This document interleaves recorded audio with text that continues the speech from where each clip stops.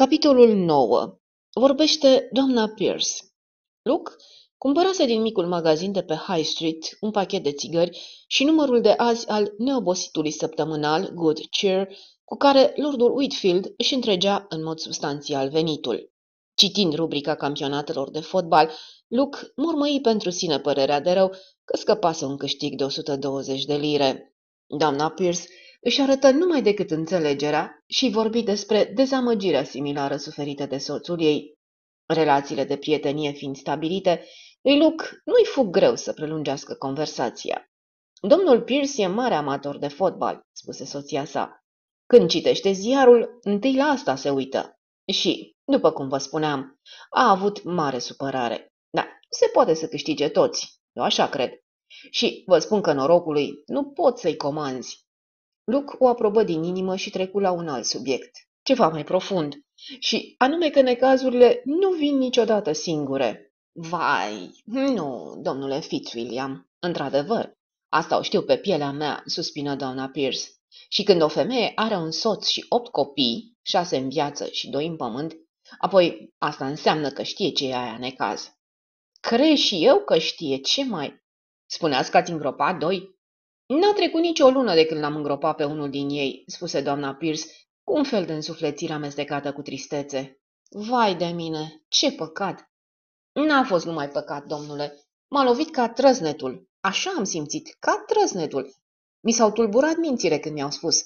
Nu m-am așteptat niciodată ca Tommy să pățească așa ceva. Când un copil îți face necazuri, nu-i fire să te gândești că poate lia Domnul Dumnezeu. Și Emma Jane, puișorul meu drag, nu o să o mai apuci să o crești, așa mi-au spus. Dumnezeu ia la sine pe cei dragi. Și a fost adevărul golgolus, domnule. Dumnezeu le știe pe ale lui. Luca aprobă și asta și se strădui să mute conversația de la subiectul cu îngerașul de Emma Jane la cel al drăcușorului de Tommy. Băiatul a murit de curând? A fost un accident? Da, un accident, domnule. Spăla geamurile la vechea sala a conacului, care acum e bibliotecă, și probabil că s-a clătinat nițel și a căzut de sus de pe fereastră. Așa s-a întâmplat. Doamna Pierce vorbi pe larg și dădu amănunte cu privire la accident. Nu cumva a circulat povestea că țopăia pe pervazul ferestrelor? Doamna Pierce spuse că băieții sunt băieți, da, fără îndoială că l-a pus pe gânduri pe Maior, care și așa este un om cam agitat. Maiorul Horton? Da, domnule, Domnul cu buldogii. După ce s-a petrecut accidentul, s-a întâmplat să pomenească că l-a văzut pe Tommy al nostru lucrând foarte neatent. Și, bineînțeles că dacă l-ar fi speriat cineva, ar fi putut să cadă foarte ușor. Necazul cu Tommy e că a fost o fire prea veselă. Nu odată mi-a dat bătaie de cap, dar vina nu avea decât firea lui. Nimic, decât o fire veselă. Așa cum poate să aibă orice băiat. Dar n-avea inimă rea, să știți. Nu, nu, sunt sigur că nu avea. Dar știți uneori, doamnă Pierce, oamenilor, oamenilor mai în vârstă și serioși, le vine foarte greu să-și amintească că au fost și ei tineri odată. Doamna Pierce suspină. Niște vorbe tare adevărate, domnule. Nu pot să mă abțin să nu sper că anumitor domni, pe care aș putea să-i numesc, dar nu vreau, le-a părut rău că s-au purtat urât cu băiatul, numai pentru că era o fire vestelă. Păi juca feste stăpânilor, nu? întrebă Luc, zâmbind cu indulgență. Doamna Pierce răspunse repede. Se distra și el, domnule, atât. Tommy se pricepea tare bine să imite. Ne făcea să ne strâmbăm de râs când îl imita pe domnul Ellsworthy de la prăvălia cu antichități sau pe bătrânul Hobbs, baznicul de la cimitir. Și tocmai când făcea pe stăpânul de la conac, de râdeau cele două ajutoare ale grădinarului, hop, că a sosit tiptil și stăpânul și l-a dat pe fară pe Tommy chiar atunci. Știu eu că nici nu se putea aștepta la altceva. A fost drept iar stăpânul i-a purtat pică și l-a ajutat pe Tommy să-și găsească altă slujbă. Dar alții nu au fost la fel de mărinimoși, nu? Nu prea, domnule. Nu vreau să dau nume și nici nu ar trece prin cap că domnul Abbott poate să se poarte în felul ăsta, când el este un om atât de simpatic și întotdeauna are câte o vorbă bună sau câte o glumă la îndemână. Tommy l-a supărat? Sunt sigură că băiatul n-a avut niciun gând rău și, la urma urmei, dacă ai acte secrete și nu trebuie citite de toată lumea, apoi nici nu trebuie lăsate pe masă. Eu așa cred. Chiar așa, spuse Luc. Într-un birou de avocat, documentele personale ar trebui păstrate în safe. Da, domnule, eu așa cred și soțul meu e de acord cu mine. Și Tommy nici măcar n-a citit mult din ele. Ce era? Un testament? Se gândise probabil pe bună dreptate că întrebarea cu privire la natura documentului respectiv ar fi jenat-o pe doamna Pierce. Dar întrebarea pusă direct declanșă un răspuns instantaneu. A, nu, domnule, nici vorbă. Nimic important. Doar o scrisoare personală de la o doamnă. Și Tommy nici n-a văzut ce doamnă era. Prea multă zarvă pentru un fleac. Nu așa zic. Probabil că domnul Abbott e o persoană care se supără foarte repede. E, cam așa s-ar părea, nu? Deși, după cum ziceam, e un domn cu care îți face plăcere să stai de vorbă. Mereu îți spune câte o glumă sau te îmbărbătează, dar e adevărat că am auzit că nu-i prea bine să-i te pui contra. El și cu doctorul Hambley erau la cuțite, după cum se spune. Numai că bătrânul domn a murit. Și nici domnului Abbott nu i-a venit prea bine după aia, când se gândea cum se aveau. Fiindcă atunci când moare cineva, îți mai place să te gândești că s-au rostit niște vorbe aspre și nu mai poți să ți le iei înapoi. Luc dădu din cap solemn și murmură. Foarte adevărat, foarte adevărat. O mică coincidență, povestea asta. A avut un schimb de cuvinte cu doctor Hambley și doctorul a murit. S-a purtat rău cu Tommy al dumneavoastră și băiatul moare. Cred că experiența asta repetată o să-l facă pe domnul Abbott mai grijuliu de felul cum va vorbi pe viitor. Păi, la fel a fost și cu Harry Carter de la Steven Stars, spuse doamna Pierce. Numai cu o săptămână înainte de a se neca, a avut niște vorbe cu el. Da, nimeni nu poate să-l acuze pe domnul Abbott pentru asta. Carter a fost de fapt cu o cara. S-a dus la domnul Abbott acasă, fiindcă era băut, și a strigat în gura mare niște vorbe murdare. Biata doamnă Carter trebuia să înghită multe și eu cred că i s-a luat o piatră de pe inimă când s-a dus bărbată-su. Parcă a rămas și o fică după el, nu? A, eu nu bârfesc. Era ceva neașteptat, ar promițător. Luke ciuli urechile și așteptă. N-au fost decât vorbe goale. Lucy Carter e o fată arătoasă în felul ei și, dacă ar fi avut și ea bani ca domnul Abbott, cred că nimeni n-ar mai fi băgat de seamă povestea asta. Dar au fost vorbe, nu pot să zic, mai ales după ce Carter s-a dus acasă la el, țipând și înjurând. Luke prinse implicațiile discursului cam confuz. Se pare că domnului Abbott îi place să se uite la câte o fată drăguță. Așa se întâmplă adesea cu bărbații, spuse doamna Pierce. Nu se gândesc la prostii. Aruncă o vorbă, două, dar lumea e lume și tot se observă până la urmă. Poți să te aștepți la așa ceva aici, într-un loc liniștit ca ăsta. E un loc încântător, atât de ferit de rele. Așa spun pictorii întotdeauna, dar eu cred că nu suntem în pas cu vremurile. Păi, nu avem nicio construcție nouă cu care să ne mândrim. Dincolo, la Ashvale, de exemplu, au o mulțime de case noi, unele cu acoperișuri verzi și cu ferestre cu vitralii. Luke se scutură ușor. Aveți aici un institut nou de toată frumusețea. Da, se spune că e o clădire frumoasă, zise doamna Pierce, fără prea mult entuziasm. Sigur că stăpânul a făcut multe pentru orășelul ăsta. Ei vrea numai binele, asta o știm cu toții. Dar nu credeți că strădaniile lui sunt încununate de succes? spuse Luca amuzat. Păi, sigur, domnule, dumnealui nu face parte din lumea bună. Nu-i ca domnișoara Winefleet, de exemplu, sau domnișoara Conway. Păi, tatăl lordului Whitfield a avut o prăvălioară de încălțăminte numai la câteva case mai încolo. Maică mea și aduce aminte de Gordon Rugg, care servea în prăvălie. Și l amintește foarte bine. Ei, acum e lord și e bogat. Da, nu e niciodată același lucru. nu e așa, domnule? Sigur că nu. Mă scuzați că am amintit de asta, domnule. Știu că locuiți la Conac și scrieți o carte. Dar mai știu că sunteți vărul domnișoarei Bridget și asta schimbă lucrurile. Tare ne-am bucurat să devină stăpână la Ash Manor. Nu mă îndoiesc. Plăti țigările și ziarul foarte brusc. Se gândi. Elementul personal. Trebuie să-l lasă să se strecoare. La naiba, sunt în căutarea unui criminal. Ce contează dacă vrăjitoarea aia cu părul negru se mărită sau nu? Ea n-are niciun amestec. Mergea încet pe stradă. Făcu un efort să nu se mai gândească la Bridget. Ei, și acum Abbott. Zarurile se întorc asupra lui Abbott. L-am legat de trei victime. S-a certat cu Hambley, cu Carter și cu Tommy Pierce. Și toți trei au murit. Da, ce cu fata? Amy Gibbs. Oare ce scrisoare intimă a văzut băiatul ăla zăpăcit? Știa de la cine a fost primită. Sau nu știa. S-ar putea să nu-i fi spus mai si. Dar dacă știa, dacă Abbott s-a gândit că era necesar să închidă gura, s-ar putea. Deci, Asta e tot ce pot să spun. S-ar putea. Nu mă mulțumește. Luc grăbi pasul, uitându-se în jur cu o exasperare subită. Satul ăsta blestemat mă scoate din minți. Atât de zâmbitor și liniștit, atât de inocent. Și tot timpul nebunia asta cu crima trece prin el. Sau eu sunt cel nebun? Sau Lavinia Pinkerton a fost mintită? La urma urmei, toată povestea ar putea fi o coincidență. Da, Martelui Hambleby și toate... Se uită în josul străzii principale și fu cuprins de sentimentul puternic că plutește undeva în ireal. Spuse în sine, lucrurile astea nu se întâmplă. Apoi ridică ochii spre marginea lungă și apăsătoare a coastei Ash și, deodată senzația de rii real se spulberă. Coasta Ash era reală.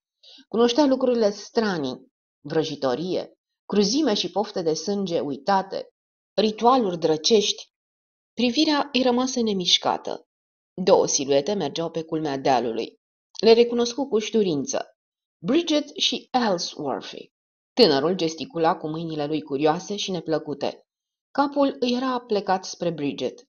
Arătau ca două siluete desprinse dintr-un vis. Parcă ar fi călcat prin iarbă cu pași ușor de pisică. Îi văzu părul negru învolburându-se în spate din cauza unei rafale de vânt. Din nou fu cuprins de strania ei vrajă. Sunt vrăjit, ce mai? Sunt vrăjit, spuse în gând. Stătu nemișcat, învăluit de o senzație de moleșală. Se gândi cu părere de rău. Cine o să rupă vraja? Nu e nimeni. Capitolul 10 Rose Hambleby Zgomot ușor din spate îl făcuse să se întoarcă brusc. Era o fată, o fată deosebit de drăguță, cu păr castaniu buclat și cu ochi albastru închis care priveau timid. Se înroși stânjenită înainte de a vorbi. Sunteți domnul Fitzwilliam, nu-i așa? Da, eu. Eu sunt Rose Hambleby, Bridget mi-a spus că ați cunoscut niște prieteni de-ai tatei. Luke a avut bunul simț să roșească ușor sub bronzul pielii. A, de mult, spuse el neconvingător. L-am cunoscut hmm, când era tânăr, înainte de a se căsători. Aha, înțeleg. Rose Hambleby păru puțin dezamăgită, dar continuă. Scrieți o carte, nu-i așa? Da, îmi strâng însemnări despre superstițiile locale, tot felul de lucruri de genul ăsta. Înțeleg. Pare grozav de interesant. Să fie probabil o carte plictisitoare la culme, o asigură Luke. A, nu, sunt sigură că nu va fi. Luke zâmbi. Se gândi. Doctorul Thomas e un om norocos. Apoi spuse. Există oameni care pot face subiectul cel mai captivant, infernal de plictisitor. Tare mă tem că eu fac parte dintre aceștia. Vai, dar de ce? Nu știu, da, convingerea asta. Rose Hambleby spuse. Nu s-ar putea să faceți parte dintre acei oameni care fac subiectele plictisitoare extrem de captivante. Sunteți drăguță. Vă mulțumesc. Rose Hambleby îi înapoiase zâmbetul. Apoi spuse. Credeți în superstiții și în lucruri de-astea? Asta e o întrebare complicată și grea și, de fapt, nu este esențială. Se poate să te intereseze anumite lucruri în care să nu crezi. Da, Cred că da, spuse fata cu oarecare îndoială. Sunteți superstițioasă? Nu, nu, nu prea. Dar am credința că lucrurile ți se întâmplă valuri, valuri. Valuri? Da, valuri de noroc sau ghinion. Vreau să spun, am senzația că în ultima vreme Witchwood a fost parcă sub o vrajă aducătoare de nenorociri. Tata a murit, pe domnișoara Pinkerton a călcat o mașină și băiețelul ăla a căzut de pe fereastră. Am sentimentul, nu știu, dar parcă aș urâ locul ăsta. Parcă ar trebui să plec de aici. Începu să respire repede. Luc o privi dus pe gânduri. Deci, aveți acest sentiment? A, știu că e o prostie. Cred că e numai din cauza morții neașteptate a bietului meu tată. Totul s-a petrecut atât de brusc. Se cutremură. Și apoi domnișoara Pinkerton spunea... Fata se opri. Ce spunea? Era o bătrânică încântătoare, așa cum am cunoscut-o eu. Semăna foarte bine cu una din mătușile mele preferate. Ați cunoscut-o? Chipul îi se lumină. O îndrăgeam foarte mult și ea era foarte devotată tatei. Dar uneori mă întrebam dacă nu cumva era ceea ce scoțienii numesc fei. De ce? Pentru că Ciudat, dar ei era frică să nu-i se întâmple ceva aici. Aproape m-a prevenit, mai ales să-l feresc de accidente. Și pe urmă, în ziua aceea, chiar înainte de a pleca la Londra, s-a purtat tare ciudat. Era agitată la culme. Domnule Fitzwilliam, eu personal cred că făcea parte dintre oamenii care au presimțit. Cred că știa că îi se va întâmpla ceva. Probabil a știut că și tatei o să-i se întâmple ceva. Este, este înspăimântător. Făcu un pas către el. Uneori pot să preveze viitorul, spuse Luc, dar asta nu ține totdeauna de supranatural. Într-adevăr, trebuie să fie ceva foarte firesc, o facultate pe care nu au toți oamenii. Totuși, mă îngrijorează. N-aveți de ce să fiți îngrijorată, spuse Luc cu blândețe. Gândiți că acum a trecut totul. N-are rost să vă mai preocupe trecutul. Trebuie să trăiți pentru viitor. Cred, dar sunt și alte lucruri. Nu știu dacă înțelegeți. Ros ezită. Mai era ceva, în legătură cu verișoara dumneavoastră. Verișoara mea? Bridget? Da. Domnișoara Pinkerton era cam îngrijorată în privința ei. Mereu îmi punea întrebări. Cred că se temea și pentru ea. Luke se întoarse, scrutând coama dealului. Îl încerca un sentiment ilogic de teamă. Bridget, singură cu un om cu mâinile de culoare nesănătoasă, cu o carnație verzuie în descompunere. Imaginație. Pură imaginație. Ellsworthy era un biet diletant inofensiv care făcea pe negustorul. Ca și cum i-ar fi ghicit gândurile, Rose spuse. Domnul Ellsworthy vă e simpatic? Categoric nu. Nici Geoffrey, știți, doctorul Thomas nu-l place. Dar dumneavoastră? A, eu îl consider îngrozitor. Se dădu puțin mai aproape. Toată lumea vorbește de el. Am auzit ca oficial nu știu ce ritualuri în poiana vrăjitoarelor și au venit o mulțime de prieteni din Londra. Niște persoane oribile la înfățișare. Tommy Pierce era și el un fel de acolit. Tommy Pierce? întrebă Luke deodată. Da, avea niște odăjdii și o sutană roșie. Când s-a întâmplat asta? A, mai de mult, cred că prin martie. Se pare că Tommy Pierce a fost amestecat în tot ce s-a petrecut în satul ăsta. Era tare băgăcios. Întotdeauna trebuia să știe ce se petrece. Probabil că până la urmă a aflat prea multe, spuse Luke sever. Rose acceptă cuvintele așa cum fură rostite. Era un băiețel destul de nesuferit. Îi plăcea să taie viespile în bucăți și să stârnească câinii. Genul de copil a cărui moarte nu e prea regretată. Da, cred că aveți dreptate. Totuși, a fost sfâșietor pentru maică sa. Mm, știu că i-au rămas alți șase brotăcei care să o consoleze. Femeia asta e bună de gură. Vorbește cam mult, nu-i așa? După ce am cumpărat câteva țigări de la ea, aveam impresia că știu întreaga istorie a oricui de pe aici. Rose spuse întristată. Asta e lucru cel mai rău la noi. Toată lumea știe totul despre fiecare în parte. Nu, nu cred, spuse Luke. Fata îl privi întrebătoare. Luke îi spuse cu înțeles. Nici o ființă nu cunoaște întregul adevăr despre o alta. Chipul lui Rose deveni grav. Se cutremură ușor, involuntar. Da, spuse ea încet. Cred că așa este. Nici despre cine ți-e mai drag și mai apropiat. Nici chiar... Începu ea, dar se opri. A, poate aveți dreptate. Însă n-aș fi vrut să spuneți lucruri atât de îngrozitoare, domnule Fitzwilliam. Vă sperie? Dădu din cap încet. Apoi schimbă vorba. Trebuie să plec. Dacă nu aveți altceva mai bun de făcut, adică dacă veți putea, treceți pe la noi. Mamei ar face multă plăcere, mai ales că ați cunoscut niște foști prieteni de-ai tatei. Rose căborâ ușor drumul. Ținea capul puțin plecat, de parcă ar fi purtat pe el o povară de necazuri sau nedumeriri. Luke rămase pe loc uitându-se după ea. Îl învăluie o undă de grijă. Simțea o dorință să o apere și să o protejeze pe fata asta. De ce anume să o apere? În timp ce își punea întrebarea, dădu din cap ușor nerăbdător. Era adevărat că lui Rose Hambleby îi murise de curând tatăl, dar avea o mamă și era logotită cu un tânăr fermecător care era foarte potrivit pentru a o apăra. Și atunci, de ce el, Luke Fitzwilliam, să fie cuprins de complexe și să simtă nevoia să o apere? Iar intervenea vechiul sentimentalism, se gândi Luke. Instinctul de protecție al masculului. Fusese în floare în epoca victoriană.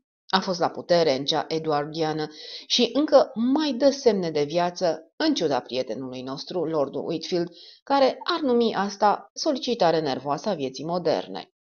Oricum, spuse, îndreptându-se spre amenințătoarea silueta a coastei Ash, îmi place fata asta. E prea bună pentru Thomas, diavolul ăsta rece și arogant. Îi reveni în memorie ultimul zâmbet al doctorului când se aflau pe scările de la intrare. Fusese fără îndoială un zâmbet de o mulțumit de sine. Automulțumire. Deasupra capului auzi un sunet de pași care îl trezi pe Luc din meditațiile lui ușor iritante. Privirea întâlni silueta tânărului domn Ellsworthy, care cobora pe cărare. Ținea privirea în pământ și zâmbea ca pentru sine. Expresia feței îl impresionă pe Luc neplăcut. Ellsworthy aproape că nu pășea, țopăia, ca un om care saltă în ritmul unei melodii drăcești ce îi răsună în minte. Zâmbetul era de fapt o strâmbătură stranie și tăinuită a buzelor. Avea o șiretenie triumfătoare, care era evident neplăcută. Lux se oprise și Ellsworthy ajunse aproape în dreptul lui până să-l vadă.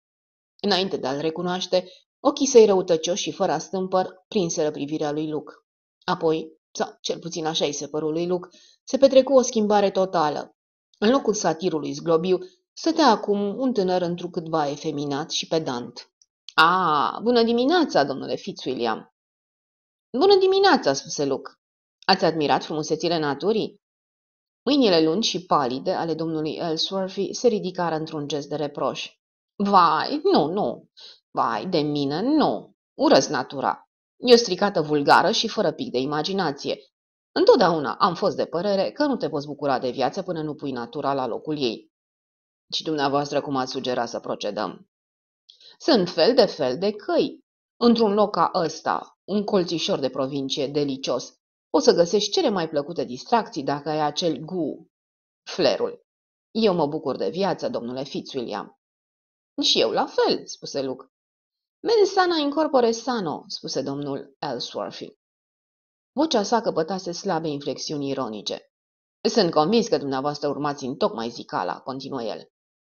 Sunt și alte lucruri mai grave. Dragă prietene, sănătatea mentală este ceva extrem de plictisitor. Trebuie să fii nebun, delicios de nebun, pervertit, ușor zăpăcit. Atunci vezi viața dintr-un unghi nou, amețitor. Prin ferestruica din biserică rezervată reproșilor, sugeră Luc. A, foarte bine, foarte bine. Spiritul. Dar știți, mai e și altceva. Un unghi de vedere interesant. Da, nu vreau să vă rețin. Trebuie să faceți mișcare. Oamenii trebuie să facă mișcare la propriu. Exact, spuse Luc, și cu o scurtă înclinare a capului își continuă drumul. Se gândi. A început să-mi lucreze prea mult imaginația. Individul ăsta nu e decât un dobitoc de rând. Atâta tot. Dar un sentiment nedezlușit de neliniște îl făcu să grăbească pasul. Zâmbetul acela ciudat, viclean, triumfător, pe care Ellsworthy îl avusese pe figură, nu fusese oare decât rezultatul fanteziei lui Luke? Și apoi impresia următoare. Zâmbetul dispăruse ca șters de un burete la vederea lui. Oare ce însemna asta? Și cu o neliniște crescândă se gândi. Bridget, oare e în siguranță? Au venit aici amândoi și s-a întors numai el. Grăbi pasul. Cât timp vorbise cu Ross Hambleby, soarele apăruse de după nori. Acum dispăruse din nou. Cerul era mohorât și amenințător, iar vântul trimitea rafale iuți și întâmplătoare. Luc a avut senzația că pășise din viața de toate zilele într-o lume fermecată și stranie. Își dăduse seama de asta din ziua în care pusese piciorul în Witchwood. Coti după un colț și ieși într-o poiană cu multă iarbă, ce fusese arătată de jos și care, după cum știa, purta numele de Poiana Vrăjitoarelor. Tradiția spunea că aici își țineau vrăjitoarele orgiile, nopțile valpurgice și de Halloween. În clipa următoare se simți ușurat. Bridget era acolo. Se sprijinea de o stâncă a dealului. Stătea plecată cu capul între mâini. Se îndreptă grăbit spre ea. Călca pe iarba frumoasă, primăvăratecă, ciudat de proaspătă și de verde. Bridget! Își ridică fața din mâini. Chipul ei îl răscoli. Arăta de parcă s-ar fi întors dintr-o lume îndepărtată, de parcă i-ar fi fost greu să se adapteze lumii de aici, din acel moment. Luc întrebă, nu fără stângăcie. Ascultă, n-ai pățit nimic, așa-i? Trecuseră vreo două minute până să-i răspundă, ca și cum încă nu revenise din lumea aceea îndepărtată care o găzduise. Luke a avut sentimentul că vorbele sale parcurseră cale lungă până să-i ajungă la ureche. Sigur că n-am pățit nimic. Adică, de ce aș și pățit ceva? Vocea ei devenise ascuțită și aproape ostilă. Luke rânji. Să mă ia naiba dacă știu. I s-a năzărit așa deodată. De ce? Mai întâi, cred că din cauza atmosferei melodramatice în care trăiesc zilele astea. Văd toate lucrurile în alte dimensiuni. Dacă te scap din vedere o oră sau două, în mod firesc îmi închipui că îți voi găsi cadavrul însângerat în vreun șanț. Parcă ar fi într-o piesă sau într-un roman. Eroinele nu sunt ucise. Da, dar... Lux se opri la timp. Ce ai vrut să spui? Nimic. Slavă Domnului că se oprise la timp. Parcă nu prea-ți vine să spui unei tinere atrăgătoare, dar tu nu ești eroină. Bridget continuă. Eroinele sunt răpite, întemnițate, lăsate să moară, asfixiate cu gaze sau necate în pivniță. Sunt tot timpul în pericol, dar nu mor niciodată. Nici nu se topesc în aer. Apoi continuă. Deci, asta e poiana vrăjitoarelor? Da. O privi. Îți lipsește coada de mătură, spuse el cu blândețe. Îți mulțumesc. Domnul Ellsworthy s-a exprimat cam la fel. Tocmai m-am întâlnit cu el. Ați stat de vorbă? Da. Cred că a vrut să mă scoată din sărite. Și a reușit? A folosit metode cam copilărești. Se opri, apoi continuă brusc. E un individ ciudat. O clipă ai senzația că nu e decât un zăpăcit și, pe urmă, brusc te întrebi dacă totuși nu e altceva, mai mult decât atâta. Bridget îl privi. Deci și tu ai simțit. Nu cumva gândim la fel? Da. Luca așteptă, Bridget spuse. Are ceva straniu în el. Știi, m-am tot întrebat. Azi noapte n-am închis un ochi tot frământându-mi mintea. M-am gândit la întreaga poveste. Dacă într-adevăr e vorba de un criminal, cred că eu ar trebui să știu cine anume e. Adică, așa ar fi firesc având în vedere că locuiesc aici și toate celelalte. M-am gândit și m-am răzgândit și am tras concluzia că, dacă într-adevăr există un criminal, atunci el trebuie să fie fără discuție nebun. Aducându-și aminte de cuvintele doctorului Thomas, Luke o întrebă. Nu crezi că respectivul criminal ar putea fi la fel de sănătos ca noi toți? Genul ăsta de criminal, nu. După părerea mea, criminalul ăsta trebuie să fie nebun. Și asta, cum vezi, m-a îndreptat spre Ellsworthy. Dintre toți cei care stau aici, el e singurul care este categoric un tip ciudat. Și este ciudat, nu poți să negi. Luke spuse cu îndoială. Sunt mulți ca el. Diletanți, pozări, care de obicei sunt total inofensivi. Da, dar el cred că e altfel. Are niște mâini atât de scârboase. Deci, ai băgat de seamă? Ce caragios lucru! Și eu observasem. De fapt, nu sunt albe, sunt verzi. Da, asta e senzația pe care o încerci. Totuși, nu poți să învinovățești pe cineva de crimă pentru nuanțele pielii. Într-adevăr, avem nevoie de dovezi. Dovezi, mormăi Luc. Exact ceea ce ne lipsește cu desăvârșire. Individul a fost prea prevăzător. Un criminal prevăzător. Un nebun prevăzător. Am încercat să te ajut, spuse Bridget. În cazul Ellsworthy? Da. M-am gândit că eu aș putea să-l trag mai bine de limbă. Am reușit puțin. Povestește-mi.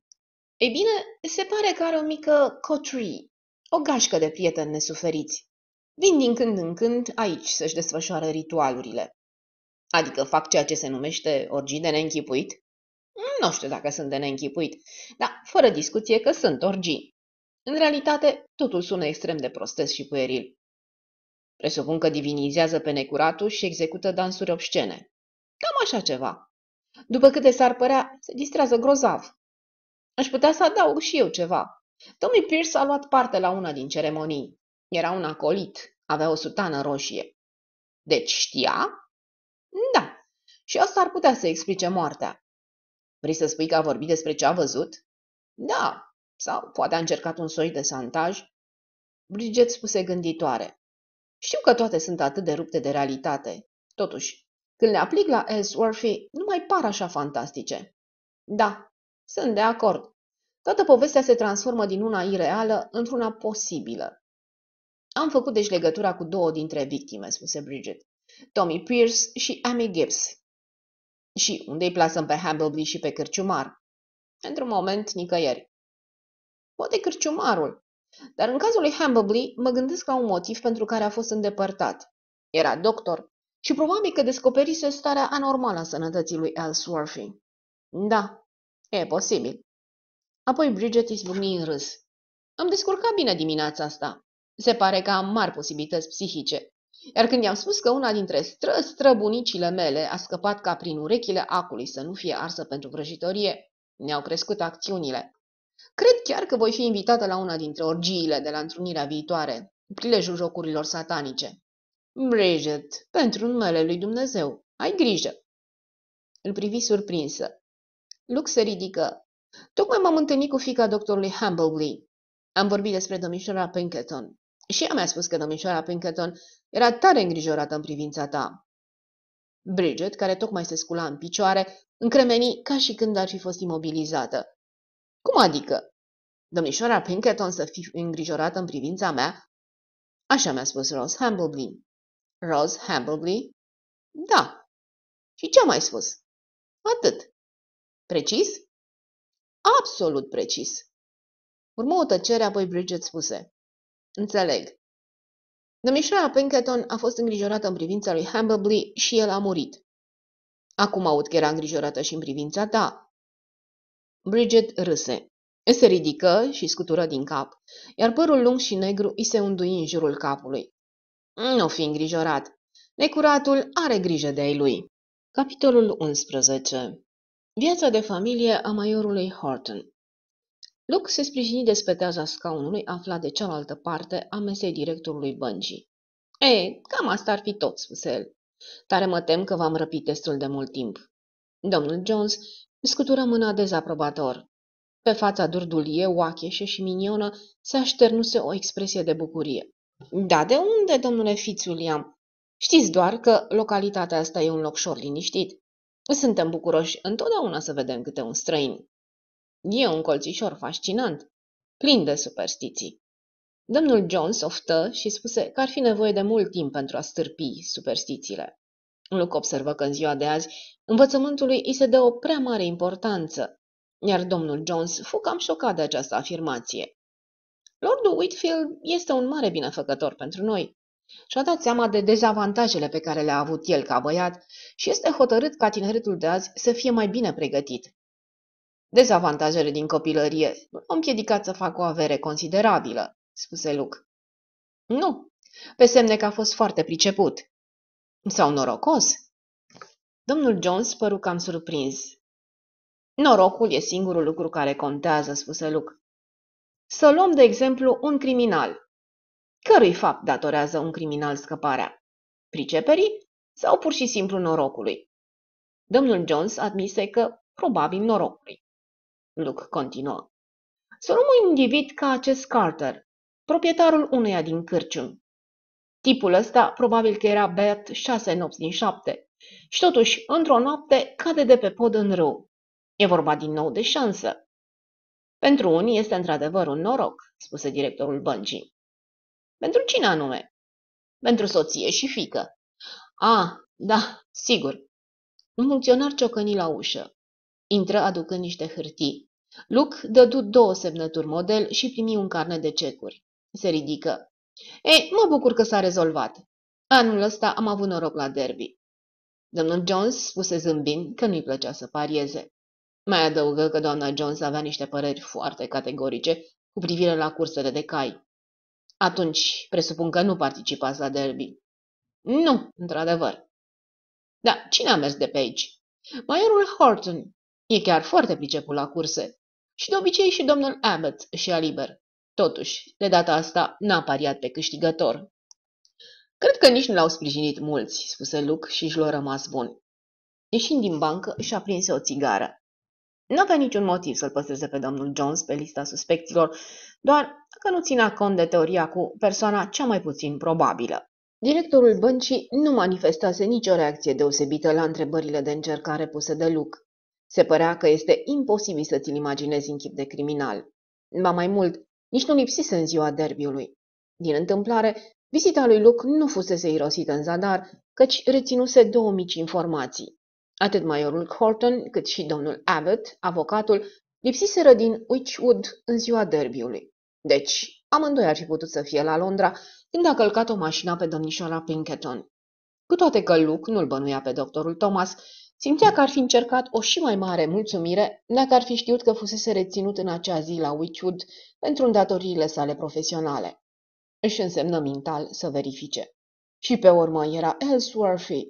Oare Ellsworthy fusese la Witchwood în ziua derbiului? Dacă da, presupunerea că el ar fi criminalul cădea de la sine. Totuși, se gândi Luke, era posibil ca de moartea domnișoarei Pinkerton să nu fi fost nimic altceva decât un simplu accident, așa cum de altfel se presupuse. Dar respinse această teorie. Moartea survenise prea la timp. Luke se urcă în mașina sa, trase lângă bordură și porni spre garajul Pipwell, care se afla la celălalt capăt al străzii principale. Voia să discute niște probleme mărunte cu privire la mașină. Un mecanic tânăr și chipeș, plin de pistrui, îl ascultă privindu-l cu ochii inteligenți. Cei doi oameni ridicară capota și se adânciră într-o discuție tehnică. Se auzi o voce. Jim, vină încoa puțin. Mecanicul cel pistruiat se supuse. Jim Harvey. Într-adevăr, era Jim Harvey, prietenul lui Amy Gibbs. Se întoarse într-o clipă, cerându scuze, și discuția lui din nou o întărsătură tehnică. Luke consimți să lase mașina acolo. Pe când se pregătea să plece, întrebă ca din întâmplare. Ți-a mers bine cu derbiul anul ăsta? Nu, domnule. Am pariat pe Clary Gold. Am impresia că puțini au pariat pe Jujub 2. Într-adevăr, cred că nici ziarele n-au socotit care vreo șansă. Luke aprobă din cap. Cursele de cai sunt jocuri nesigure. Ai văzut vreodată un derby? Nu, domnule, dar tare mi-ar plăcea. Am cerut și eu o zi liberă anul ăsta. A fost un bilet ieftin până la Londra și de acolo la Epsom, dar șeful nici n-a vrut să audă. De fapt, eram puțin în ziua aceea și aveam mult de lucru. Luke dădu din cap și se îndepărtă. Jim Harvey fu tăiat de pe listă. Băiatul Chipeș nu era un ucigaș tainic și nici nu era cel care o călcase cu mașina pe Lavinia Pinkerton. Se îndrepta gale spre casă pe malul râului. Ca și mai înainte, îl întâlni aici pe majorul Horton cu buldogii. Majorul continuă să strige în același mod violent. Augustus! Nelly! Nelly, ia ascultă! Nero! Nero! Din nou ochii bulbucați se ațintiră asupra lui Luke. De data asta întâlnirea nu se limită numai la atât. Majorul Horton spuse, Scuzați-mă, sunteți domnul Fitzwilliam, dacă nu mă înșel. Da, eu sunt Horton, Majorul Horton.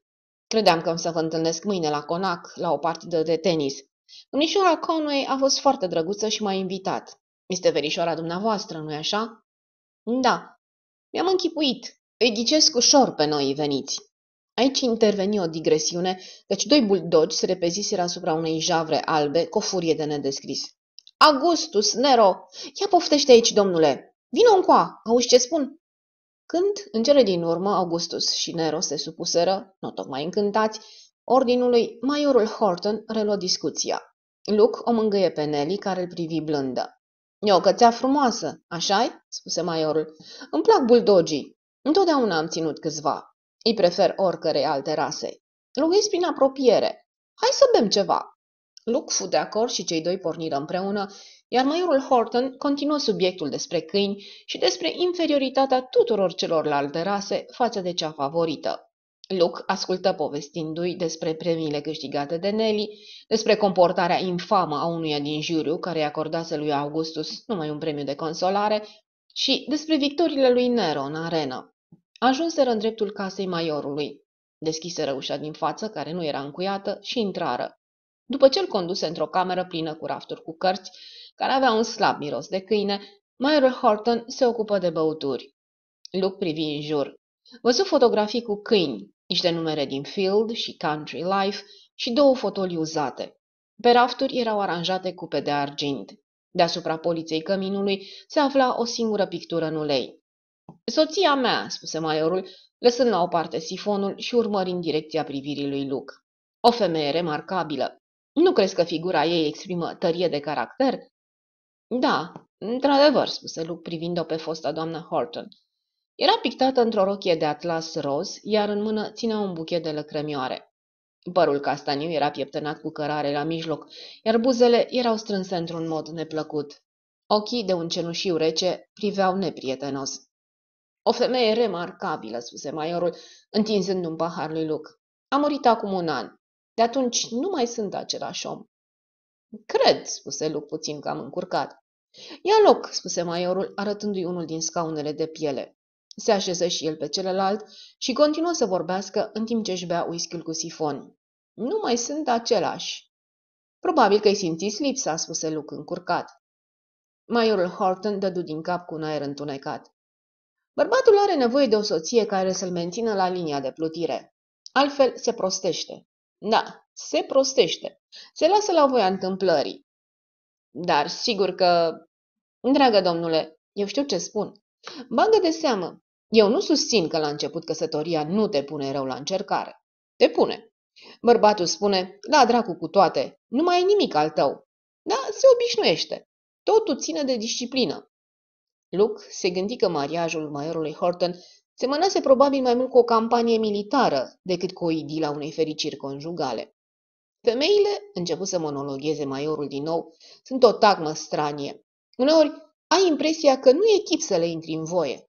Da, zău, îl țin de bărbat în formă. Luc păstră o tăcere respectoasă. Ești căsătorit? întrebă maiorul. Nu. E, nu nimic. Hai să fii. Și bagă de seamă, băiete, nu se compară cu nimic. Este foarte încurajator să auzi pe cineva vorbind frumos despre mariaj, mai ales în zilele noastre când toți divorțează așa de ușor. Fă, tinerii îmi provoacă silă. Nu au rezistență, nu au nici pic de răbdare. Nu pot să suporte nimic. Nu deloc curaj. Luc îi stătea pe limbă să întrebe de ce era nevoie de un curaj atât de mare, dar se stăpâni. Și nu uita, spuse maiorul, Lidia era o femeie dintr-o mie. Dintr-o mie toți de pe aici o respectau și o stimau. Da? Nu se încurca cu toate prostiile. Avea obiceiul să fixeze pe cineva cu privirea și acel cineva se făcea mic. Într-adevăr, se împuțina. Niște fete de-astea necoapte, care azi își dau numele de cameriste. Au impresia că le treci cu vederea orice obrăznicie. Le-a arătat ea Lidia. Știi că am avut 15 bucătărese și slujnice într-un singur an? 15! Luc a avut sentimentul că asta nu prea aducea a omagiu pentru simțul gospodăresc al doamnei Horton, dar, deoarece se părea că nu avea aceeași părere cu a gazdei, murmură ceva nedezlușit. Le lua de guler și le zvârlea afară dacă nu erau bune. Asta e. Întotdeauna s-a întâmplat așa? E, unele au plecat singure. Călătorie sprâncenată, așa le ura Lidia. Era un suflet ales, spuse Luc. Da, nu era cumva cam greu de suportat uneori? A, nu îmi bat eu capul cu fleacuri și nici nu mă dau înlături de la o treabă. Sunt un bucătar destul de bun, iar când e vorba de făcut focul, pot să mă iau la întrecere cu oricine.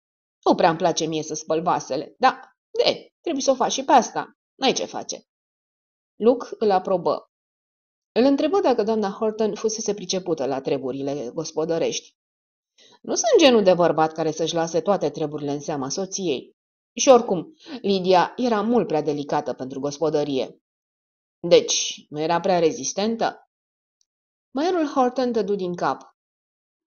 Avea un spirit încântător. Nu se lăsa bătută. Dar cât a avut de suferit femeia asta? Iar doctorii nu înțelegeau. Doctorii sunt niște brute fără simțire. Înțeleg numai durerea fizică. Atât. Tot ceea ce iese din comun îi depășește. Să luăm pe Humbleby, de exemplu. Toată lumea avea impresia că e un doctor bun. Dumneavoastră nu aveți aceeași părere? Omul era un ignorant de săvârșit. Habar n-avea de descoperirile moderne. Mă îndoiesc să fie auzit vreodată de nevroză. Poate că se pricepea la pojar, la oreion, la fracturi, dar atât. Până la urmă am avut un mic scandal cu el. Nu înțelegea deloc boala Lidiei. I-am spus-o de la obraz și nu i-a plăcut. S-a supărat și mi-a spus să chem alt doctor dacă nu-mi convine. Până la urmă l-am chemat pe Thomas. V-a făcut o altă impresie? Era mult mai priceput. Dacă cineva a împins-o din răsputeri să biruie boala, apoi acel cineva e Thomas. De fapt, chiar îi mergea mai bine. Da, a avut un colaps brusc. A avut dureri? Hm, da, gastrită. E o boală cu dureri mari, foarte grea. Cât a suferit femeia asta? A fost un martir, ce mai? Și o duzină de surori de caritate prin casă, care erau la fel de înțelegătoare ca niște pendule cu cuc. Pentru ele, fiecare ființă nu-i nimic altceva decât un pacient. Maiorul dădu din cap și goli paharul. Nu pot să sufăr surorile de caritate. N-au pic de minte. Lidia susținea că o trăvesc. Nu era adevărat, bineînțeles. Închipuiri de bolnav. Mulți au asemenea închipuiri, așa spunea Thomas, dar în dărătul lor se ascundea mult adevăr. Femeile alea nu puteau să sufere. Astăzi, genul cel mai rău de femei, care își calcă în picioare semenele. Cred, spuse Luke, cu sentimentul că ceea ce spunea e foarte stângaci, dar nu vedea cum ar fi spus-o altfel. Cred că doamna Horton avea o mulțime de prieteni adevărați în Witchwood? Oamenii au fost foarte amabili, spuse maiorul cam în colțul buzelor. Whitfield i-a trimis niște struguri și piersici din sera lui proprie. Și bătrânicile obișnuiau să vină să stea cu ea. Honoria Wainfleet și Lavinia Pinkerton. Domnișoara Pinkerton venea des, nu-i așa? Da, o fată bătrână cu tabieturi, dar o ființă blajină. Era foarte îngrijorată de Lilia. Se interesa mereu de dietă și medicamente. Nu cu vreo intenție rea. Totuși, eu consider că făcea prea mare tevatură. Luc aprobă înțelegător din cap. Nu suport evatura, spuse maiorul. Pe aici sunt prea multe femei. E greu să joci golf așa cum trebuie. Dar tânărul de la prăvălia de antichități? Maiorul pufni. Nu joacă golf. E ca o cuconiță. E de mult în Witchwood? De vreo doi ani. Un individ antipatic. Nu pot să sufăr indivizii cu părul lung și cu o voce mieroasă. Ciudat totuși că Lidia îl simpatiza. Nu poți să pui nicio bază pe felul cum îi judecă femeile pe bărbați. Pot merge până la niște limite de neînchipuit. Chiar a insistat să luăm și noi niște leacuri băbești de ale lui. Niște ierburi puse într-un vas de sticlă roșu cu semnele zodiacului pe el. Ci că ar fi niște ierburi culese la lumina lunii. Aiureli! Dar femeile înghit chestiile astea, pur și simplu le înghit. Ha, ha! Simțind că schimbă subiectul prea brusc, Lusk spuse totuși, socotind pe bună dreptate, că moiorul nu-și va da seama. Ce fel de individ e Abbott, avocatul local? Cunoaște bine legile? Am nevoie de o consultație juridică și mă gândeam să mă adresez lui. Se spune că e foarte priceput, recunoscu maiorul Horton. Eu personal nu știu. De fapt, am avut o discuție cu el. Nu l-am mai văzut de când a venit aici să întocmească testamentul nevestimii, chiar înainte de a muri. După părerea mea, individul e un ticălos. Da, sigur că asta nu-i micșorează meritele de avocat. Nu, sigur că nu. Totuși, pare un om certătreț. Am auzit că s-a certat cu foarte mulți oameni. Partea proastă e că e grozav de susceptibil. Are impresia că e Dumnezeu atotputernic și că cine nu-i de acord cu el săvârșește les majeste. Ai auzit de scandalul cu Humblebee? Deci, a avut un scandal? Clasa întâi. De fapt, să știi că nu mă miră. Humblebee era un nătărău încăpățânat. Asta e. A avut o moarte foarte tristă. Humblebee? Da, cred că da. I-a lipsit cea mai elementară prudență. Infecția sângelui este un lucru al naibii de periculos. Întotdeauna trebuie să pui iod pe rană.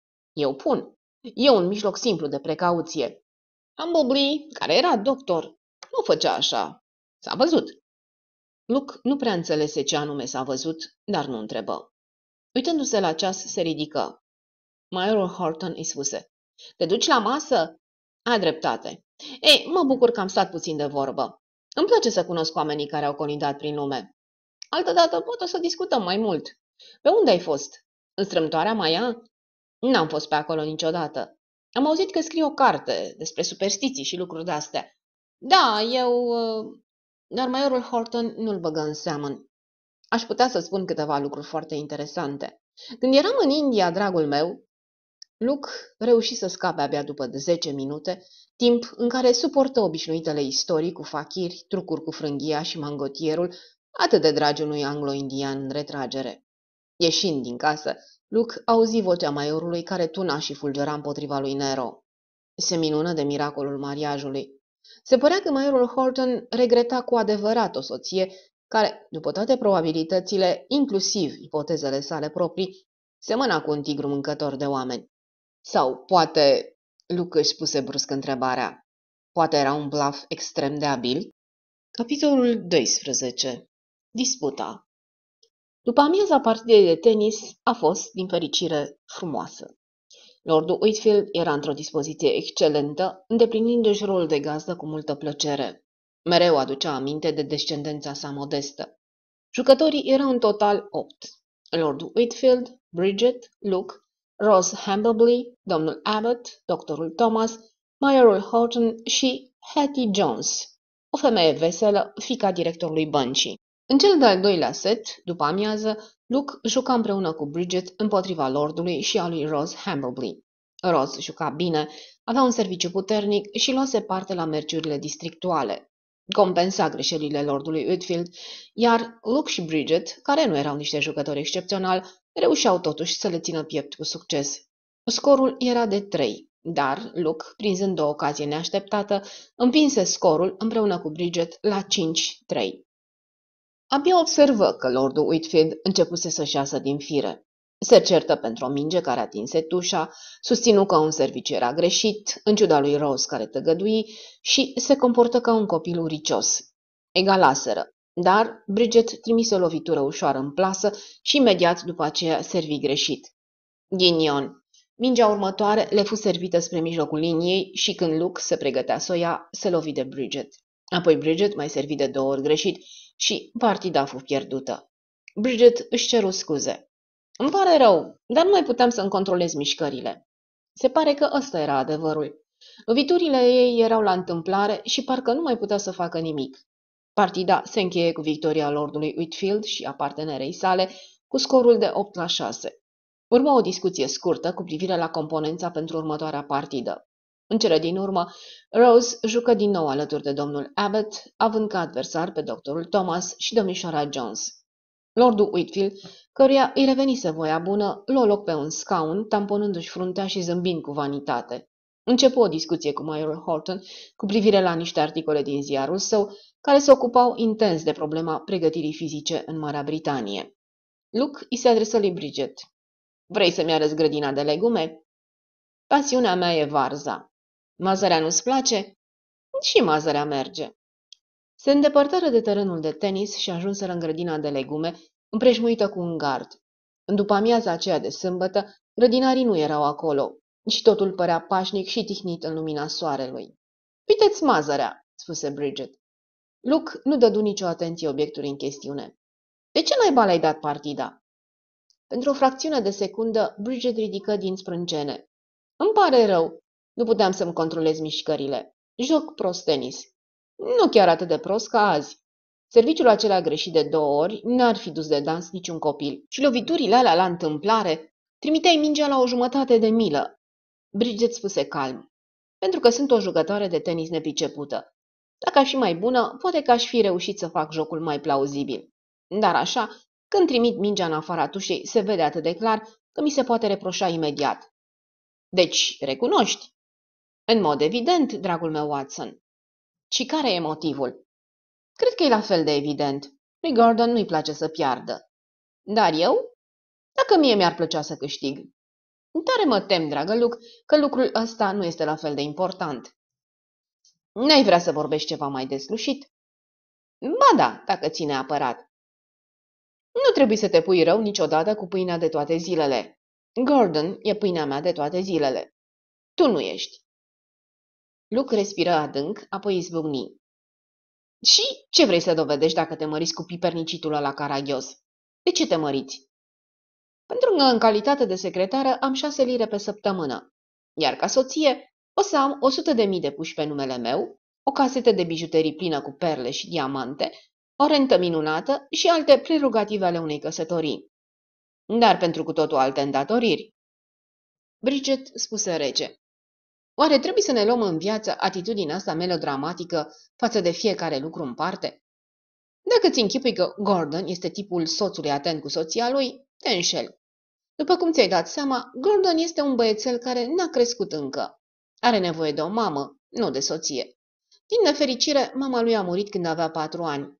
Are nevoie de cineva apropiat, în fața căruia să se laude, cineva care să-i spulbere micile necazuri și care este pregătit să-l asculte la nesfârșit pe Lordul Whitfield, cuvântând despre el însuși. Vorbești cu amărăciune, nu așa? Bridget îi replică tăios. Eu nu mă îngât cu bazme, dacă la asta te referi. Sunt o femeie cu oarecare inteligență, nu prea drăguță și cu nicio lețcaie. Am intenția să-mi câștig cinstit existența. Slujba mea în chip de soția lui Gordon va fi categoric aceeași cu cea de secretara lui. Mă îndoiesc dacă peste un an de zile mă va mai săruta înainte de culcare. Singura deosebire constă în salariu. Se priviră. Amândoi erau paliți de mânie. Bridget spuse bagiocoritor. Dă-i drumul. Sunteți cam de moda, domnule Fitzwilliam, nu-i așa? N-ar fi mai bine să-mi azvârli în obraz vechile clișee, să spunem că mă vând pentru bani? Cred că asta are succes întotdeauna. Ești un diavol cu sânge rece. E mult mai bine decât să fii un prostănac cu sânge fierbinte. Crezi? Da, știu precis. Luc rânji bagiocoritor. Ce știi? Știu ce înseamnă să ți la cineva. L-ai întâlnit vreodată pe Johnny Cornish? Am fost logotită cu el trei ani. Era un om minunat și eram nebună după el. Atât de nebună încât mă durea inima cu adevărat. Ei bine, m-a aruncat cât colo și s-a căsătorit cu o văduvă durdulie și nostimă, care vorbea cu accent nordic și avea trei rânduri de guși și un venit de 30 de mii pe an. Lucrurile de genul ăsta stai pofta de romantism. Nu crezi? Luc se întoarse mormăind în sine. Spuse, s-ar putea. S-a putut. Tăcură. Liniștea deveni apăsătoare. În cele din urmă, Bridget rupse tăcerea. Vorbea cu o ușoară notă de nesiguranță. Cred că îți dai seama că n-ai absolut niciun drept să vorbești în felul ăsta. Stai în casa lui Gordon și pur și simplu nu se cade. Luke își impuse să fie calm. Oare asta nu e altă formulă? întrebă el politicos. Bridget se îmbujoră. Oarecum, e adevărat. Nu este. Eu am dreptul să vorbesc așa. Prostii. Luke o privi. Chipul era ciudat de palid, ca un om care suferă de o durere fizică. Am dreptul. Am dreptul să-mi pese de ce se întâmplă cu tine. Cum spunea ea din auri, să-mi pese atât de mult încât să mă doară inima cu adevărat. Bridget făcu un pas înapoi. Tu? Da, e caragios, nu-i așa? O poveste care ar trebui să stârnească râsul. Am venit aici pentru a rezolva o problemă și tu ai apărut după colțul casei și, cum să-ți spun, mai vrăjit. Ăsta e sentimentul pe care îl încerc. Ai amintit adineauri de basme. Sunt îmbrejele unui basm, mai fermecat. Am senzația că, dacă arăți cu un deget spre mine și îmi spui prefătă îmbroască, am să pornesc la drum tropăind cu ochii ieșiți din cap. Se apropie de ea. Te iubesc cu disperare, Bridget Conway. Și iubindu-te cu disperare, nu pot să te aștept să mă vezi bucurându-mă că te măriți cu un nobilaș afectat și burduhănos care își iese din fire când pierde la jocul de tenis. Și ce mă sfătuiești să fac? Te sfătui să te măriți cu mine, în schimb. Da, fără îndoială că sfatul meu va stârni hohote de râs. Cascade de râs. Te cred. Exact. E, acum cel puțin știu cum stau lucrurile. Ne întoarcem pe terenul de tenis? Poate că de data asta voi fi un partener care știe să joace pentru a câștiga. Nu zău. Am impresia că și tu te super la fel ca și Gordon când pierzi, spuse Bridget dulce. Luke o prinse brusc de umeri. Ai limbă de diavoliță, Bridget. Tare mă tem, Luke, că nu mă sufer prea mult, oricât de mare ți-ar fi pasiunea pentru mine. Cred că nu te sufăr deloc. Bridget îi răspunse urmărindu-l cu privirea. Te-ai pus în gând să-ți întemeiezi un cămin când te întorci acasă, nu așa? Da. Dar nu împreună cu cineva ca mine. Niciodată nu m-am gândit la cineva care să semene cu tine cât de puțin. Nu, no. ție ți-ar fi fost imposibil. Nu ești genul, sunt sigură. Tare mai ești isteață, scumpă Bridget. Te gândeai la vreo fată drăguță, o englezoaică jet be jet, care îi place viața la țară și se pricepe la câini. Probabil că ți-ai închipuit-o într-o fustă de tweed, scormonind un foc de vreascuri cu vârful pantofului. Imaginea pare să fie atrăgătoare. Nu mă îndoiesc că e. Ne întoarcem pe terenul de tenis? O să joci împreună cu Rose Hambleby. Joacă atât de bine încât mai mult ca sigur că ai să câștigi. Fiindcă sunt de modă veche, trebuie să-ți dau voie să ai ultimul cuvânt. Se lăsă din nou tăcerea. Apoi Luke își luă încet mâinile de pe umerii ei. Rămaseră amândoi nehotărâți, de parcă între ei zăbovea ceva nespus. Apoi Bridget se întoarse brusc și o luă înainte. Setul următor tocmai se terminase. Rose nu mai voia să joace. Am jucat două seturi la rând. Totuși, Bridget insistă. Mă simt obosită, spuse Rose. Nu vreau să joc. Joacă împreună cu domnul Fitzwilliam contra domnișoarei Jones și majorului Horton. Dar Rose continuă să protesteze și până la urmă fură aranjate două echipe formate din bărbați. Soții ceaiul. Lordul Whitfield conversa cu doctorul Thomas, căruia îi descrisese pe larg, ci dându-și multă importanță, o vizită pe care o făcuse de curând în laboratoarele de cercetări Wellerman Kreitz. Am vrut să mă dumiresc singur cei cu ultimele descoperiri științifice, explică el cinstit. Eu răspund de ceea ce apare în ziarele mele. Nu-i floare la ureche. Epoca noastră e o epoca a științei. Știința trebuie să fie ușor asimilată de mase. Știința în proporții mici ar putea fi dăunătoare, spuse doctorul Thomas, ridicând ușor din numeri. Știința la domiciliu, ăsta ne e scopul, spuse lordul Whitfield. Mintea științifică Conștiința neprobetă, spuse Bridget cu gravitate. Am rămas impresionat, spuse lordul. Bineînțeles că Wellerman m-a condus peste tot personal. L-am rugat să mă lase pe seama unui funcționar, dar n-a vrut. Era de la sine înțeles, spuse Luke. Lordul Uyfield părea mulțumit și mi-a explicat foarte clar. Cultura, serul, tot principiul pe care se bazează. A consimțit să întocmească el primul articol din această serie.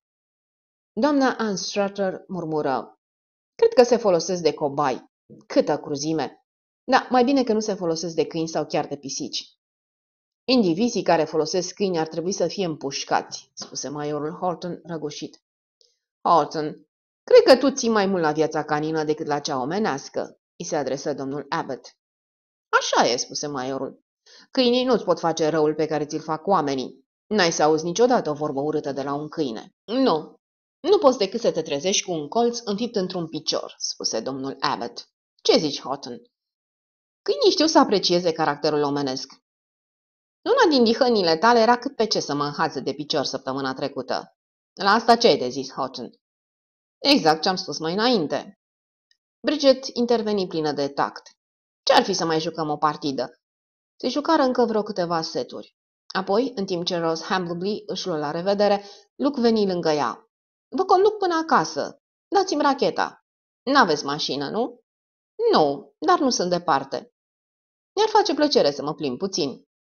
Luc tăcu. Lu racheta și pantofii de tenis. Porniră de-a lungul șoselei fără să vorbească. Apoi Rose spuse câteva lucruri banale.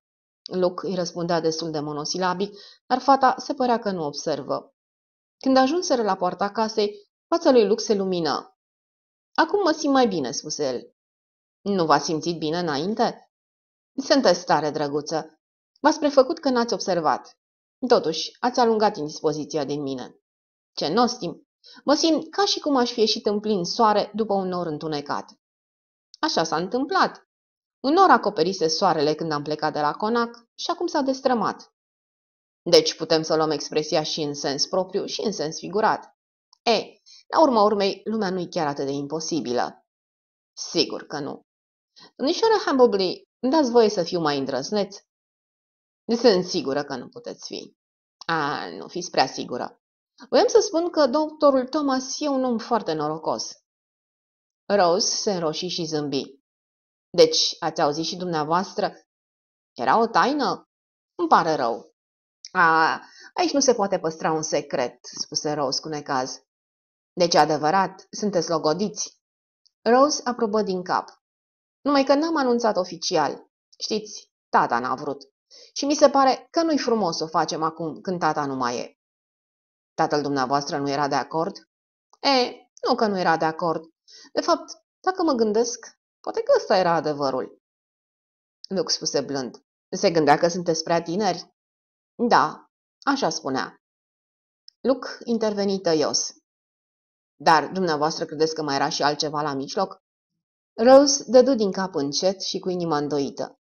Da, mă tem că partea proastă era că tata... E, de fapt, nu-l plăcea pe Geoffrey. Nu se prea înțelegeau? Uneori. Da, tata era o ființă dragă, dar cu multe prejudecăți. Și presupun că vă iubea foarte mult și nu putea să se împace cu gândul că vă va pierde? Rose aprobă, totuși, avea o umbră de rezervă. Se opunea mai serios? Chiar nu voia sub niciun chip ca Thomas să vă fie soț? Nu. Știți, tata și Geoffrey erau foarte deosebiți și, într-un fel, discutau mereu în contradictorii. Geoffrey avea multă răbdare și bunătate, dar știind că tata nu-l plăcea, devenise mai reținut și mai timid, așa că tata n-a ajuns să-l cunoască mai bine. E foarte greu să te lupți cu prejudecățile, spuse. Da, era ceva absolut ilogic. Tatăl dumneavoastră nu va da nicio explicație? A, nu, nu putea. Sigur, de fapt, nu avea ce să spună împotriva lui Jeffrey, în afară de faptul că nu l grea. Vorba cântecului. Nu te plac, nu te plac, doctorașule, însă n-aș putea să spun de ce. Întocmai. N-aveți nimic precis de care să vă legați? Adică, Geoffrey nu e nici băutor, nici nu joacă la curse? A, nu, nici nu cred că știe cine a câștigat la derby. Nu știm, spuse Luke. Știți ceva? Aș putea să jur că l-am văzut pe doctor Thomas la Epsom în ziua derbiului. O clipă rămase cam încurcat, pentru că nu și amintea dacă spusese întreagăt că sosise în Anglia chiar în ziua derbiului. Dar Rose rămase pe loc, fără nicio bănuială. Aveați impresia că l-ați văzut pe Geoffrey la derby? Ah, nu se poate. Ar fi putut să ajungă. A stat la Ashwood aproape toată ziua, ocupat cu cazul ăla greu de naștere. Ce memorie! Rose râse. Am ținut minte pentru că Geoffrey spunea că au poreclit copilașul Jojo. Luke dădu din cap absent. Oricum, spuse Rose, Geoffrey nu merge la cursele de cai. S-ar plictisi la culme. Adăugă cu vocea schimbată. Vreți să intrăm puțin? Cred că mamei i-ar face plăcere să vă vadă. Sunteți sigură? Rose îl conduse într-o cameră unde amurgul de afară atârna în umbre triste. Într-un fotoliu, o femeie stătea încovoiată într-o poziție curioasă. Mamă, dumnealui este domnul Fitzwilliam. Doamna Hambleby tresări și întinse mâna. Rose ieși ușor din cameră. Mă bucur că te văd, domnule Fitzwilliam. Rose mi-a spus că niște prieteni de-ai dumitale l-au cunoscut pe soțul meu. Da, doamnă Hambleby. Aproape îi făcea rău să repete minciuna în fața văduvei, dar nu avea încotro. Doamna Hambleby spuse, tare aș fi vrut să-l fi cunoscut și dumneata. Era un om deosebit și un mare doctor. A vindecat pe mulți care pierduseră orice speranță numai datorită personalității lui deosebite. Luke spuse cu blândețe. Am auzit mult vorbindu-se despre el de când am sosit aici. Multă lume se gândește la el. Nu putea să deslușească precis figura doamnei Hambleby. Avea o voce monotonă, dar tocmai această lipsă de nuanțe emoționale părea să întărească faptul că adevăratele sentimente se găseau în interior, înfrânate puternic. Spuse pe neașteptate. Domnule Fitzwilliam, e multă ticoloșie pe aici. Știai? Da, s-ar putea. Insistă. Știai sau nu? E important. Multă ticăloșie mai este. Trebuie să fii pregătit, să te lupți cu ea. John era pregătit. El știa, ținea cu dreptatea. Lux spuse blajin. Sunt sigur. Știa de toată ticăloșia de pe aici. Știa... Brusc izbucni în lacrimi. Luc murmură. Îmi pare rău. Și se opri. Doamna Humbleby se stăpâni la fel de brusc cum izbucnise. Te rog să mă ierți. Întinse mâna. Te rog să mai vii cât timp mai stai pe aici. Ar fi tare bine pentru Rose. De place foarte mult. Și eu o plac. Cred că fica dumneavoastră e cea mai drăguță fată pe care am întâlnit-o în ultima vreme, doamnă Humbleby. Se poartă frumos cu mine. Doctorul Thomas e un om norocos. Da. Doamna Humbleby lăsă să-i cadă mâna. Vocea ei se aplatizase din nou. Nu știu. Totul e așa de complicat. Luke o lăsă stând în picioare în semi-întuneric, frământându-și nervoasă mâinile. În timp ce se îndrepta spre casă, Luke medita asupra diferitelor aspecte ale discuției. Doctorul Thomas lipsise din Witchwood o bună parte din ziua derbiului. Plecase cu mașina. Witchwood se afla la 35 de mile de Londra. Dacă am presupune că a avut un caz de naștere, pare aruncase doar o vorbă, lucru putea fi verificat. Se gândi iar la doamna Hambleby. Ce voise să spună, insistând asupra propoziției? E multă ticoloșie pe aici. Oare era doar nervoasă și copleșită de șocul morții soțului? Sau era ceva mai mult? Oare știa ceva? Ceva care aflase doctorul Humblebury înainte de a muri? Trebuie să merg pe pista asta, spuse Luke. Trebuie să continui. Își impuse să nu se gândească la disputa pe care o avusese cu Bridget. Capitolul 13. Domnișoara Wainfleet vorbește. Luke luă o hotărâre a doua zi dimineață. Până acum nu folosise decât întrebări indirecte, în măsura în care considerase că se pot folosi. Era inevitabil ca, mai curând sau mai târziu, să fie nevoie să se deconspire. Acum simțea că sosise timpul să se debaraseze de acoperirea de scriitor și să dea pe față scopul precis cu care venise la Witchwood. Pentru a-și urmări planul de campanie, se hotărâ să-i facă o vizită Honoriei Wainflate. Fusese impresionat favorabil de aerul de discreție al bătrânei domnișoare și de o anumită perspicacitate, dar, în același timp, își închipuia că s-ar putea să găsească și alte informații care puteau fi de folos. Era convins că îi spusese tot ce știa, dar voia să o facă să-i destăinuie ceea ce bănuia.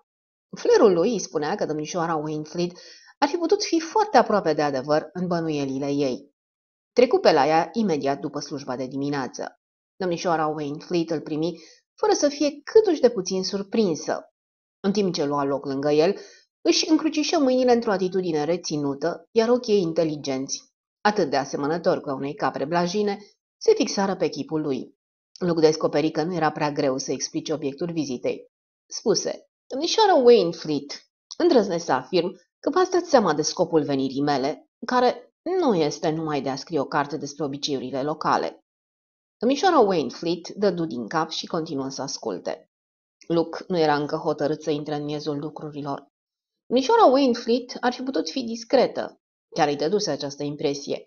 Dar atunci când era vorba de fete bătrâne, nu era convins că putea să se încreadă că vor rezista ispitei de a împărtăși o poveste palpitantă câtorva băbuțe de nădejde. Așadar, își propuse să adopte o cale de mijloc. Am venit aici pentru a cerceta împrejurările morții acelei sărmane fete, Amy Gibbs. Adică ai fost trimis din partea poliției? A, nu. Nu sunt un polițist sadea. Adăugă apoi cu o ușoară inflexiune umoristică. Dar mă tem că sunt binecunoscutul personaj din romane, detectivul particular. Înțeleg. Deci, Bridget Conway te-a adus aici? Luke ezită o clipă. Apoi se hotărâ să o lase să creadă așa. Ar fi fost greu să justifice prezența, fără să fi intrat în amănuntele întregii povestiri a domnișoarei Pinkerton. Domnișoara Wainfleet continuă, cu o ușoară notă de admirație în glas. Bridget e atât de practică, atât de pricepută. Cred că dacă povestea asta ar fi fost lăsată în seama mea, m-aș fi îndoit de propria mea judecată. Adică, e greu să-ți impui o anume conduită când nu ești absolut sigur de un lucru. Dar dumneavoastră sunteți sigură, nu-i așa? Nișora Wainfleet spuse cu gravitate. Nu, nici vorbă, domnule Fitzwilliam. Nu poți fi sigură de un asemenea lucru. Adică, totul ar putea să țină de domeniul fanteziei. E ușor să devii melodramatic și să-ți închipui lucruri care n-au niciun temei real când trăiești de unul singur și nu ai cu cine să te consulți sau să stai de vorbă. Luke aprobă imediat, simțind adevărul acestor cuvinte, dar adăugă cu blândețe. Dar în sinea dumneavoastră credeți că e adevărat? Domnișoara Wainfleet opuse oarecare rezistență chiar și la această întrebare. Sper că avem în vedere același scop, spuse ea cu modestie. Luke zâmbi. Ați vrea să mă exprim mai clar? Foarte bine. Credeți că Amy Gibbs a fost ucisă? Honoria Wainfleet tresări puțin la auzul vorbelor categorice. Mă tulbură mult moartea ei, foarte mult. Dar, cu părerea mea, toată povestea este complet nemulțumitoare. Luke răspunse răbdător. Dar nu credeți că a murit de moarte bună? Nu. Nici că a fost un accident? Mi se pare foarte puțin probabil. Sunt atâtea... Luc îi tăie vorba. Nu credeți că s-a sinucis? Categoric nu. Atunci, spuse Luc cu blândețe, credeți într-adevăr că e o crimă la mijloc? Domnișoara Winfleet ezită, respira adânc și apoi se avântă cu curaj. Da, cred. Bine, Acum putem sta de vorbă. Da, n-am realmente nicio dovadă pentru presupunerea mea, explică îngrijorată domnișoara Wainfleet. Este pur și simplu o idee. Foarte adevărat. Nu facem decât să conversăm. Vorbim doar despre ceea ce credem și ceea ce bănuim. Bănuim că Amy Gibbs a fost ucisă. Și cine credem că a ucis-o? Domnișoara Wainfleet dădu din cap. Părea foarte tulburată. Luke spuse urmărind-o cu privirea. Cine avea vreun motiv să o omoare? Domnișoara Wainfleet îi răspunse rar. Cred că se certase cu prietenul ei de la garaj, Jim Harvey, un tânăr serios, superior ei. Știu că ziarele scriu despre tinerii care își atacă iubitele și alte lucruri îngrozitoare. Da, nu pot să cred că Jim ar face așa ceva. Luke dădu din cap. Domnișoara Wainfleet continuă. Apoi, nu pot să cred că ar fi făcut-o modul acela, să se cațere pe fereastra ei și să înlocuiască sticla de sirop cu cea de otravă. Adică nu pare... Luke o ajută să nu mai ezite. Nu-i opera unui iubit înfuriat. De acord. După părerea mea, putem să-l ștergem pe Jim Harvey de pe listă. Amy a fost ucisă. Am fost de acord că a fost ucisă. De cineva care a vrut să o elimine și care a plănuit crima cu grijă ca să pară un ca accident. N-aveți vreo idee? Nu adulmecați, ca să zicem așa, cine ar putea fi persoana aceea? Nu. Într-adevăr, nu știu. N-am nici cea mai mică idee. Precis? Mm, da, precis. Luc o privi gânditor. Simțise că negarea ei nu sunase prea adevărat. Continuă. Nu cunoașteți niciun motiv? Absolut niciunul. Sunase ceva mai hotărât. A lucrat pe la multă lume în Witchwood. A fost în serviciu la familia Horton un an. Apoi a plecat la Lordul Whitfield. Luke rezumă rapid. Deci, lucrurile stau așa. Cineva a vrut să înlăture fata. Din datele pe care le avem, presupunem că, în primul rând, e vorba despre un bărbat, și anume unul de vârstă potrivită, cu concepții învechite, ținând cont de vopseaua de pălării, iar, în al doilea rând, probabil că e vorba de un atlet serios, deoarece e clar că a urcat pe acoperișul vecin până la fereastra fetei. Sunteți de acord până aici? Întru totul, spuse domnișoara Winfleet. Vă supărați dacă am să ies în curte și o să încerc să procedez cum a procedat criminalul? Câtuși de puțin. Cred că e o idee foarte bună. Îl conduse pe ușă laterală până în curtea interioară. Luke reuși să ajungă pe acoperișul magaziei alăturate, fără prea multă greutate. De acolo putu să ridice ușor cadrul ferestrei și cu puțin efort sări în cameră. Câteva minute mai târziu, îi se alătură domnișoarei Wainfleet pe cărarea din curte, ștergându-și mâinile cu o batistă. În realitate e mai ușor decât pare, spuse el. Ai nevoie de muși puternici. Atât. Nu s-au găsit urme pe pervazul ferestrei sau în afară? Domnișoara Wainfleet scutură din cap. Nu cred. Dar, de fapt, și sergentul nostru s-a urcat pe acolo. Așa că, dacă s-au găsit urme, au fost considerate ca fiind ale lui. Cum mai ajută poliția criminalul? E, asta e. Domnișoara Wainfleet îl conduse înapoi în casă. Amy Gibbs avea un somn adânc? Domnișoara Wainfleet îi răspunse caustic. Era foarte greu să o trezești dimineața. Uneori o strigam și ciocăneam de nu știu câte ori până să răspundă. Da, știi, domnule Fitzwilliam, e o vorbă care spune că nimeni nu-i mai surd ca cel care nu vrea să audă. Într-adevăr, aprobă Luke. Ei, și acum, domnișoară Wainfleet, ajungem la problema motivului. Și pentru a porni cu cel mai evident, credeți că a existat ceva între Ellsworthy și fată? Adăugă grăbit. Nu vă cer decât părerea. Atât. Dacă e vorba numai de părere, eu aș spune da. Luke dădu din cap. După părerea dumneavoastră, Amy l-ar fi putut șantaja în vreun fel? Din nou, ca o părere. Încă s-ar fi putut. Știți cumva dacă avea bani mulți la vremea când a murit? Domnișoara Wainfleet se gândi. Nu cred. Dacă ar fi avut mai mult ca de obicei, cred că aș fi aflat. Și nici nu s-a dedat la tot felul de extravaganțe înainte de a muri? Nu cred. Asta vorbește împotriva teoriei cu șantajul. De obicei, victima plătește odată înainte de a trece la extreme. Iată altă teorie. Fata ar fi putut să știe ceva. Ce anume? Să fi știut ceva care reprezenta un pericol pentru cineva din Uiciud. Să luăm un caz absolut ipotetic. A servit în multe case. Să presupunem că știa ceva care i-ar fi făcut rău din punct de vedere profesional, de exemplu domnului Abbott. Domnului Abbott? Lux spuse repede. Sau poate o neglijență, vreo greșeală profesională de doctorului Thomas. Mișoara Wainfleet începu. Dar precis! Și apoi se opri. Luke continuă. Spuneți că Amy Gibbs a fost servitoare la familia Horton în timpul când a murit doamna Horton. Urmă o tăcere scurtă, apoi domnișoara Wainfleet spuse. Vrei să-mi spui, domnule Fitzwilliam, de ce amesteci și pe Horton aici? Doamna Horton a murit de peste un an. Dar și Amy a fost acolo în acel timp. Înțeleg. Dar ce legătură a Horton cu asta? Nu știu, mă întrebam și eu. Doamna Horton a murit de gastrită acută, nu-i așa? Da. A fost o moarte complet neașteptată? Domnișoara Wainfleet spuse rar. Pentru mine, da. Știi, mergea spre însănătoșire, se simțea mult mai bine și pe urmă a avut un colaps brusc și a murit. Domnul Thomas a fost surprins? Nu știu, presupun că da. Surorile ce ziceau? Din propria mea experiență pot să afirm că surorile medicale nu se miră niciodată dacă îți merge mai prost. S-ar mira dacă ți-ar merge mai bine. Dar pe dumneavoastră v-a surprins moartea ei? insistă Luke. Da. Se dusem împreună cu o zi înainte și părea că se simte mult mai bine. Vorbea și arăta chiar voioasă. Ea ce părere avea despre boală? Nu se plângea că surorile o otrăvesc. Concediase una dintre ele, dar spunea că celelalte două erau la fel de proaste. Cred că n-ați dat prea mare importanță celor spuse. Ei nu, m-am gândit că se datorau bolii. Era o femeie foarte bănuitoare și, poate că sunt rea că spun, dar îi plăcea să fie centru atenției. Niciun doctor nu înțelegea boala. Și la ea nu era ceva obișnuit. Ori era vorba de o boală foarte aparte sau cineva încerca să o elimine din drumul său.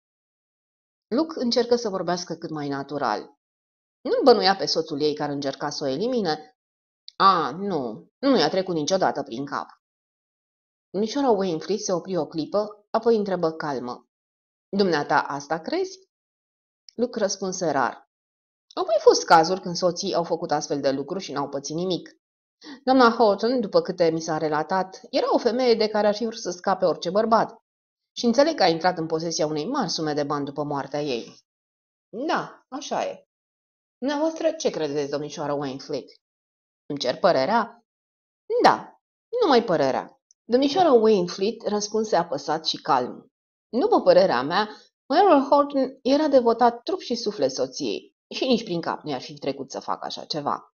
Luc o privi și întâlni ochii blajini cu sclipiri de chihlimbar. Nu clipiră. Ei, să spunem că aveți dreptate. Poate că dacă n-ar fi fost așa, ați fi știut. Domnișoara Winfleet își îngădui să zâmbească. Crezi că noi, femeile, avem spirit de observație? De mâna întâi. Ce părere aveți?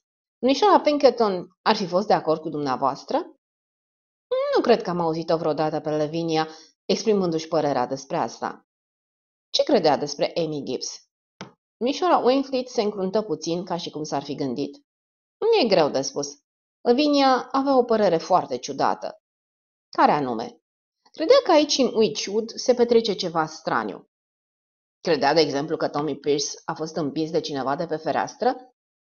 Mișoara Winfleet îl privi uluită. De unde știți, domnule Fitzwilliam? Mi-a spus chiar dânsa. Nu cu cuvintele astea, dar mi-a dat o idee generală. Domnișoara Winfleet se aplecă înainte, îmbujurată de emoție. Când anume, domnule Fitzwilliam? Luke spuse încet. În ziua în care a murit. Am călătorit împreună spre Londra. Ce v-a spus exact? Mi-a spus că au fost prea multe morți în Witchwood. A amintit de Amy Gibbs și Tommy Pierce și de omul acela, Carter. Mi-a mai spus că doctorul Humbleby trebuia să fie următoarea victimă. Nișoara Wainfleet clătină încet din cap. V-a spus și cine era răspunzător de toate astea? Un bărbat cu o anumită expresie în privire, spuse Luke înegurat. După cum spunea, o privire de care ești absolut sigur. A văzut expresia în privirea celui care vorbea cu Humbleby. Din cauza asta spunea că Humbleby era următoarea victimă. Și chiar a fost, șopti domnișoara Wainfleet. A, doamne, doamne! Se lăsă înapoi pe scaun. În ochii se citea spaima. Cine era bărbatul acela?" spuse Luke. Hai, domnișoara Wainfleet, știți doar. Trebuie să știți. Nu știu, nu mi-a spus. Dar puteți ghici, spuse Luke insistent. Știți bine ce gândea. Domnișoara Wainfleet plecă capul. Atunci spuneți-mi. Dar domnișoara Wainfleet dădu din cap cu tărie. Nu, fără discuție nu. Îmi cer ceva ce nu se cuvine. Încerc să ghicesc ce ar fi putut, bagă de seamă, ce ar fi putut să fie în mintea unei prietene care acum e moartă. N-aș putea să fac o acuzație de genul ăsta. Dar nu e o acuzație, e numai o părere. Dar domnișoara Wainfleet fu neașteptat de categorică. N-am ce să spun. Absolut nimic. Lavinia nu mi-a spus niciodată nimic. Aș putea să-mi închipui că avea anumite bănuieli, dar, vezi, aș putea să greșesc în întregime. Și pe urmă, aș putea să te pun pe o pistă greșită și lucrul acesta ar avea urmări grave. Ar fi foarte infam și necinstit să dau un nume și aș putea chiar să mă înșel. De fapt, probabil că mă înșel. Și domnișoara Wainfleet strânse din buze cu încrâncenare și îl privi fix pe Luke cu un zâmbet hotărât. Luke știa să accepte înfrângerea. Își dăduse seama că sentimentul de corectitudine și un alt sentiment mai neclar al domnișoarei Wainfleet, un sentiment pe care nu-l defini, erau îndreptate împotriva lui. Acceptă înfrângerea cu politețe și se ridică să-și a rămas bun. Intenționa să o descoasă mai târziu, dar nu făcu nicio aluzie la asta. Trebuie să procedați după cum să cotiți că e corect, fără discuție. Vă mulțumesc pentru ajutorul dat. Mișora Wainfleet păru să fie ceva mai puțin sigură de ea când îl însoți până la ușă. Cred că nu-ți închipui, începu ea, apoi schimbă subiectul. Dacă te mai pot ajuta cu ceva, te rog mult să-mi spui. Așa voi face. Nu veți repeta discuția noastră, nu-i așa? Sigur că nu. N-am să suflu un cuvânt nimănui. Luke sperea ca lucrul ăsta să se adeverească. Transmite complimentul lui Bridget, spuse domnișoara Winfleet. E o fată atât de nostimă, nu-i așa? Și deșteaptă. Sper că va fi fericită. Și, fiindcă fața lui Luke luă o expresie întrebătoare, ea adăugă. Adică să fie fericită împreună cu Lordul Whitfield. Diferența de vârstă e atât de mare. Da, este. Domnișoara Winfleet suspină. Știi că pe vremuri am fost ogodită cu el?" spuse ea pe neașteptate. Luc o privi uluit. Dădea din cap și zâmbea destul de trist. De mult. Era un băiat tare promițător. Știi, l-am ajutat să-și facă educația și eram atât de mândră de el, de inteligența lui și de felul hotărât în care voia să reușească. Suspină din nou. Ai mei, bineînțeles, erau scandalizați. Diferențele de clasă pe vremea aceea erau foarte puternice. După câteva minute adăugă. Întotdeauna i-am urmărit cariera cu mult interes. Cred că părinții mei s-au înșelat. Apoi, zâmbind, dădu din cap în semn de la revedere și intră în casă. Luke încercă să-și adune gândurile. O clasificase pe domnișoara Winfleet drept pătrână. Acum își dădea seama că probabil nu avea 60 de ani. Lordul Whitfield trebuie să fi trecut cu mult de 50. Ea, probabil, era cu un an sau doi mai mare, nu mai mult. Iar Lordul urma să se căsătorească cu Bridget, care avea 28. Bridget, care era tânără și plină de viață. La naiba, spuse Luke. Nu trebuie să mă mai gândesc la asta. Numai la problema mea. Să-mi continui investigația. Capitolul 14 Meditațiile lui Luke Doamna Church, mătușa lui Amy Gibbs, era fără îndoială o femeie antipatică. Luke fu cuprins de dezgust văzându-i nasul ascuțit, ochii vicleni și gura neferecată. O luă din scurt de la început și, lucru neașteptat, atitudinea lui dură dădu rezultate. Trebuie să-mi răspunzi la întrebări cât poți de bine. Dacă nu spui tot sau falsifici adevărul, consecințele ar putea să-ți fie extrem de grave. Da, domnule, înțeles. Sunt dispusă să vă spun tot ceea ce știu. Niciodată n-am avut de-a face cu poliția. Și nici n-ai vrea să ai, îi încheie Luc propoziția. E bine, dacă faci ce-ți spun, nici nu se pune problema. Vreau să știu totul despre fosta dumitale nepoată. Cine erau prietenii, ce bani avea, tot ceea ce a spus mai neobișnuit. Începem cu prietenii. Cine erau? Doamna Church îl privi cu coada ochiului ei viclean și antipatic. Vă referiți la domn? Prietene n-avea? E, nu prea, domnule. Sigur că pe unde lucra erau și alte angajate, dar Amy nu se băga cu ele. Știți, uh, prefera sexul tare. Dai drumul. Povestește-mi despre asta. De fapt, ieșea cu Jim Harvey, cel de la garaj, domnule. Era un flăcău așezat. Amy n-ar fi putut să o nimerească mai bine. I-am și spus-o de nu știu câte ori. Luke ioreteză. Dar ceilalți? Din nou îi prinse privirea vicleană. Cred că vă gândiți la domnul care ține magazinul cu antichități. Nici mie nu mi-a plăcut povestea asta, domnule. Vă spun pe șleau. Eu am fost întotdeauna o femeie responsabilă și nu m-am ocupat cu lucruri de-astea. Dar, în ziua de azi, știți cum sunt fetele. Fac totul după capul lor și de multe ori ajung să regrete. Amy a ajuns să regrete? întrebă Luke direct. Nu, domnule, nu cred. S-a dus pentru o consultație la doctorul Thomas în ziua în care a murit.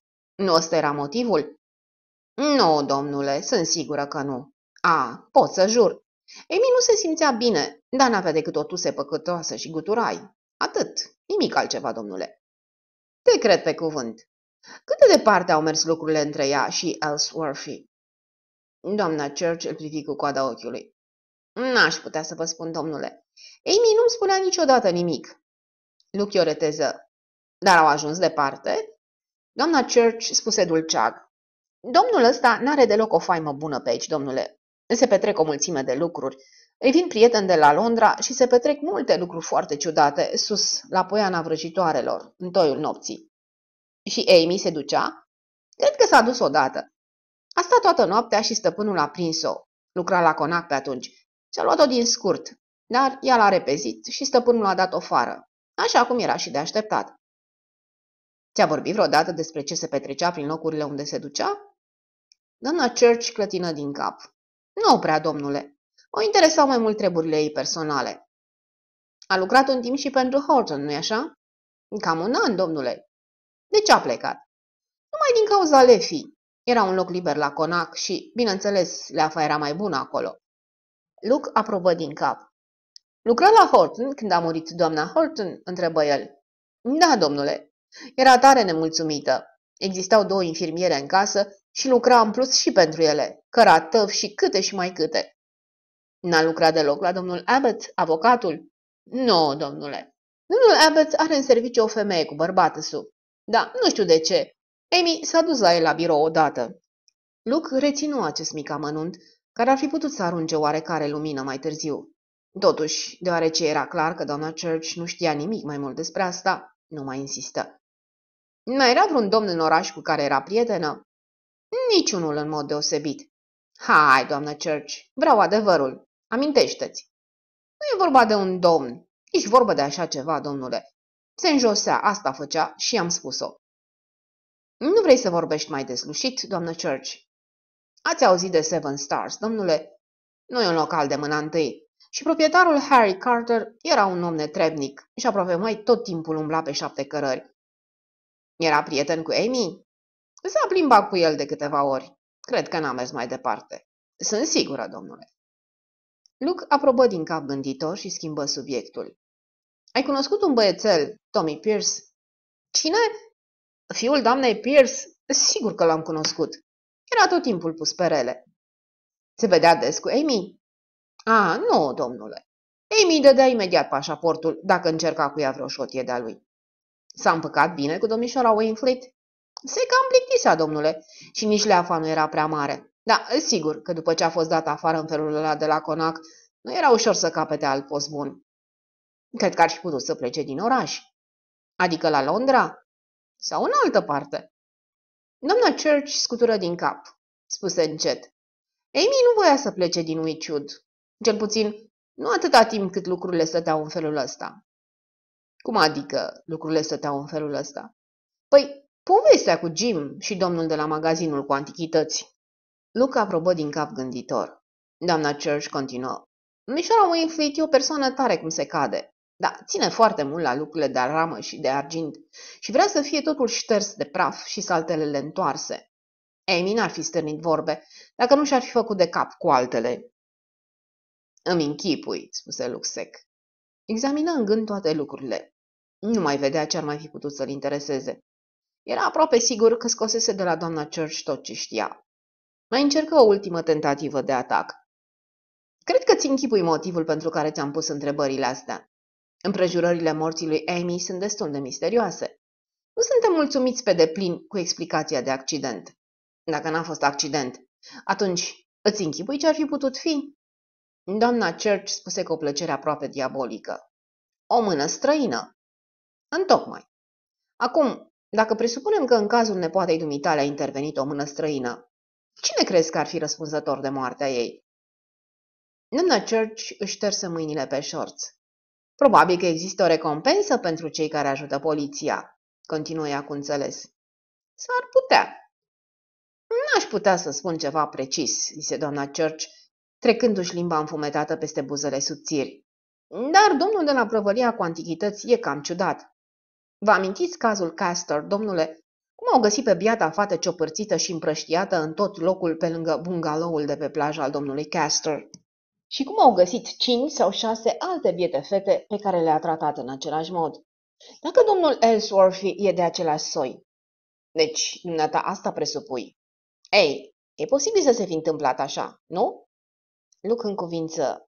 Apoi spuse, Ellsworth a fost plecat din oraș în după amiaza derbiului? E o chestiune foarte importantă. Doamna Church se holbă la Luc. În ziua derbiului? Da, acum două săptămâni, într-o miercuri. Femeia scutură din cap. Zău, n-aș putea să spun. De obicei pleca în zilele de miercuri. Se ducea la Londra de multe ori. Știți, închide de vreme miercurea. Aha, închide de vreme. Își luă la revedere de la doamna Church, fără să ia în seamă insinuările ei că timpul său e prețios și că așadar se cuvenea să primească o compensație bănească. Luke simți că doamna Church îi era profund antipatică. Totuși, conversația pe care o avusese cu ea, deși nu arunca nicio lumină asupra problemei, îi furnizase câteva chestiuni mărunte, dar interesante. Își revăzu în gând și cu atenție toate datele. Da, totul se învârtea în jurul celor patru oameni. Thomas, Abbott, Houghton și Ellsworthy. Atitudinea domnișoarei Wainfleet părea să o dovedească. Nemulțumirea și încăpățânarea de a menționa vreun nume. Bineînțeles, asta însemna, trebuia să însemne, că persoana în chestiune era cineva de vază din Witchwood, cineva pe care o insinuare întâmplătoare ar putea să-l discrediteze total. Se potrivea de altfel cu hotărârea domnișoarei Pinkerton de a-și încredința bănuielile Scotland Yardului. Poliția locală i-ar fi ridiculizat teoria. Nu era cazul măcelarului, brutarului, lumânărarului. Nu era nici cazul unui simplu mecanic la garaj. Persoana în chestiune era cineva a cărei învinovățire de crimă era o problemă ce ținea de fantastic și totuși de realitate. Existau patru candidați posibili. Depindea de el cât de atent va cerceta încă o dată punctele cazului pentru fiecare în parte și ce hotărâre va lua. Mai întâi, trebuia să examineze îndărătnicia domnișoarei Wainflate. Era o persoană scrupuloasă și conștiincioasă. Presupuna că știa pe cel care îl bănuise domnișoara Pinkerton, dar, după cum subliniase, era numai o presupunere. S-ar fi putut să se fi înșelat. Cine era persoana din mintea domnișoarei Wainfleet? Domnișoarei Wainfleet era teamă ca nu cumva acuzația ei să facă rău unui nevinovat. Așadar, subiectul bănuielilor sale, în mod necesar, trebuie să fie un om cu o poziție înaltă, în general plăcut și respectat de comunitate. Așadar, se gândi logic Luke, Ellsworthy era în mod automat exclus. Era de fapt un străin în Witchwood, iar prin partea locului nu avea o reputație prea bună. Luke nu credea că dacă Ellsworthy ar fi fost persoana din mintea domnișoarei Wainfleet, i-ar fi avut vreo obiecție să o numească. În ceea ce o privea pe domnișoara Wainfleet, Ellsworthy trebuia scos din cauză. Acum ceilalți. Luke se gândi că putea să le elimine și pe majorul Horton. Domnișoara Wainfleet îndepărtase cu oarecare înflăcărare sugestia că Horton și-ar fi otrăvit nevasta. Dacă l-ar fi suspectat pentru alte crime comise ulterior, cu greu ar fi putut să susțină atât de ferm nevinovăția lui în problema morții doamnei Horton. Rămâneau, deci, doctorul Thomas și domnul Abbott. Amândoi îndeplineau condițiile necesare. Aveau o situație socială înaltă și împotriva lor nu se rostise vreo vorbă scandaloasă. În general, erau amândoi populari și simpatizați și erau cunoscuți ca oameni integri și onești. Luke trecu la un alt aspect al problemei. Oare chiar putea să elimine pe Ellsworthy și Horton? Clădină din cap pe loc. Nu era chiar așa de ușor. Nișoara Pinkerton știuse, știuse cu adevărat cine era persoana respectivă. O dovedise în primul rând prin propria ei moarte, iar în al doilea rând prin moartea doctorului Humbleby. Dar domnișoara Pinkerton nu pomenise niciodată un nume față de Honoria Wainfleet. Atunci, deși domnișoara Wainfleet își închipuia că știuse, putea foarte bine să se înșele. Deseori ne închipuim ce gândesc alții. dar uneori descoperim că de fapt nu știm nimic și că am făcut o greșeală de neiertat. Totuși, cei patru candidați se aflau cu toții pe teren. Domnișoara Pinkerton murise și nu mai putea fi de vreun folos. Depinde de Luke să procedeze ca mai înainte, așa cum făcuse a doua zi după ce venise la Witchwood, să cumpănească datele obținute și să judece probabilitățile. Începu cu Ellsworthy. Se părea că pe Ellsworthy cădeau bănuielile cele mai întemeiate. Era o ființă anormală și probabil că avea o personalitate perversă. Ar fi putut foarte ușor să fie un criminal care ucidea din plăcere. Ia să pornesc așa, spuse Luke în sinea lui. Să-i bănuiesc pe toți pe rând. Ellsworthy, de exemplu. Să zicem că el e criminalul.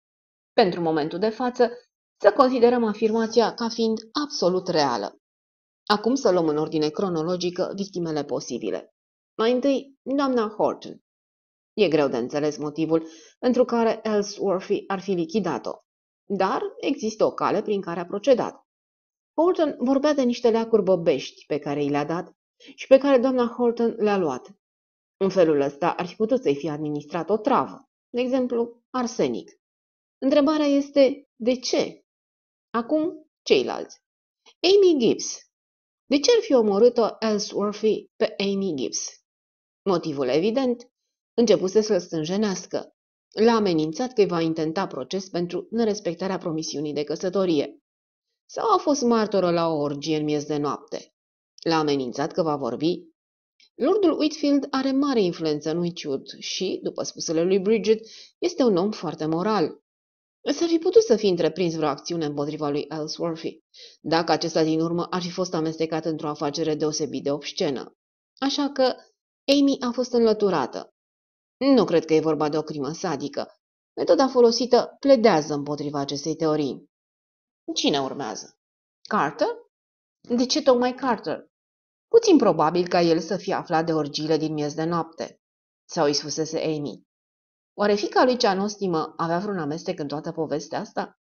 Oare Ellsworthy începuse să-i facă curte? Nu trebuie să stea de vorbă cu Lucy Carter. Poate că numai îl insultase pe Ellsworthy, iar acesta, cu comportarea sa de pisică sălbatică, îi purtase pică. Dacă mai comisese una sau două crime, ar fi putut să devină de ajuns de hain la inimă și să plănuiască o alta pentru un motiv foarte neînsemnat. Și acum, Tommy Pierce, de ce l-ar fi omorât Ellsworthy pe Tom Pierce? Simplu. Tommy participase la vreun ritual de la miezul nopții. L-a amenințat că o să vorbească. Poate chiar vorbise. I-a închis gura. Doctorul Hambleby. De ce l-ar fi ucis Ellsworthy pe doctorul Hambleby? Era cel mai simplu de ghicit. Hambleby era doctor și observase dezechilibrul mental al lui Ellsworthy. Poate avusese de gând chiar să întreprindă ceva, așa că soarta lui Hamilby fusese pecetluită. Totuși, metoda folosită avea o hibă. Cum a putut Ellsworthy să fie sigur că Humbleby va muri de septicemie? Sau Humbleby a murit de altceva? Oare infecția de la deget a fost o coincidență? Ultima la rând, domnișoara Pinkerton. Miercurea, Ellsworthy închide de vreme. Ar fi putut să meargă la oraș în ziua aceea. Aș fi curios să știu dacă are mașină. Nu l-am văzut cu niciuna, dar asta nu spune nimic. Știa că domnișoara Pinkerton îl suspecta și n-avea de gând să o lase să ajungă la Scotland Yard cu povestea ei, chiar dacă n-ar fi fost crezută. Poate cei de acolo chiar aflaseră câte ceva despre el? Toate astea pledează împotriva lui Ellsworthy. Acum, ce îi se poate aduce în apărare? Da. În primul rând, Ellsworthy nu este precis omul pe care domnișoara Wainfleet și-l închipuise că se afla în mintea domnișoarei Pinkerton. În al doilea rând, nu prea se potrivește cu părerea vagă pe care mi-am format-o. Când ea îmi vorbea, mi-am format imaginea unui om care nu seamănă cu Ellsworthy. Imaginea pe care mi-a dat-o era unui om complet normal în exterior, adică un gen de om pe care nu l-ar bănui nimeni. Nu, imaginea formată aduce mai mult a doctorul Thomas. Și acum Thomas. Ce-i cu el? L-am șters de tot de pe listă după ce am discutat cu el un individ plăcut și la locul său. Dar cheia acestei crime, doar dacă nu greșesc cu desăvârșire, este că persoana respectivă e plăcută și la locul ei. Ultima persoană pe care ai putea să o bănuiești de crimă. Lucru care, fără îndoială, se potrivește perfect cu Thomas. Ei, și acum să o luăm de la capăt. De ce ar fi omorât-o doctorul Thomas pe Amy Gibbs? Sigur, pare foarte puțin probabil. Dar ea s-a dus să-l consulte în ziua aceea și el i-a dat acea sticlă cu sirop de tuse. Să presupunem că, de fapt, era acid oxalic. Ar fi fost foarte simplu și ingenios. Pe cine au chemat oare când au găsit-o otrăvită? Pe Humblebee sau pe Thomas?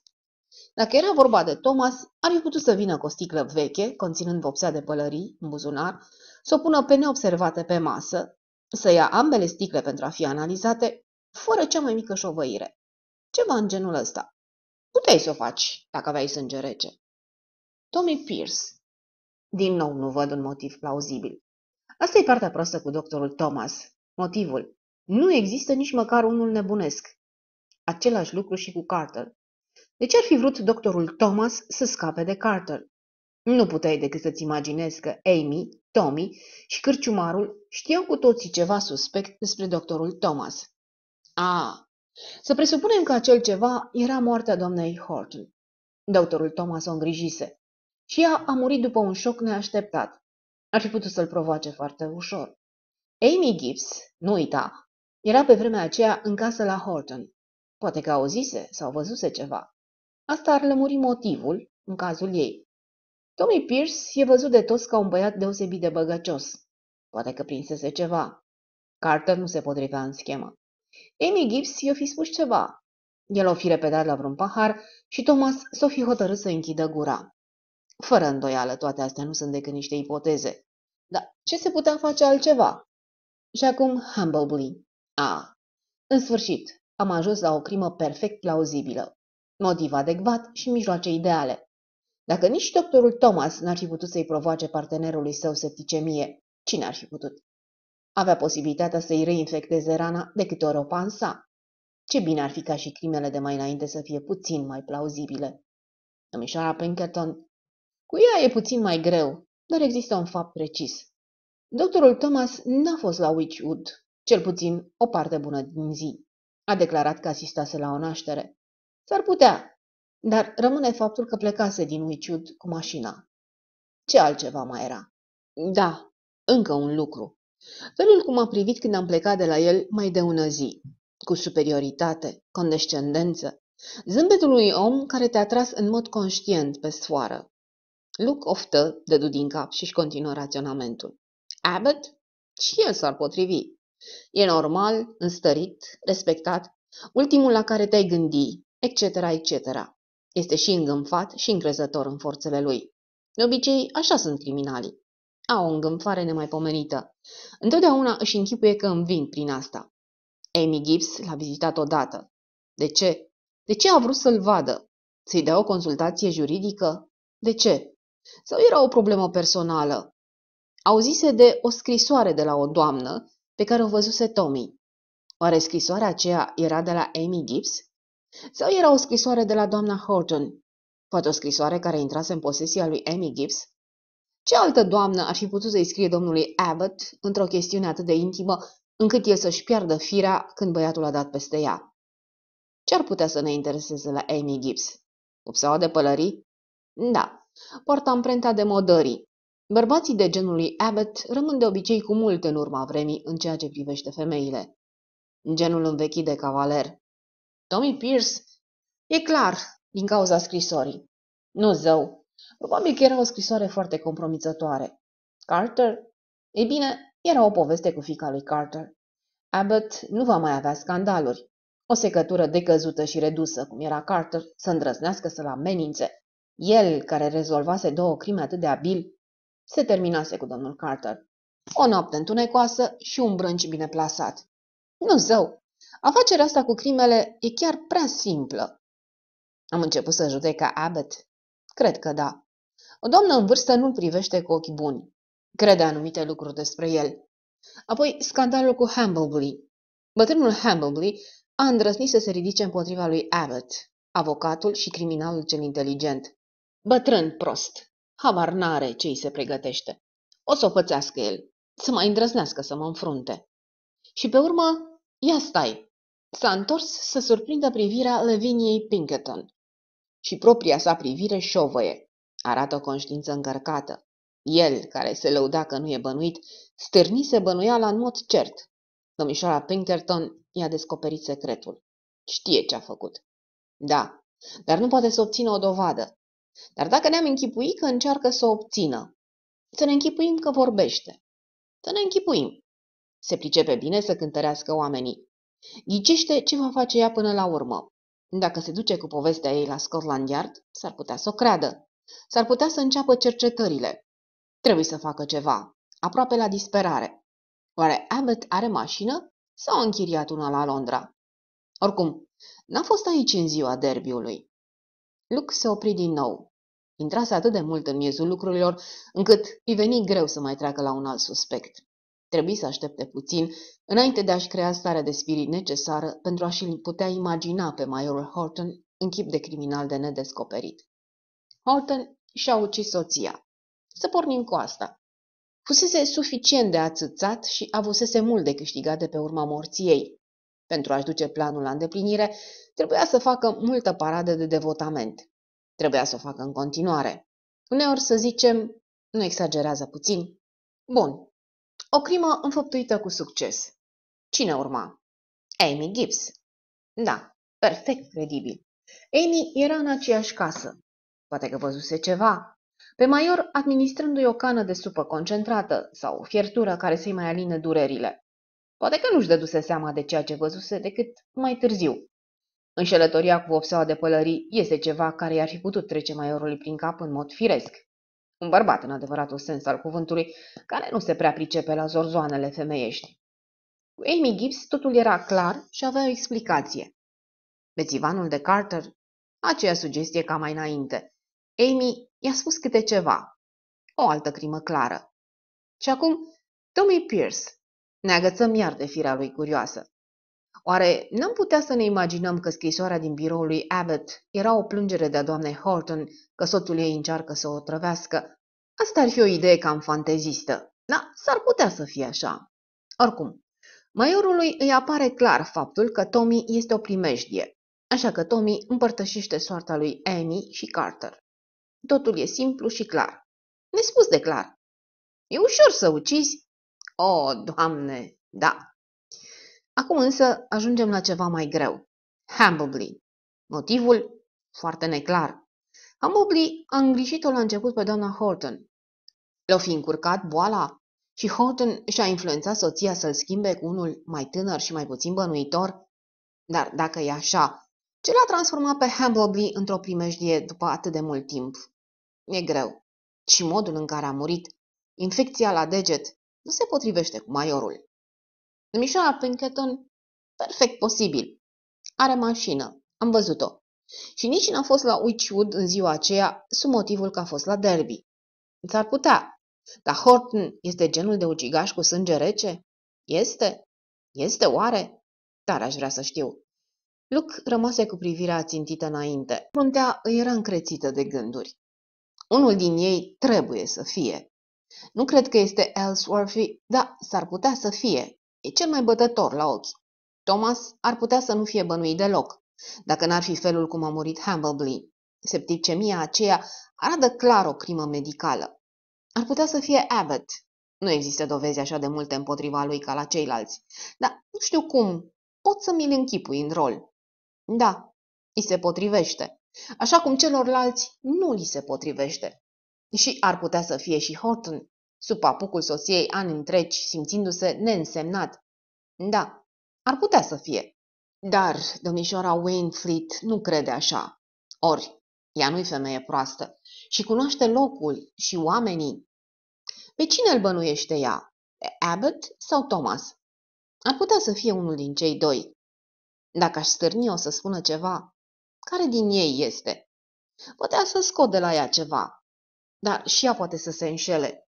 Nu există nicio cale pentru a dovedi că are dreptate, așa cum dovedise domnișoara Pinkerton prin ea însăși. Am nevoie de mai multe dovezi.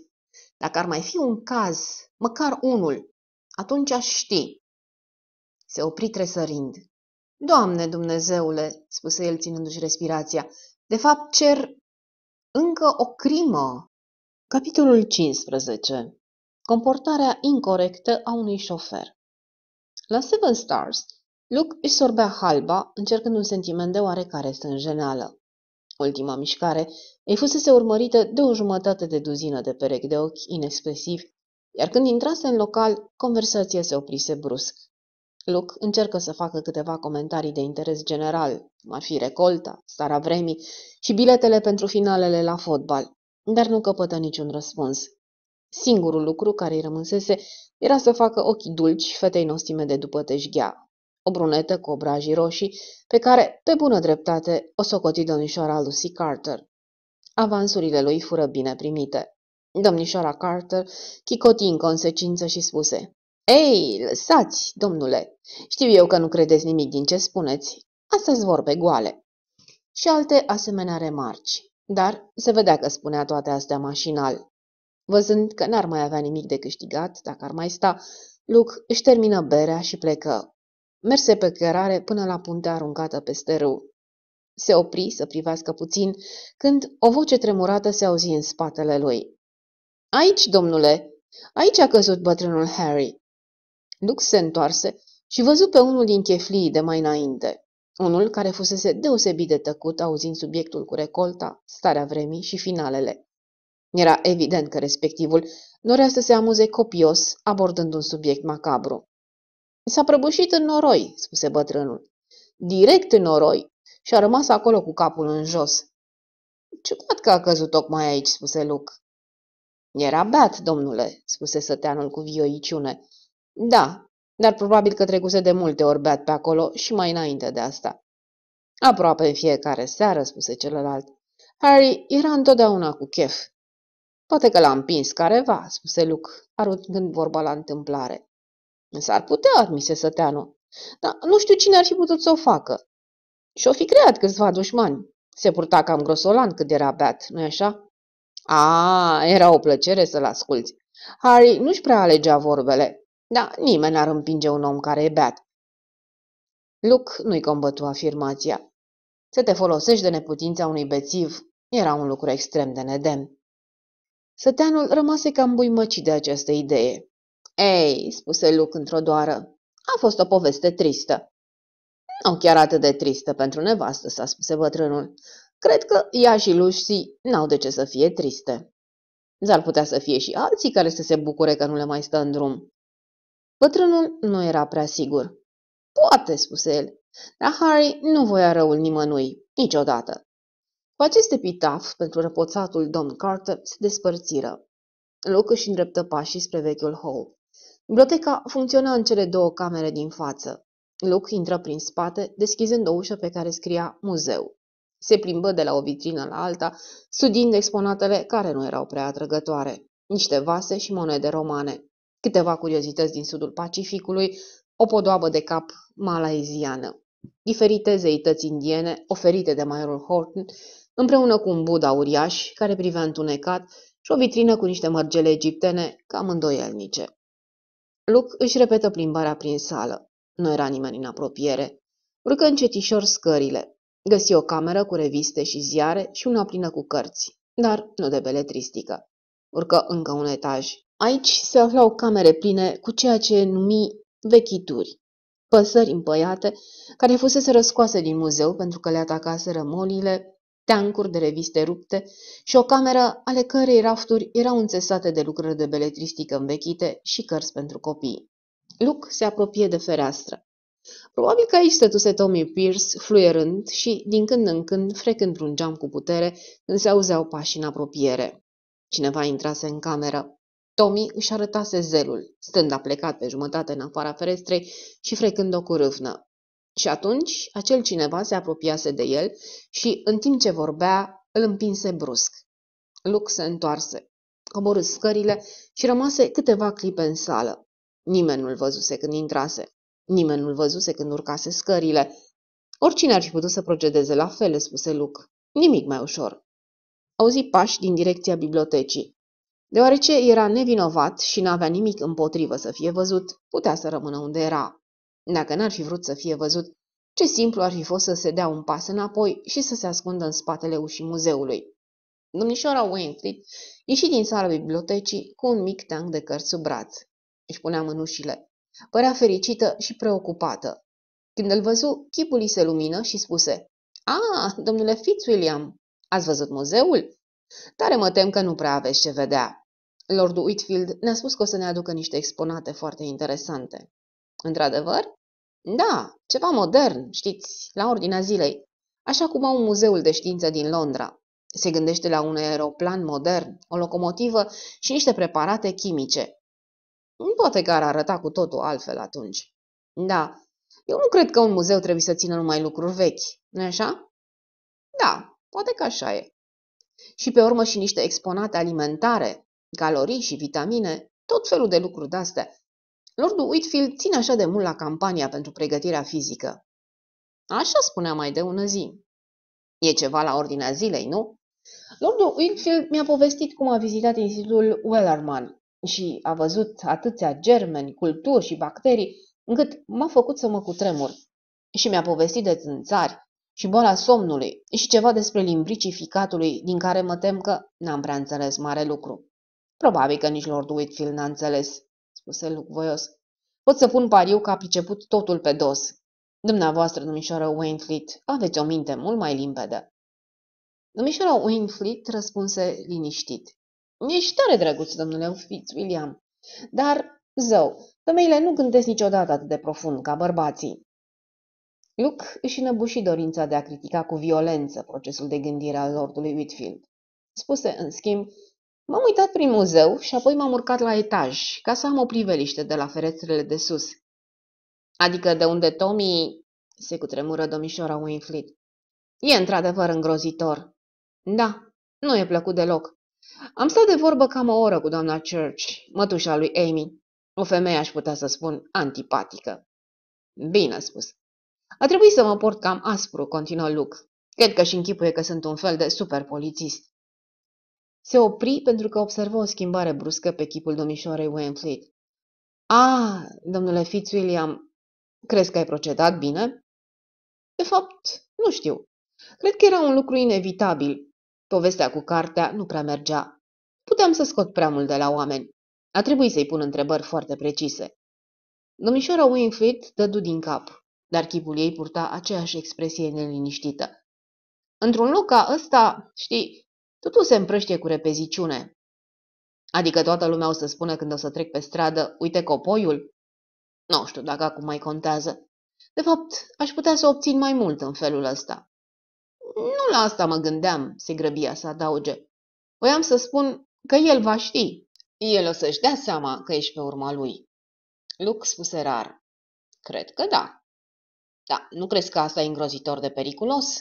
Îngrozitor. Adică, înțelese Luc în sfârșit, adică ucigașul va pune ochii pe mine? Da.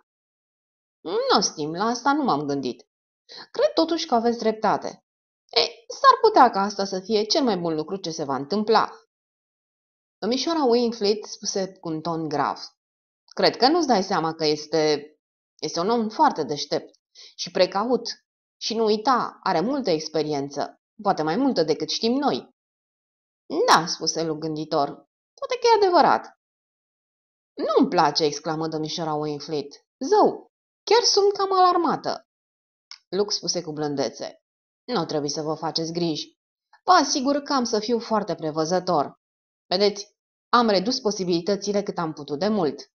Oricum, mi-am format o idee despre cine ar putea fi criminalul. El privi scoditor. Lux se apropie. Își coborâ vocea până la șoaptă.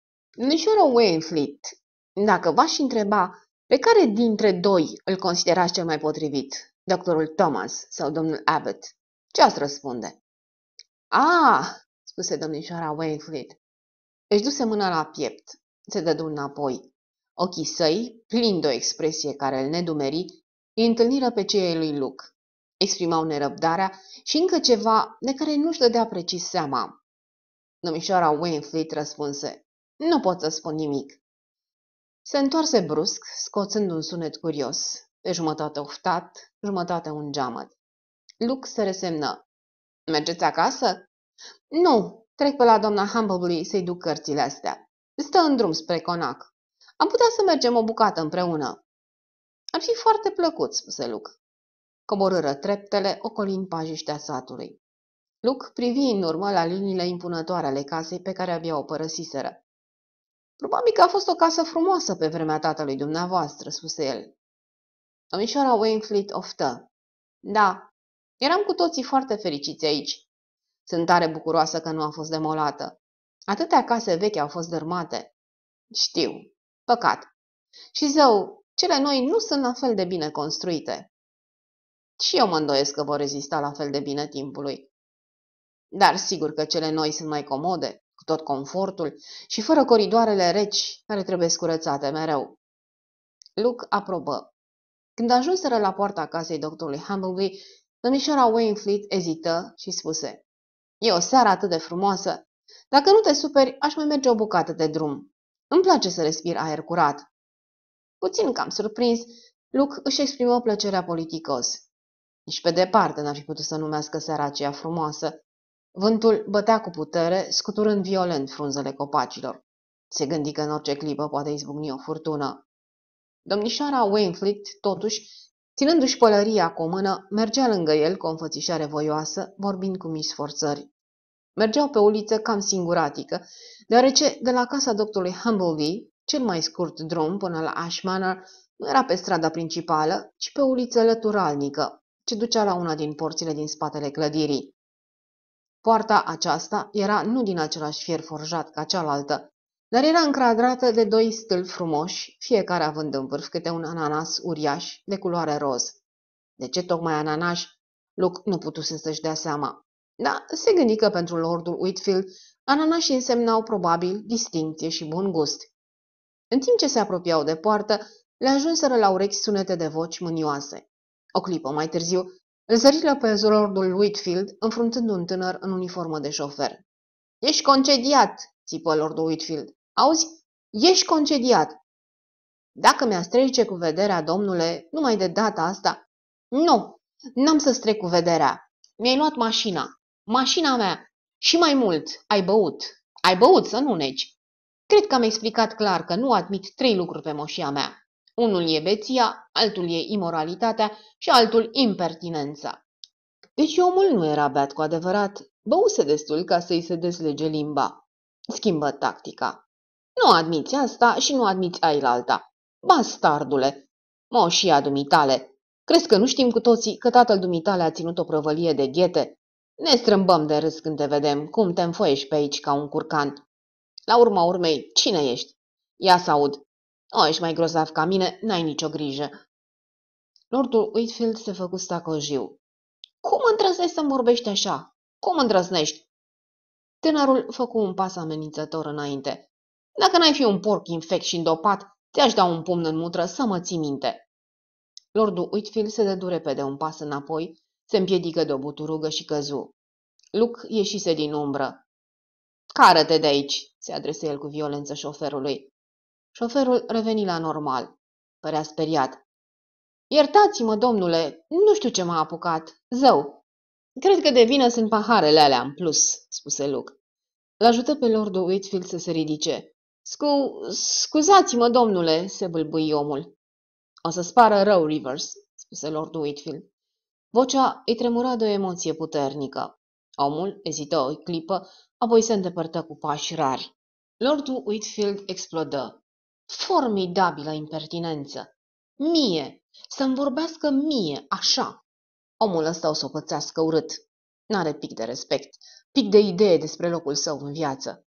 Când mă gândesc câte fac eu pentru oamenii ăștia, lefuri mari, confort maxim, pensie când se retrag.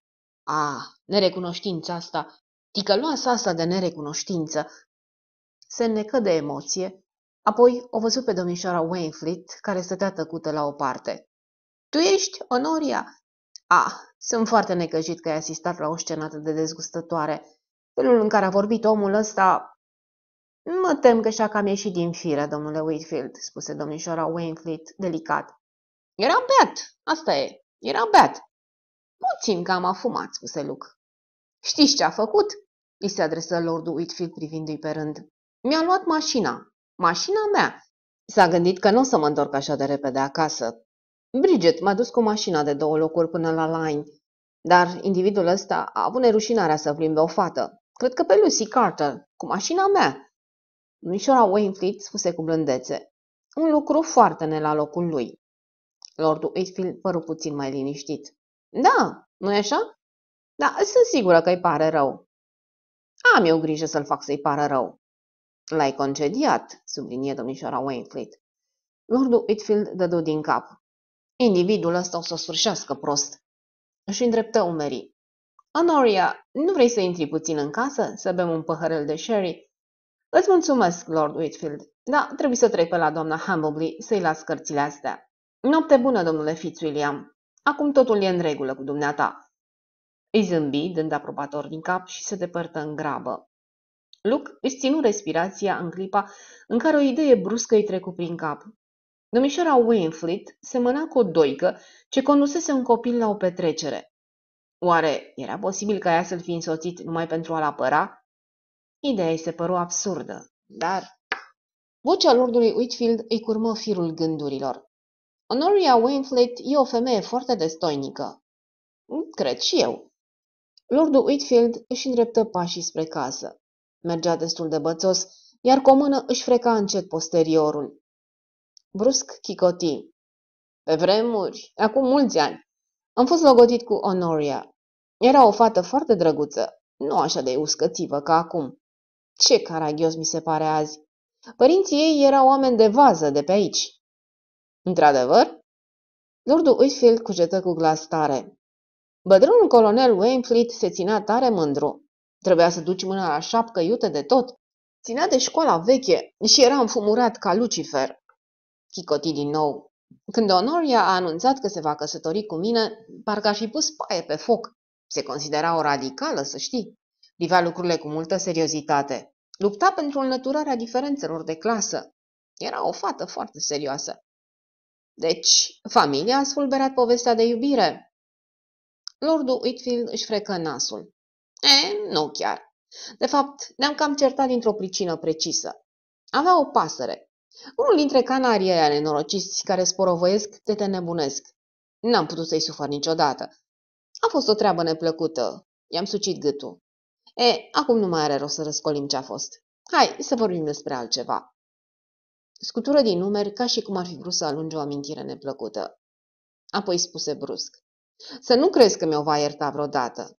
E, poate, e ceva firesc. Cred că va și iertat, spuse Luke. Lordul Whitfield se lumină la chip. Crezi? Ce bine mi-ar părea. Știi cât o respect pe Onoria. E o femeie destoinică și o doamnă. Lucrul ăsta are și azi importanță. Conduce biblioteca foarte bine. Privi în sus și schimbă tonul. Ei, spuse el, uită pe Bridget. Capitolul 16 Ananasul La apropierea lui Bridget, Luke simți cum îi se încordează mușchii. Nu mai vorbiseră între patru ochi din ziua în care jucaseră tenis. Printr-o înțelegere tacită, reciprocă, se evitaseră. O privi pe furiș. Părea provocator de liniștită, distantă și indiferentă. Bridget spuse ușor. Începusem să mă întreb ce Dumnezeu s-a întâmplat cu tine, Gordon. Lordul Whitfield mormăi. Am avut de furcă cu cineva. Individul ăla, Rivers, a avut neobrăzarea să ia rolsul azi după masă. Les majeste, spuse Bridget. Are rost să glumești, Bridget. E ceva serios. A plimbat o fată. Nu cred că ar fi fost la fel de plăcut dacă s-ar fi plimbat de unul singur. Lordul Whitfield se îmbățoșă. De moșia mea nu admite cât o ținută morală și decentă. De fapt, nu e imoral să duci la plimbare o fată. Este când e vorba de mașina mea. Asta bineînțeles că este mai mult decât neobrăzare. Ghivalează cu blasfemie. Da, nu poți să reduci la zero problema sexului, Gordon. Pe cer e lună plină și, de fapt, e vremea nopților de sânziene. Ia te uită, într-adevăr, spuse Luke. Bridget îl privi iute. Am impresia că te interesează. Da. Bridget se întoarse spre lordul Whitfield. La Belson Mothway au ajuns trei oameni extraordinari. Numărul 1, un om în pantaloni scurți, ochelari și o cămașă de mătase frumoasă de culoarea prunei. Numărul 2, o femeie fără gene, îmbrăcată într-un peplum și sandale și cu o livră de mărgele egiptene false și asortate. Numărul 3, un bărbat gras, într-un costum de culoare ale vânțicii și pantofi corespunzători. Bănuiesc că sunt niște prieteni de-ai domnului Ellsworthy. Zvonul circulă că diseară vor avea loc niște vesele evenimente în poiana vrăjitoarelor. Lordul Whitfield se înroși. Nu voi permite. N-ai ce face, dragă. Poiana vrăjitorilor este proprietate publică. Nu voi permite vânzoleala asta păgână aici. O să o demasc la rubrica scandaluri. Se opri, apoi spuse. Adu-mi aminte să-mi notez asta și să-l anunț pe Sidley. Mâine trebuie să merg la Londra. Campania lordului Whitfield împotriva vrăjitoriei, spuse Bridget flemitor. Superstițiile medievale sunt încă în floare în liniștitele sătucuri. Lordul Whitfield o privi fix, încruntându-se plin de mirare, apoi se întoarse și intră în casă. Luke spuse amabil. Trebuie să-ți joci mai bine rolul, Bridget.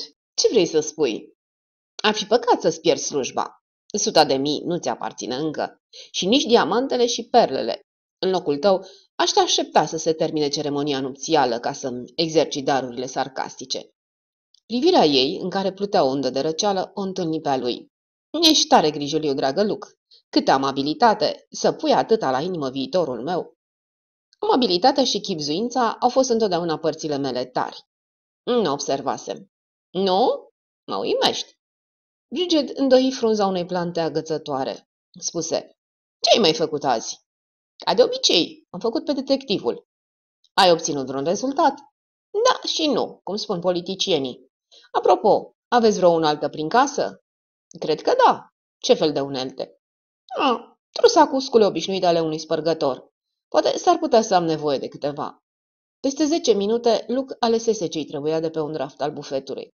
Grămăjoara asta o să-mi fie de folos, spuse el, lovindu-și buzunarul în care pusese uneltele. Ai de gând să forțezi vreo ușă de intrare? Nu poate. Nu prea ești vorbăreț. E, la urma urmei, problema se arată cam încurcată. Sunt într-o situație îngrositoare. După ciocnirea pe care am avut-o noi sâmbătă, cred că ar trebui să o șterg de pe aici.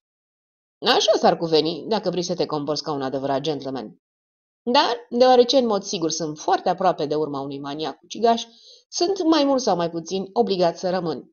Dacă te poți gândi la vreun motiv plauzibil pe care să-l invoc ca să mă pot muta la Belson Malfoy, pentru numele lui Dumnezeu, spune-l. Bridget dădu din cap. Nu se face, doar ești verișorul meu. Pe lângă asta, hanul e plin de prietenii domnului Ellsworthy și n-au decât trei camere de oaspeți. Deci sunt obligat să rămân, oricât de neplăcut ar fi pentru tine. Bridget îi zâmbi dulce. Câtuși de puțin. Nu mă dau în lături niciodată dacă am la îndemână câteva capete de scalpat. Aha, spuse Luke. A fost o chestie extrem de murdară. Ce admir eu la tine, Bridget, este că de fapt n-ai niciun pic de milă. Bine, bine. Iubitul respins se va duce acum să se schimbe pentru cină. Seara trecu fără niciun eveniment. Luke câștigă și mai mult simpatia lordului Whitfield, simulând un interes profund pentru discursul acestuia. Când intrară în salon, Bridget spuse, Voi bărbații v-ați lăsat cam mult așteptați. Lordul Whitfield a vorbit atât de interesant, încât nici nu știu când a trecut timpul. Mi-a povestit cum a fondat primul ziar. Copăcii ăștia roditori, interveni doamna Anne Strutter, sunt minunați. Ar trebui să încerci să-i pui de-a lungul terasei, Gordon. Apoi conversația trecu la alte subiecte. Luke se retrase de vreme. Totuși, nu se duse la culcare. Avea alte planuri. Tocmai bătea ora 12 când coborâ scările fără zgomot, în tenis, trecu prin bibliotecă și se lăsă în jos pe fereastră.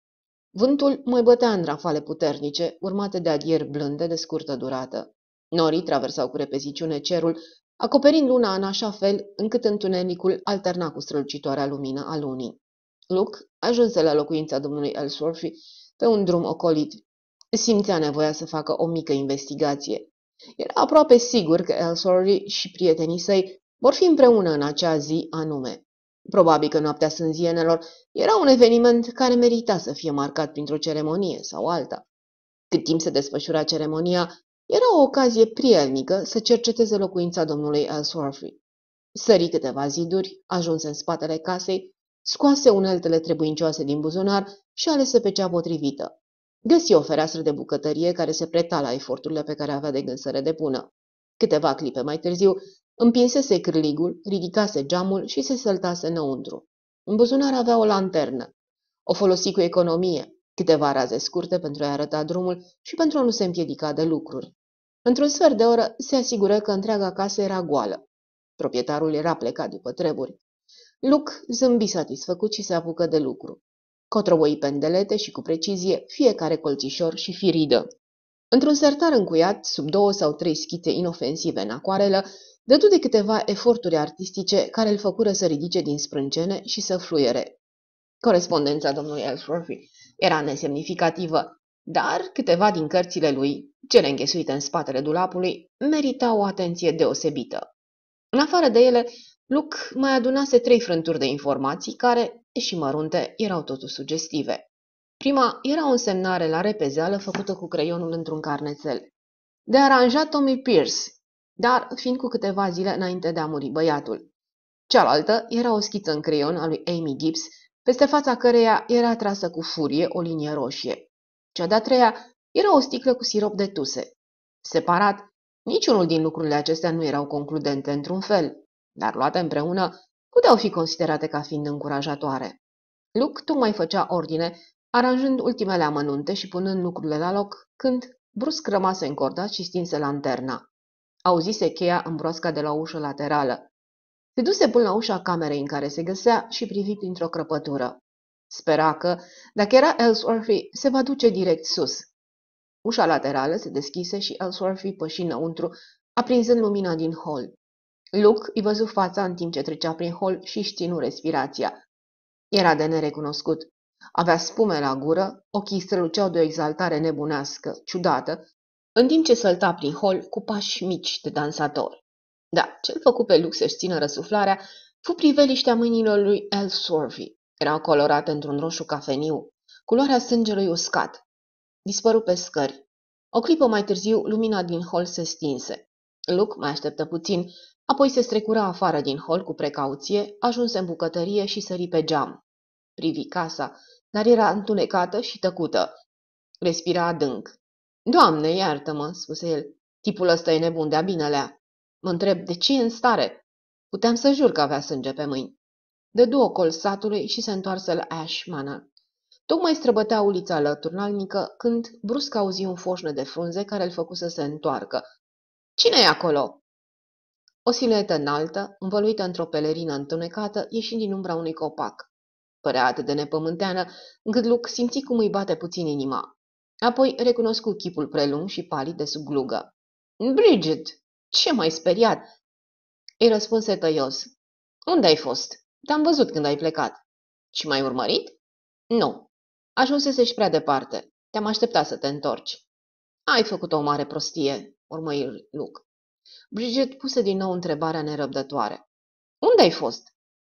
Îi răspunse bine dispus. Am dat o raită pe la domnul Ellsworthy. Bridget își ținu respirația.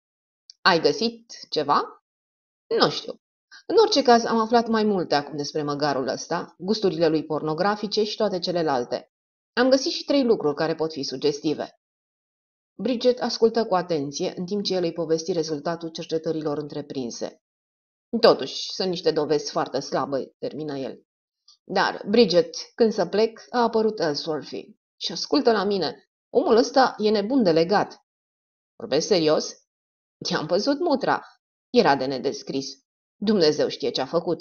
Era într-o stare de delir și avea mâinile mânjite. Pot să jur că era sânge. Bridget se cutremură. Oribil, murmură ea. Luke spuse iritat.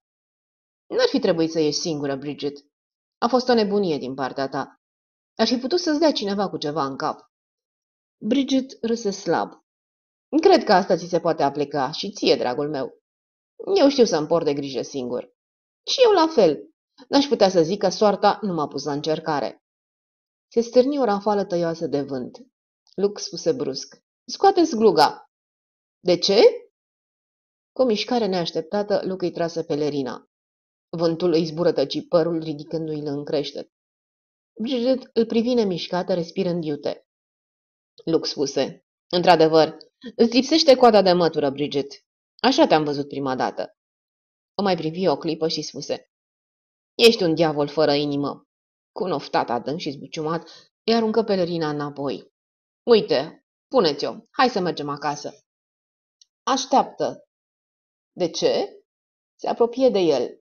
Vorbea cu voce joasă, aproape fără să respire. Pentru că am să-ți spun ceva. De fapt, ăsta e unul din motivele pentru care te-am așteptat aici, în afara conacului. Vreau să spun înainte de a intra pe domeniul Gordon. Ei? Bridget râse scurt și cu puțină amărăciune. A, e foarte simplu. Ai câștigat, Luke. Asta e tot. Luke spuse iute. Cum adică? Adică am renunțat la ideea de a deveni doamna Whitfield. Luke se dădu un pas mai aproape. Adevărat? întrebă el. Da, Luke. Și ai să te căsătorești cu mine? Da. De ce oare? Nu știu. Îmi arunci în față niște lucruri drăcești, iar eu am impresia că îmi plac. O luă în brațe și o sărută. Îi spuse, lumea e nebună. Ești fericit, Luke?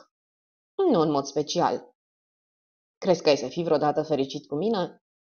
Nu știu. Am să risc. Da, și eu simt la fel. Suntem cam ciudați în privința asta, iubito. Hai să mergem. Poate ne revenim mâine dimineață. Da. Te cutremuri când te gândești ce îi se poate întâmpla unui om. Se uită în jos și brusc îl făcu să se oprească. Luc, Luc, ce e asta? Luna ieșise din nori. Luc privi în jos către o masă informă pe care Bridget o arătă cu vârful tremurat al pantofului. Cu un strigă de uimire, Luc își eliberă brațul și îngenunche. Privirea lui trecu de la masa informă la stâlpul porții. Ananasul dispăruse. În cele din urmă se ridică. Bridget stătea cu mâinile apăsate pe buze. Luke spuse, E Rivers, șoferul. E mort. Porcăria aia de piatră. De mult timp nu se mai ținea bine. Cred că i-a căzut în cap. Luke dădu din cap. Vântul n-ar fi putut face așa ceva. Aha, deci așa a vrut să arate. Așa a vrut să pară. Un alt accident. Da, nu e decât o simulare. Din nou a lovit ucigașul. Nu, nu, Luke. Îți spun eu că asta e. Știi ce am simțit când i-am pus mâna la ceafă? Pe lângă ceva lipicios. Fire de nisip. Aici nu-i pic de nisip. Ascultă, Bridget, cineva a stat aici și l-a izbit în cap când ieșea pe poarta din spate. Apoi l-a așezat aici și a rostogolit petroiul ăla în formă de ananas deasupra lui. Bridget spuse slab. Luke, ai sânge pe mâini. Luke spuse întunecat. Pe mâinile altcuiva a fost sânge. Știi ce mă gândeam azi după amiază? Că dacă ar mai fi o crimă, am ști cu precizie. Și știm. Ellsworthy. A fost plecat azi noapte și s-a întors cu sânge pe mâini, țopăind și săltând ca un nebun. Beat și cu o expresie de maniac ucigaș. Privind în jos, Bridget se cutremură și spuse cu voce joasă. Bietul Rivers. Luke zise cu compătimire. Da, sărmanul. A avut un ghinion grozav, dar ăsta va fi ultimul, Bridget. Acum știm că o să punem mâna pe el. O văzut clătinindu-se și din noi pași o prinse în brațe. Bridget îi spuse cu voce de copil. Luc, e frică. Îi răspunse. S-a terminat, iubito. S-a terminat. Bridget murmură. Fii bun cu mine, te rog. Am suferit mult de tot. Îi răspunse. Am suferit mult unul din pricina celuilalt. Nu o să se mai întâmple. Capitolul 17 Lordul Whitfield vorbește. Doctorul Thomas îl privi pe Luke de după biroul său din cabinet. Remarcabil, spuse el, remarcabil. Chiar vorbesc serios, domnule Fitzwilliam? Absolut. Sunt convins că Ellsworthy este un maniac periculos. Nu i-am dat prea mare atenție. Afirm totuși că s-ar putea să fie o persoană anormală. Eu aș merge chiar mai departe, spuse Luke întunecat. Chiar credeți că omul ăsta, Rivers, a fost ucis? Da. Ați observat firele de nisip de pe rană? După cum mi-ați spus, le-am căutat. Trebuie să recunosc că ați avut dreptate. Atunci e clar, nu-i așa? Accidentul a fost simulat și omul a fost omorât printr-o lovitură cu un sac de nisip. Sau, cel puțin a fost amețit. Nu neapărat. Cum adică? Doctorul Thomas se lăsă pe spate și și împreună degetele. Să presupunem că omul ăsta, Rivers, a stat culcat ziua într-o groapă cu nisip. Sunt multe pe aici. Asta ar explica firele de nisip de pe păr. Ascultați aici ce vă spun. Omul ăsta a fost ucis. Puteți să-mi spuneți ce vreți, răspunse doctorul Tomasec, dar asta nu dovedește nimic. Luc îți stăpâni exasperarea. Am impresia că nu credeți o vorbă din tot ce v-am spus. Doctorul Thomas zâmbi, un zâmbet blajin și plin de superioritate. Trebuie să recunoașteți, domnule Fitzwilliam, că este o poveste destul de neobișnuită. Afirmați că omul ăsta, Ellsworthy, a ucis o servitoare, un băiețel, un cârciumar bețiv, pe colegul meu și, în cele din urmă, pe omul ăsta, Rivers. Și nu credeți? Doctorul Thomas dădu din numeri. Cunosc câte ceva din cazul lui Humbleby. Mi se pare, în afară de orice discuție, bănuiala că Ellsworthy ar fi provocat moartea. Și nu pot să cred într-adevăr că aveți vreo dovadă că a procedat în felul ăsta. Nu știu cum a reușit, mărturisi Luke, dar totul se lega în povestea domnișoarei Pinkerton. Și aici, din nou, susțineți că Ellsworthy a urmărit-o la Londra și a dat cu mașina peste ea. Din nou n-aveți nicio urmă de dovadă că așa s-a întâmplat. Totul e așa de ireal. Luke spuse tăios. Acum că știu unde mă aflu, o să trebuiască să găsesc dovezi. Mine mă duc la Londra, la un vechi prieten. Am văzut în ziar că acum două zile a fost numit ajutor de șef de poliție. Mă cunoaște și va asculta ce vreau să-i spun. De un singur lucru sunt sigur. Va ordona să se facă anchetă serioasă, nu glumă. Doctorul Thomas își mângâie bărbia gânditor. E, fără îndoială, că ăsta e cel mai bun lucru de făcut. Dacă se dovedește că v-ați înșelat, Luke îl întrerupse. Chiar nu credeți niciun cuvânt din toate astea? Să cred că e vorba de crime în serie? Doctorul Thomas ridică din sprâncene. Ca să fiu sincer, domnule Fitzwilliam, nu cred. Povestea e prea fantastică. Fantastică? Poate. Dar să leagă. Trebuie să recunoașteți că se leagă, din moment ce acceptați povestea domnișoarei Pinkerton ca adevărată. Doctorul Thomas scutură din cap. Schiță un zâmbet ușor. Dacă ați cunoaște câteva din fetele astea bătrâne, așa cum le cunosc eu, murmură el. Luc se ridică încercând să-și înfrâneze enervarea. Oricum, vi se potrivește numele, spuse el. Toma necredinciosul. Thomas răspunse bine dispus. Dați-mi niște dovezi, dragul meu. Asta e tot ce vă cer. Nu numai vorbe goale, care n-au nicio bază, în afară de ce și-a închipuit că a văzut o bătrânică. Ce și închipuie bătrânicile că văd este foarte adesea adevărat. Mătușa Mildred era extrem de ciudată. Ați avut vreo mătușă, domnule Thomas? Mm, nu. O greșeală, spuse Luke.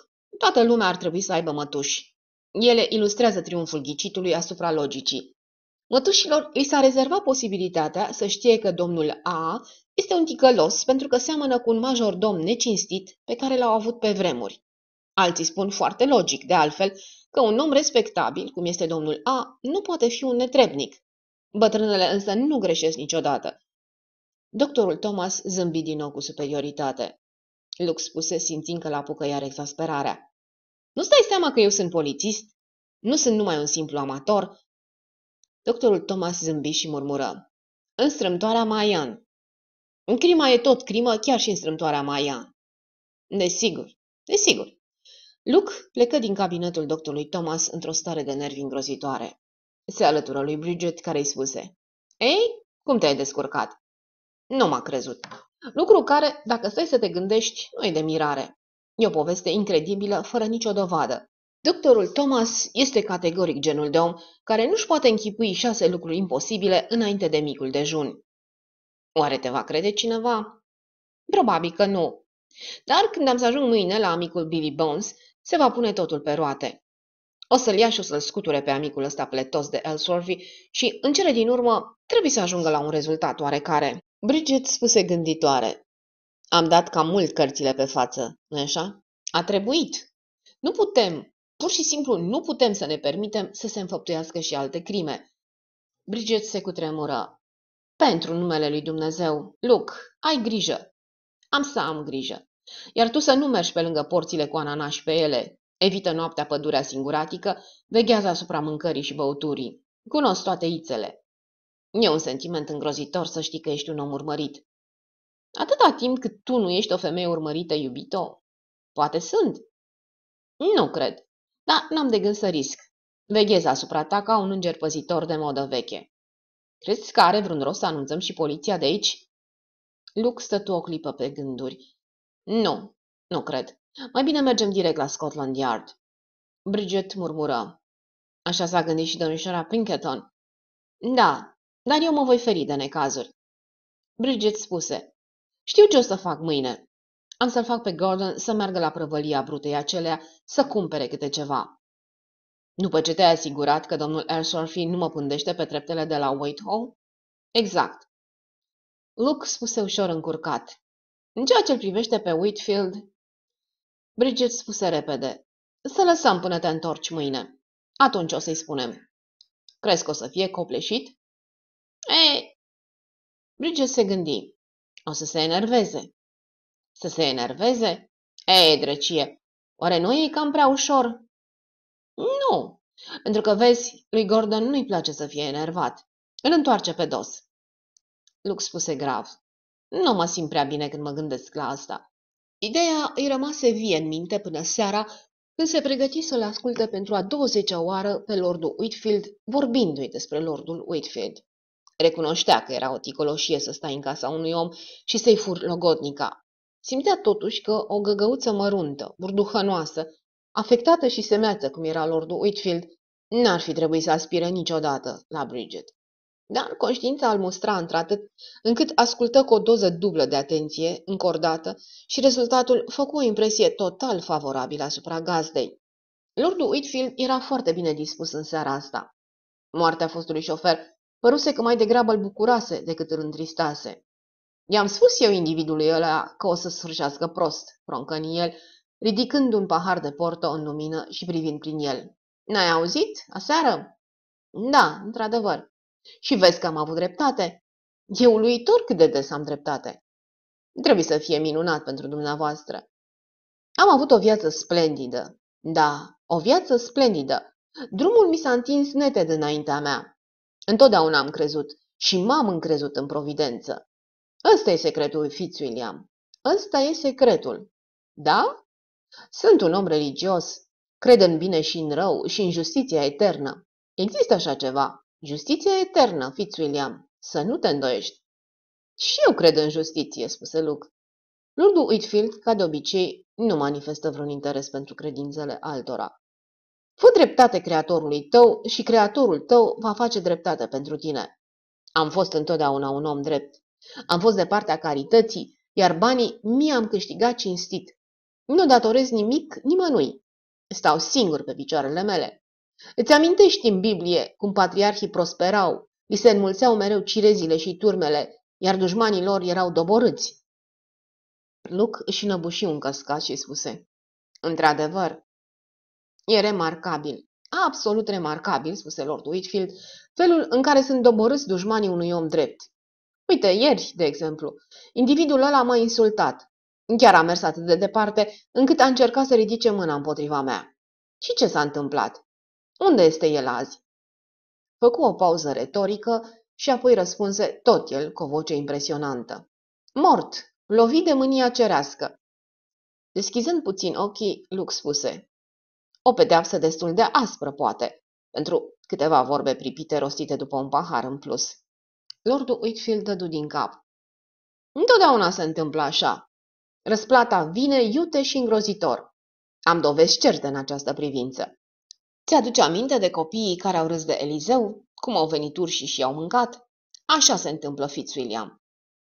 Întotdeauna am socotit că a fost un act de răzbunare inutil. Nu, nu, privești greșit lucrurile. Elizeu era un sfânt mare. Nu era permis ca cei care râd de el să mai trăiască. Înțeleg asta din proprie experiență. Luke îl privi nedumerit. Lordul Whitfield coborâ vocea. Nici eu n-am crezut la început, dar de fiecare dată s-a întâmplat la fel. Dușmanii și defăimătorii mei au fost doborâți și exterminați.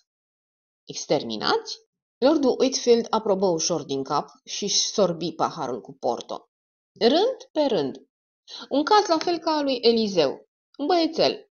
Am dat peste el în grădină. Era angajatul meu pe atunci. Știi ce făcea? Mă imita. Pe mine. Râdea de mine. Ciopăia încoace și încolo și oamenii se uitau la el. Își bătea joc de mine, pe propria mea moșie. Știi ce i s-a întâmplat? Nici peste 10 zile a căzut de la o fereastră și a murit. Și pe urmă a fost ticălosul de Carter, un bețivan cu gura spurcată. A venit aici și m-a insultat. Ce i s-a întâmplat? Peste o săptămână a murit. S-a necat în noroi. Pe urmă a fost o servitoare. A ridicat vocea la mine și m-a înjurat. Pedepsa a venit curând. A băut o travă din greșeală. Și aș putea să spun mai multe. Obli a îndrăznit să mi se împotrivească în planul de canalizare. Și a murit de septicemie. A, de multă vreme se întâmplă asta. Doamna Houghton, de exemplu, a fost nepermis de grosolană cu mine. N-a trecut mult și s-a dus. Se opri și, plecându-se înainte, îi dădu carafa cu portul lui Luke. Da, spuse el, au murit cu toții. Uluitor, nu-i așa? Luke se holbă la el.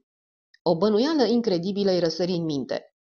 Îl privi cu alți ochi pe omulețul rotofei din fruntea mesei, care dădea blând din cap și ai cărui ochi ușor bulbucați îi întâlniră pe a lui Luke cu un zâmbet de nepăsare. Luke trecu rapid în revistă amănunte disperate. Își aminti de Majorul Horton, care spunea Lordul Whitfield a fost foarte drăguț. A trimis struguri și piersici din sera sa personală.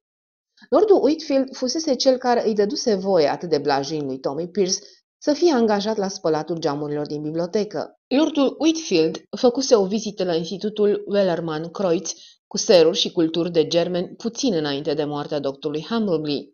Totul arăta clar o singură direcție și el, prostul, care nici măcar nu bănuise.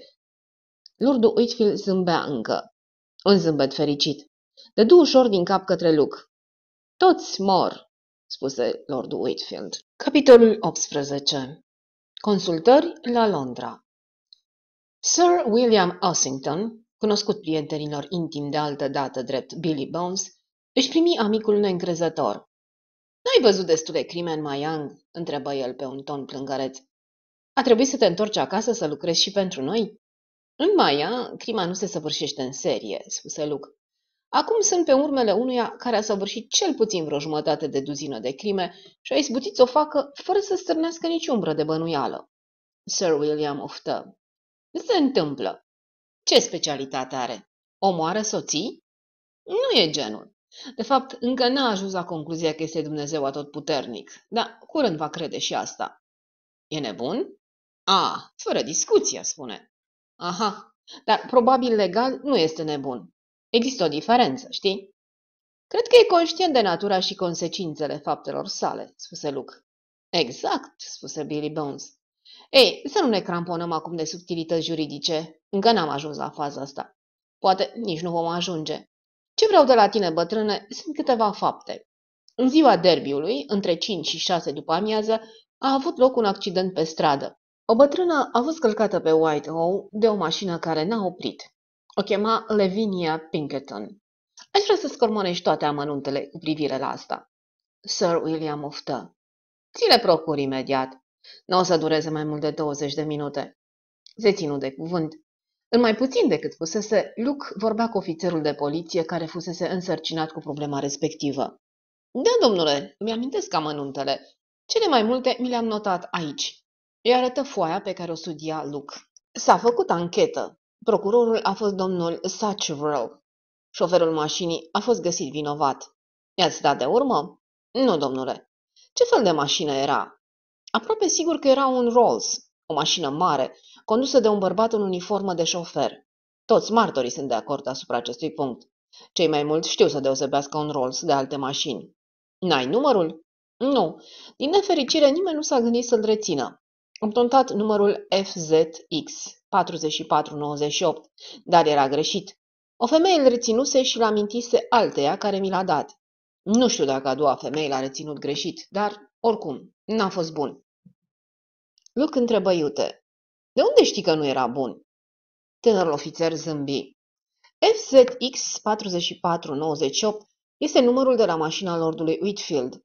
La ora aceea, mașina stătea în fața casei Bloomington și șoferul își lua ceaiul. Avea un alibi perfect, nu era amestecat. Iar mașina n-a plecat din fața clădirii până la șase și jumătate când a ieșit lordul. Înțeleg, spuse Luke. Așa se întâmplă, domnule, oftă omul. Jumătate din martori au dispărut până să vină sergentul să ia semnalmentele. Sir William aprobă din cap. Am presupus că numărul semăna numai cu FZX 4498. Probabil începea cu 2 de 4. Noi am făcut tot ce ne-a stat în putință, dar n-am dat de urmă mașinii.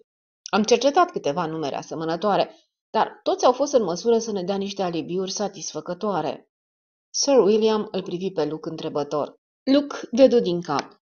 Sir William spuse ofițerului. Mulțumesc, Bonham. Poți să pleci. Când omul ieși, Billy Bones își privi prietenul întrebător. Ce zici de asta, Fitz?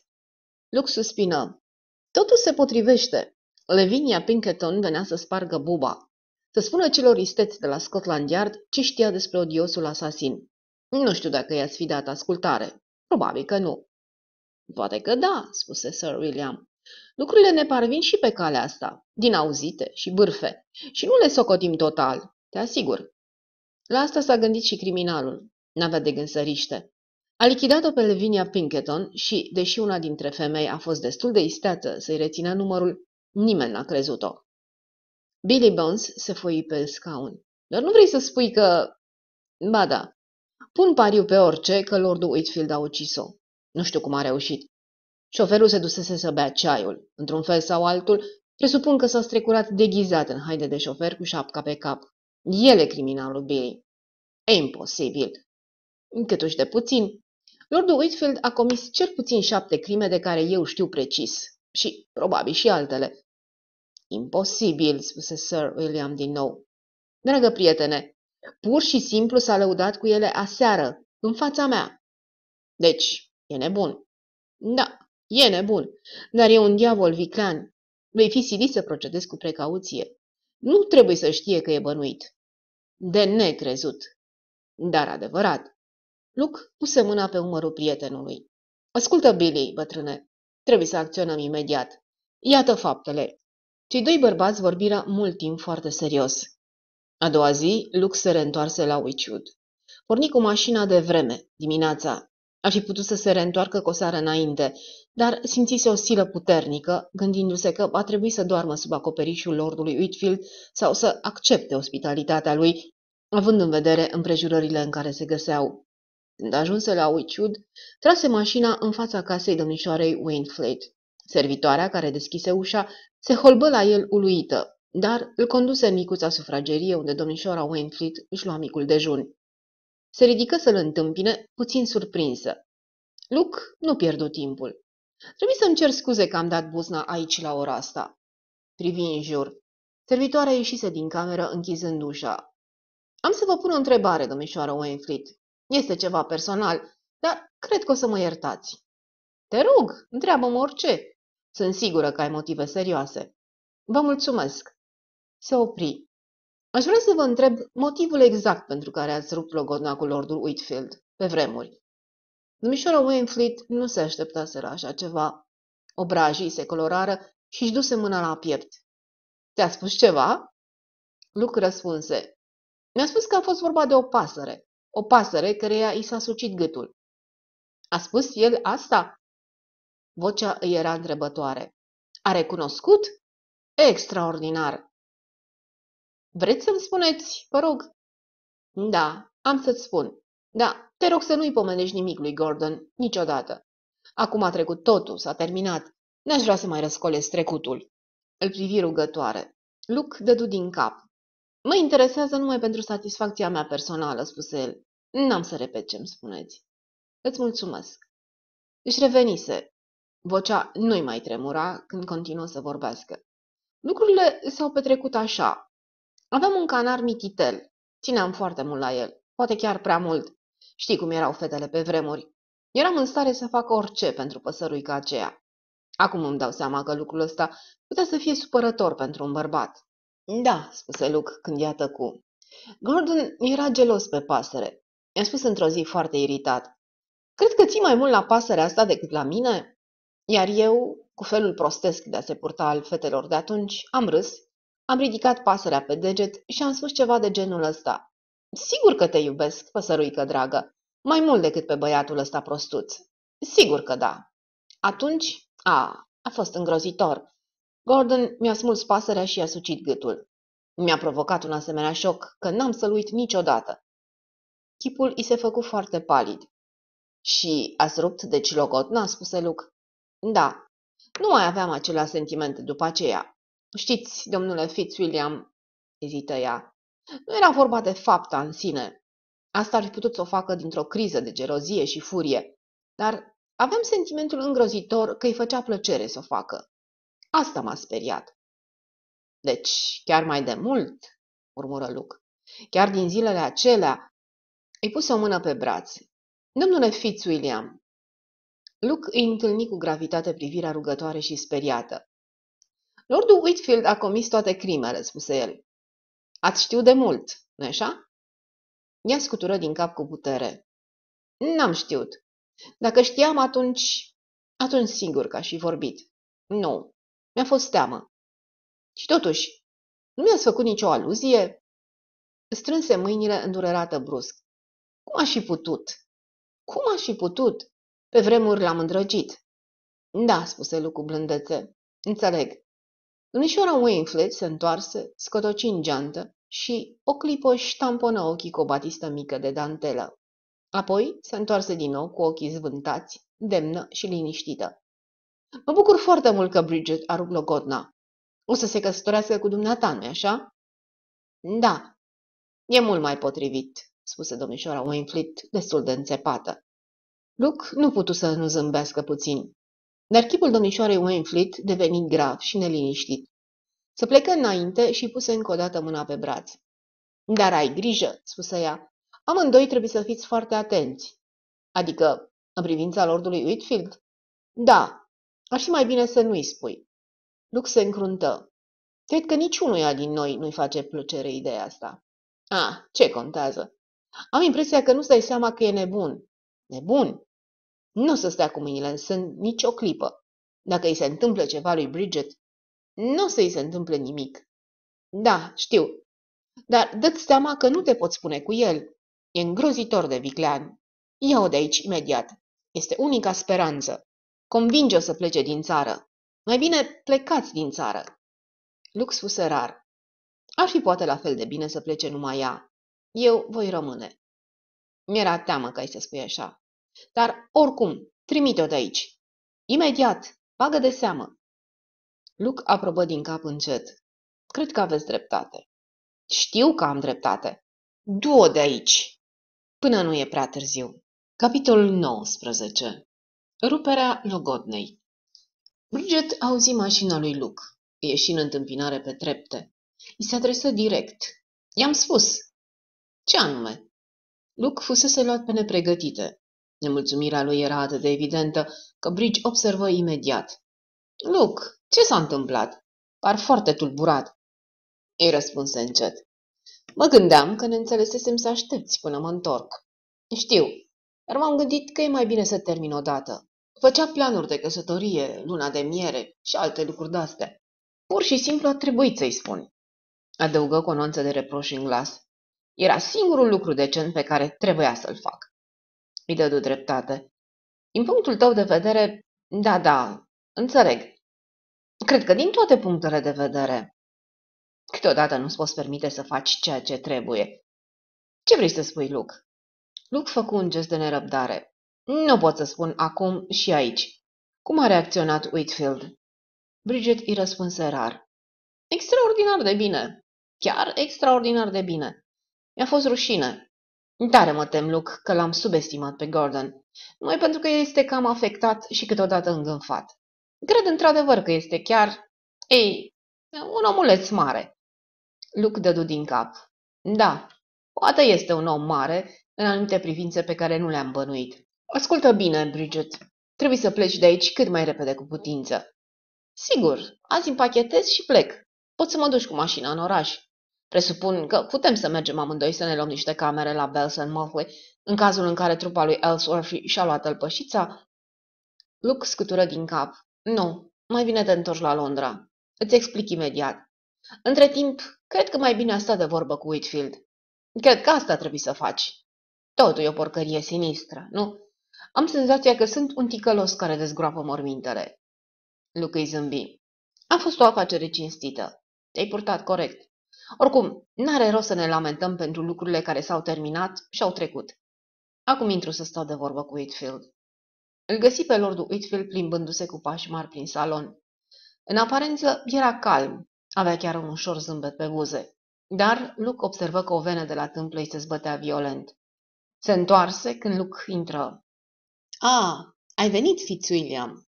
Luke spuse. N-are rost să spun că îmi pare rău pentru ce am făcut. Aș fi ipocrit. Recunosc că, din punctul dumneavoastră de vedere, am purtat foarte urât și am foarte puțin de spus ca să mă apăr. Lucruri de genul ăsta se întâmplă în viață. Lordul Whitfield își reluă mersul. Într-adevăr, într-adevăr. Dădu din mână. Luke continuă. Bridget și cu mine ne-am purtat rușinos cu dumneavoastră. Da, asta este. Ținem unul la altul și nu ne mai rămâne altceva de făcut decât să vă spunem adevărul și să plecăm. Lordul Whitfield se opri.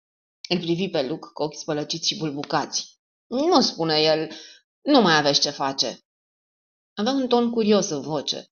Îl privea pe Lux scuturând din cap cu milă, parcă. Lux spuse tăios. Cum adică? Nu aveți ce face, spuse Lord Whitfield. E prea târziu. Luke se dădu un pas mai aproape. Spuneți-mi, ce vreți să insinuați? Lord Whitfield spuse pe neașteptate. Întreabă pe Honoria Wainfleet. Ea o să înțeleagă. Ea știe ce se întâmplă. I-a vorbit odată despre asta. Ce anume o să înțeleagă? Lordul Whitfield spuse. Răul nu rămâne nepedepsit. Trebuie să se facă dreptate. Păcat. Pentru că țin la Bridget. Într-un fel, e păcat pentru amândoi. Ne amenințați? Lordul Whitfield păru surprins cu adevărat. Nu, nu, dragă prietene. Puțin mă interesează povestea asta. Când i-am făcut lui Bridget onoarea de a o alege drept soția mea, ea a acceptat anumite responsabilități. Acum le respinge. Dar în viața asta nu poți să dai înapoi. Dacă încalci legile, plătești. Luke își strânse pumnii. Spuse, adică lui Bridget se va întâmpla ceva? Whitfield, ascultă ce spun eu. Bridget nu o să pățească nimic și nici eu. Dacă încerci să faci ceva, s-a zis cu tine. Mai bine ai fi mai atent. Știu multe despre tine. Eu n-am niciun amestec, spuse Lord Whitfield. Eu nu sunt decât instrumentul unei puteri superioare. Ce poruncește acea putere, asta se întâmplă. Văd că dai crezare lucrului ăsta, spuse Luke. Pentru că ăsta e adevărul. Oricine mi se împotrivește este pedepsit. Tu și cu Bridget nu veți face excepție. Aici greșești. Oricât de mult noroc ai avea, până la urmă tot se termină. Norocul tău e ca și terminat. Lordul Whitfield spuse cu blândețe. Tinere dragă, pe mine nimic nu mă poate atinge. Nu zău. O să vedem. Calculează bine ce faci, Whitfield. Lordul Whitfield schiță o mișcare foarte slabă. Vocea ei se schimbase când vorbi. Am avut foarte multă răbdare. Nu mai abuza de ea. Hai, du-te. Mă duc, spuse Luc, cât pot de repede. Nu uita că te-am prevenit. Se întoarse pe călcâie și ieși iute din cameră. Urcă scările în grabă. O găsi pe Bridget în cameră, supraveghind o servitoare care împacheta hainele. Ești gata repede? Zece minute. Ochii ei îl puseră o întrebare la care nu putu să răspundă din cauza servitoarei. Luc aprobă scurt din cap. Se duse în camera sa și-și aruncă grăbit lucrurile într-un geamantan. Se întoarse zece minute mai târziu și o găsi pe Bridget gata de plecare. Mergem? Sunt gata. În timp ce cobora scara, îl întâlniră pe majordom urcând. Domnișoara Wainfleet vrea să vă vadă, doamnă. Domnișoara Wainfleet? Unde este? În salon, cu lordul. Bridget se duse direct în salon. Luke o urmă de aproape. Lordul Whitfield stătea lângă fereastră vorbind cu domnișoara Wainfleet. În mână avea un cuțit cu o lamă lungă și subțire. O lucrătură perfectă, spuse el. Unul din ajutoarele mele tinere mi l-a adus din Maroc, unde a fost în calitate de corespondent special. E maur, bineînțeles, un cuțit din Riff. Își trecu drăgăstos un deget pe tăiș. Ce lamă! Domnișoara Wainfleet spuse repezit. Pune-l la loc, Gordon, pentru Dumnezeu. El zâmbi și îl puse la loc într-o colecție de arme pe o masă. Îmi place senzația pe care mi-o dă, spuse el blajin. Domnișoara Wainfleet pierduse ceva din cumpătul ei obișnuit. Arăta palidă și nervoasă. Ah, ai venit, Bridget, drăguța mea, spuse ea. Lordul Whitfield chicoti. Da, uite pe Bridget. Spuneți-vă tot ce aveți să vă spuneți. Honoria, Bridget pleacă de aici curând. Domnișoara Winfleet spuse tăios. Ce vrei să spui? Ce vreau? Vreau să spun că pleacă la Londra. Am dreptate, Bridget, nu-i așa? Atâta voiam să spun. Îi privi pe toți. Am o veste pentru tine, Honoria. Bridget nu se mai mărită cu mine până la urmă. Îl preferă pe Fitzwilliam. Viața e un lucru foarte straniu. E, vă las să vă spuneți ce aveți de spus. Ieși din cameră, zornăind cu mâinile niște monede din buzunare. Vai de mine, spuse domnișoara Wainfleet. Vai de mine! Avea atâta disperare în glas, încât Bridget păru ușor surprinsă. Spuse sindingherită. Îmi pare rău, îmi pare teribil de rău. Domnișoara Wainfleet spuse. E supărat. E îngrozitor de supărat. Mai de mine, ceva groaznic. Ce ne facem? Bridget o privi fix. Ce ne facem? Cum adică? Domnișoara Wainfleet îi spuse, incluzând pe amândoi în privirea sa caldă plină de reproși. Nu trebuia să-i spui niciodată. Prostii, ce puteam să facem? Nu trebuia să-i spui acum. Trebuia să fie așteptat până când ați plecat. Bridget spuse scurt. Asta e o chestiune de părere. Eu, personal, cred că e mai bine să afli cât mai repede lucrurile neplăcute. Vai de mine! Dacă n-ar fi vorba decât despre asta... Se opri, apoi îl privi pe Luc întrebător. Luc dădu din cap. Buzele luară forma cuvintelor, nu încă. Domnișoara Wainfleet murmură. Înțeleg. Bridget spuse cu ușoară exasperare. Ați vrut să mă vedeți pentru ceva personal, domnișoară Wainfleet? Ei, da. De fapt, am venit să sugerez ideea să-mi faci o scurtă vizită. Am gândit că s-ar putea să-ți vină greu să mai rămâi aici și că ai avea nevoie de câteva zile să... să... Ei bine, să-ți pui la punct planurile. Vă mulțumesc, domnișoară Wainfleet. Sunteți foarte drăguță. Știi, cu mine ai fi în siguranță și... Bridget o întrerupse. În siguranță? Domnișoara Wainfleet spuse grăbită, puțin agitată. Tihnită, asta am vrut să spun. O să ai multă tihnă la mine. Adică nu atât de luxos ca aici, natural. Dar apa caldă este caldă, iar micuța mea servitoare Emily gătește într-adevăr foarte bine. Ah, sunt sigură că va fi minunat, domnișoară Wainfleet, spuse Bridget mecanic. Da, sigur, că dacă pleci în oraș, e mult mai bine. Bridget spuse rar. E puțin cam încurcată toată povestea. Mătușa a plecat de vreme azi. S-a dus la o expoziție de flori. N-am avut când să-i spun ce s-a întâmplat. Am să-i scriu un bilet că m-am dus să stau în apartamentul ei. Ai să stai în apartamentul mătușii la Londra? Da, nu stă nimeni acolo. Am să iau masa în oraș. Ai să stai singură în apartament? Vai de mine, eu nu aș face așa ceva. Nu sta acolo singură. Nu o să mă mănânce nimeni, spuse Bridget nervoasă.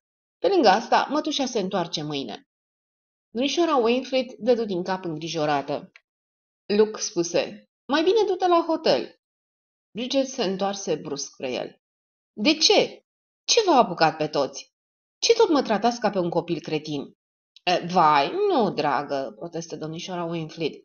Nu vreau decât să fii prevăzătoare. Atât. Da, de ce? De ce? Despre ce este vorba? Ascultă, Bridget, spuse Luke. Vreau să stăm puțin de vorbă. Dar nu aici. Luăm mașina și mergem într-un loc liniștit. Luke o privi pe domnișoara Wainfleet. Putem să trecem pe la dumneavoastră cam peste o oră? Aș vrea să vă spun câte ceva.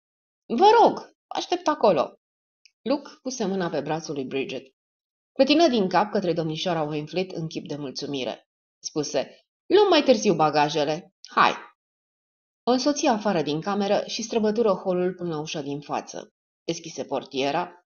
Bridget se urcă în mașină, Luke porni motorul și plecă în toată viteza. Pe când ieșeau pe porțile de fier, scoase un suspin de ușurare. Slavă Domnului cât am scos teapără de acolo, spuse el.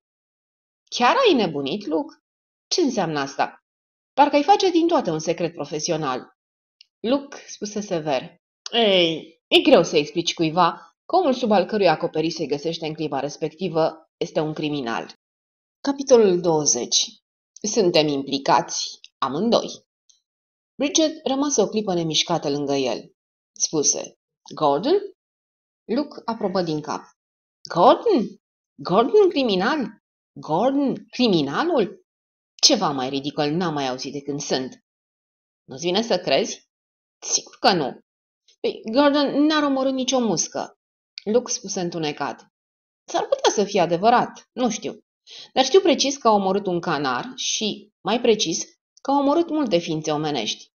Dragul meu, Luke, pur și simplu nu vine să cred. Îmi închipui. Nici nu pare verosimil. Știi, de fapt, nici nu-l inclusesem pe lista suspecților posibili până la altă seară. Bridget protestă. Dar știu absolut totul despre Gordon. Îl știu ce poate. La urma urmei, e un omuleț plăcut. Nu zic că nu e afectat, dar, de fapt, e plin de zel. Luke scutură din cap. O să trebuiască să-ți revezi părerea despre el, Bridget. N-are rost, Luke. Nu pot să cred. Cine ți-a băgat ideea asta absurdă în cap? Păi, acum două zile erai îndeaproape convins că Ellsworth e criminalul. Luke tresări ușor. Știu, știu. Poate ai impresia că mâine o să-l bănuiesc pe Thomas și mine o să fiu convins că pe Horton trebuie să-l urmăresc. Nu sunt chiar atât de nerațional. Recunosc că ideea iese destul de șocantă când îți vine în cap. Dar dacă o cumpărești puțin, îți dai seama că totul se îmbină perfect. Nu-i de mirare că domnișoara Pinkerton n-a îndrăznit să apeleze la autoritățile locale. Știa că o să râde de el. Scotland Yardul era unica speranță. Dar ce motiv plauzibil ar fi putut avea Gordon pentru toate crimele astea? A, totul e așa de absurd. Știu, dar nu-ți dai seama că Gordon Whitfield are o părere exagerat de bună despre tine? Se preface că este foarte important și nemaipomenit, dar ăsta e doar un complex de inferioritate, sărmanul. E posibil ca tocmai asta să stea la rădăcina răului. Nu știu. Dar gândește-te, Bridget, gândește-te numai o clipă. Îți aduce aminte de toate frazele pe care tu singură le-ai folosit ca să-ți bagi joc de el? Acel les majesté, etc. Nu-ți dai seama că eul acestui om este exacerbat peste măsură? Și intervine și religia. Fetițo dragă, omul e nebun de legat. Bridget se gândi o clipă. Spuse în cele din urmă. Totuși, nu pot să cred. Ce dovezi ai, Luc? Păi, propriile lui cuvinte. Mi-a explicat cât se poate de deslușit, al alter seara, că oricine i s-a pus în drum, întotdeauna și-a găsit sfârșitul. Spune mai departe. Nu pot să-ți explic clar ce înseamnă asta, dar așa s-a exprimat. Vorbea foarte calm și satisfăcut. Și, cum să spun, foarte obișnuit cu ideea asta. Stătea acolo zâmbind în sinea lui. A fost ceva neașteptat. Chiar oribil, Bridget. Spune mai departe. Ei, pe urmă mi-a înșirat o listă de persoane care au pierit pentru că și-au atras suprema lui nemulțumire. Și ascultă aici, Bridget. Persoanele pe care le-a amintit erau doamna Horton, Amy Gibbs, Tommy Pierce, Harry Carter, Humbleby și șoferul ăla, Rivers. Bridget rămase în sfârșit impresionată. Păli îngrozitor. Chiar a pomenit într-adevăr persoanele astea? Absolut pe toate. Acum crezi? O, oh, doamne, presupun că trebuie să cred. Cum a motivat? A dat niște motive extrem de neînsemnate. Lucrul ăsta te înspăimântă. Doamna Horton l-a jignit. Tommy Pierce l-a imitat și a făcut pe grădinar să râdă de el. Harry Carter l-a insultat. Amy Gibbs a fost foarte obraznică. Humbleby a îndrăznit să-i se opună în public Rivers l-a amenințat în fața mea și a domnișoarei Wainfleet. Bridget își duse mâinile la ochi. Oribil! De-a dreptul oribil, murmură ea. Știu. Și mai avem și o altă dovadă, din afară. Mașina care a călcat-o pe domnișoara Pinkerton la Londra era un Rolls, iar numărul ei era numărul mașinii lordului Whitfield. Asta l-acuză în mod clar, spuse Bridget rar. Da, Poliția a crezut că femeia care le-a dat numărul făcuse o greșeală. Halal greșeală. Înțeleg, spuse Bridget. Când e vorba despre un om bogat și puternic cum e Lordul Whitfield, e firesc să se dea crezare versiunii lui. Da, putem să ne închipuim ce greu i-a venit domnișoare Pinkerton. Bridget spuse gânditoare. De vreo câteva ori mi-a spus lucruri ciudate, ca și cum ar fi prevenit de ceva. De vremea aceea nu pricepeam o boabă. Acum înțeleg. Toate se potrivesc, spuse Luc. De fapt, cam se întâmplă. La început spui, cum ai făcut și tu, e imposibil. Și pe urmă, accepti ideea. Toate se îmbină perfect. Strugurii pe care i-a trimis doamnei Horton, iar doamna Horton își închipuia că o trăvesc surorile. Și vizita aceea la Institutul Wellerman Kreutz. Într-un fel sau altul, o fi făcut rost de câteva culturi de germani și l-a infectat pe Humblebee. Nu știu cum a reușit. Nici eu nu știu. Dar legătura e clară, e inevitabilă. Da, vorba ta se potrivește. Și sigur că el putea să facă lucruri pe care alții nu le-ar fi putut face. Adică e atât de în afară de orice bănuială. Cred că domnișoara Wainfleet îl bănuia. Mi-a pomenit de vizita lui la institut. În timp ce discutam, am mintit de ea ca din întâmplare. Dar am impresia că s-a gândit că, auzind de asta, am să acționez în consecință. Știa de atâta timp? Avea o bănuială foarte puternică, dar cred că a fost reținută de faptul că pe vremuri l-a iubit. Bridget aprobă din cap. Da, asta explică multe lucruri. Gordon mi-a povestit că pe vremuri au fost logodiți. Știi, n-am vrut să credem că el e criminalul, dar cu timpul s-a convins tot mai mult că ăsta e adevărul.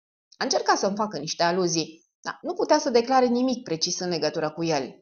Femeile sunt niște ființe ciudate. Cred că, într-un fel, mai ține la el. Chiar după ce a părăsit-o. Ea l-a părăsit. A fost o poveste cam urâtă. Să-ți povestesc. Îi relată pe scurt episodul trist și neplăcut. Bridget îl privi fix. A fost în stare Gordon să facă așa ceva? Da, încă de pe vremea aceea, după cum vezi, probabil că nu era normal. Bridget se cutremură, murmură. Atâția ani în urmă?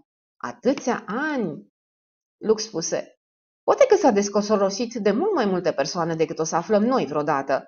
Numai succesiunea prea rapidă a morților din ultima vreme a atras atenția asupra lui, ca și cum succesul l-ar fi făcut nesăbuit. Bridget aprobă din cap. Tăcu vreme de câteva minute, meditând, apoi întrebă brusc. Ce ți-a spus exact, domnișoara Pinkerton, în ziua aceea, în tren? Cum a început? Luke încercă să-și amintească. Mi-a spus că se duce la Scotland Yard. A amintit de sergentul satului. Zicea că e un individ amabil, dar nu e în măsură să se ocupe de crime. Atunci a amintit prima dată cuvântul? Da. Spune mai departe. Zicea, văd că e surprins. Și eu am fost la început. Chiar nu-mi venea să cred. Mă gândeam că a început să-mi lucreze imaginația. Și pe urmă, am întrebat-o dacă într-adevăr nu era imaginația de vină și ea mi-a răspuns placid. A, nu! Aș fi putut să mă înșel prima oară, dar nu a doua sau a treia sau a patra oară. După aceea știi precis. Minunat, comentă Bridget. Continuă. Așa că singur i-am cântat în strună și am spus că eram sigur că procedează cum trebuie. Să știi că dacă a existat vreodată un Toma necredinciosul, atunci eu eram acela. Știu, e ușor să fii înțelept după eveniment. Și eu mă simțeam la fel, amabilă și superioară față de sărmana bătrânică. Cum a continuat conversația? Stai puțin. Da, a amintit de cazul Abercrombie. Ai auzit de el? Otrăvitorul din țara Galilor. Mi-a spus că niciodată n-a dat crezare faptului că ucigașul acela avea o privire aparte când își alegea victimele. Dar începuse să creadă pentru că văzuse cu ochii săi aceeași expresie pe fața cuiva. Spune-mi exact ce cuvinte a folosit. Lux se gândi încrețind fruntea. Vorbea pe același ton plăcut și distins. Sigur că n-am crezut cu adevărat când am citit, dar este adevărat. Iar eu i-am spus, ce anume e adevărat? Și ea mi-a răspuns, expresia pe chipul unei persoane. Și, Dumnezeul meu, Bridget, felul în care a spus-o, absolut că m-a convins. Și vocea ei liniștită, expresia feței ei, erau ca ale unei femei care văzuse într-adevăr ceva atât de oribil, încât nici nu puteai să exprimi. Spune, Luke, spune totul. Și pe urmă a enumerat victimele. Amy Gibbs, Carter, Tommy Pierce. A spus că Tommy era un băiețel îngrozitor, iar Carter un bețiv. Pe urmă, acum însă, ieri, s-a întâmplat cu doctorul Hambleby, un om atât de cum se cade, un om cu adevărat cum se cade. Și mi-a spus că dacă s-ar duce la Hambleby și ar povesti, n-ar crede-o. Ar râde de ea numai. Bridget suspina adânc. Înțeleg, spuse ea, înțeleg. Luke o privi. Ce ai, Bridget? La ce te gândești? La ce mi-a spus odată doamna Hambleby? Am întrebat. Nu, nu contează, spune mai departe. Ce ți-a mai spus până la urmă? Luke repetă cuvintele sobru. Îl impresionaseră și nu le uitase. I-am spus că era greu să nu fi descoperit după mai multe crime și ea mi-a răspuns. Nu, nu, fiule, aici greșești. E foarte ușor să ucizi, atâta timp cât nu te bănuiește nimeni. Și știi, persoana despre care e vorba este chiar ultimul om pe care l-ar bănui cineva. Tăcu. Bridget spuse cu tremurându-se. E ușor să ucizi? Oribil de ușor. E destul de adevărat. Nici nu-i de mirare că ai reținut cuvintele astea, Luke.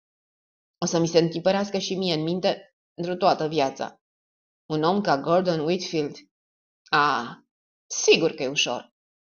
Nu e ușor să-i dovedești vinovăția, spuse Luke. Crezi? Am o idee. Aș putea să te ajut.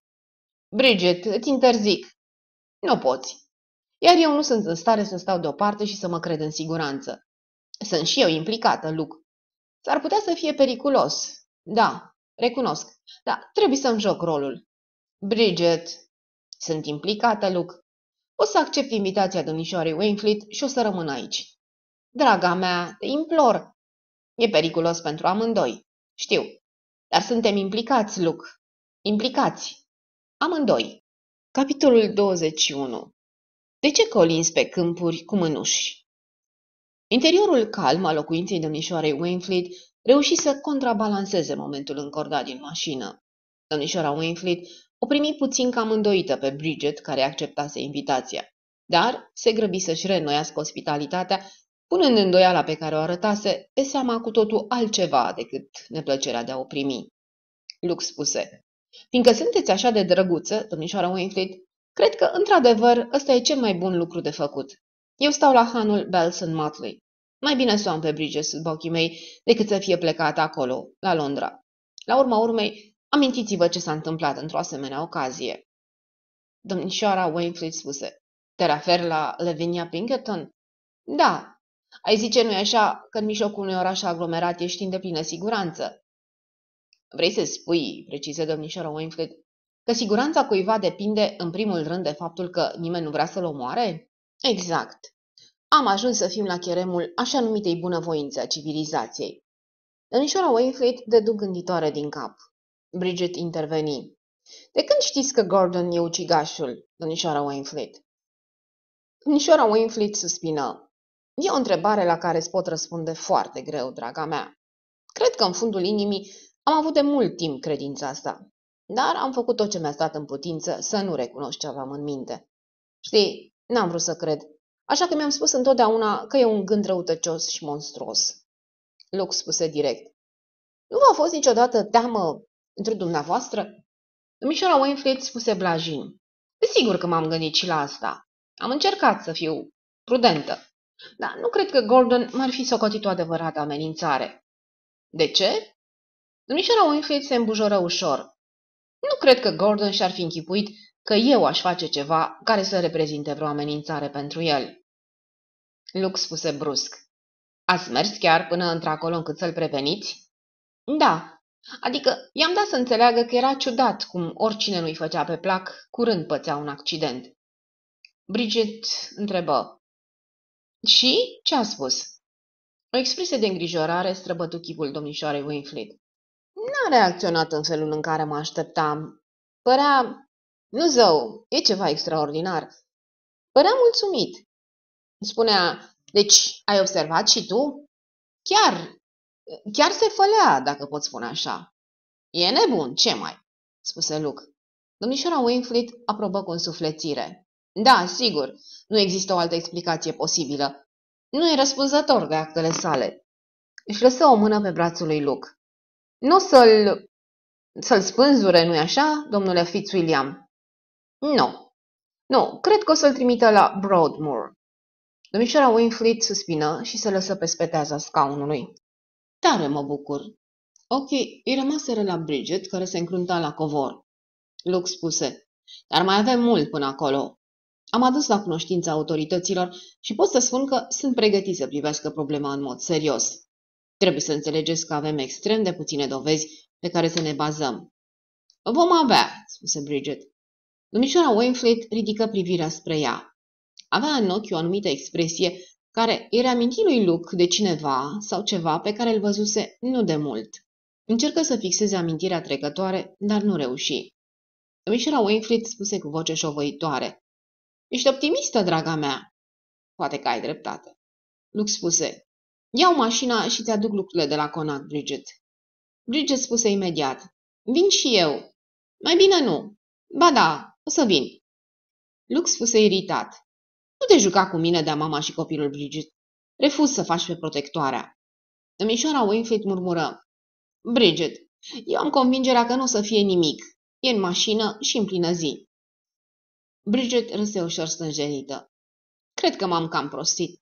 Afacerea asta te calcă pe nervi. Lux spuse. Domnișoara Winfield m-a păzit până acasă aseară. Lăsați, domnișoara Winfield, știu eu ce știu. Așa a fost, nu? Recunoscu zâmbind. Știi, domnule Fitzwilliam, păreai atât de credul. Și dacă Gordon Winfield ar fi crezut că ai venit numai să-ți baci nasul în povestea asta și nu pentru alte motive, pe lângă asta, ulița e tare singuratică. S-ar fi putut întâmpla atâtea. Ei, oricum, acum sunt perfect conștient de primejdie, spuse Luc întunecat. Nu o să mă ia prin surprindere. De asta puteți să fiți sigure. Mișora Winfield spuse îngrijorată. Nu uita că e viclean și mult mai inteligent decât ți-ai închipuit vreodată. Zău, are un cap cât se poate de ingenios. Sunt prevenit. Toată lumea știe că bărbații sunt curajoși, spuse domnișoara Winfield, dar pot fi păcăliți mai ușor decât femeile. E adevărat, spuse Bridget. Luke răspunse. Serios vorbind, domnișoara Winfield, chiar credeți că sunt în pericol? Dumneavoastră credeți, ca să folosesc o expresie de argou, că lordul Whitfield vrea să-mi facă felul? Domnișoara Winfield ezită. Părerea mea este că Bridget e mai în primejdie. Ea l-a respins și pentru el asta e o insultă extraordinară. Cred că după ce termină cu Bridget, o să-și îndrepte atenția asupra dumitale. Da, nu mă îndoiesc că mai întâi o să încerce cu ea. Luc mormăi. Doresc din tot sufletul să pleci în străinătate. Acum, imediat, Bridget. Bridget strânse din buze. Nu plec. Domnișoara Winfried oftă. Ești o ființă curajoasă, Bridget. Te admir. Sunt sigură că ați proceda la fel dacă ați fi în locul meu. Bridget continuă pe un ton care urcă până la nota extremă. Luc și cu mine suntem amândoi implicați. Îl însoți pe Luc până la ușă. Am să te sun de la Han, după ce ies viu din groapa cu lei, spuse Luc. Da, te rog. Draga mea, să nu ne aprindem așa tare. Chiar și celor mai mari criminali le trebuie puțin timp ca să-și facă planurile. A spune chiar că o zi sau două suntem în siguranță. Azi sosește inspectorul Battle din Londra și, începând din clipa aceea, Lordul Whitfield va fi ținut sub observație. De fapt, totul e în ordine și putem să punem capăt melodramei. Lăsându-și mâna pe umărul ei, îi spuse grav. Bridget, iubito, am să-ți rămân recunoscător dacă n-ai să acționezi în pripă. Și eu la fel, Luc, dragă. O strânse de umeri cu putere, sări în mașină și porni. Bridget se întoarse în salon. Domnișoara Wainfleet își făcea de lucru în felul ei de fată bătrână. Vai, drăguță, n-am terminat încă cu pregătitul camerei în care ai să stai. Emily e acolo și pune lucrurile la punct. Știi ce am de gând să fac? O să-ți aduc o ceașcă de ceai bun. E tocmai ce-ți lipsește după toate întâmplările astea neplecute. Sunteți nespus de drăguță, domnișoara Wainfleet. Da, zău, parcă n-aș mai bea ceai. Ce voia de fapt Bridget era un cocktail tare, preparat mai ales cu mult gin. Dar se gândi, pe bună dreptate, că acea formă de înviorare nu i-ar putea fi oferită aici. Nu putea să sufere ceaiul. De obicei provoca indigestie. Totuși, domnișoara Winfried hotărâse că musafira sa avea nevoie de ceai.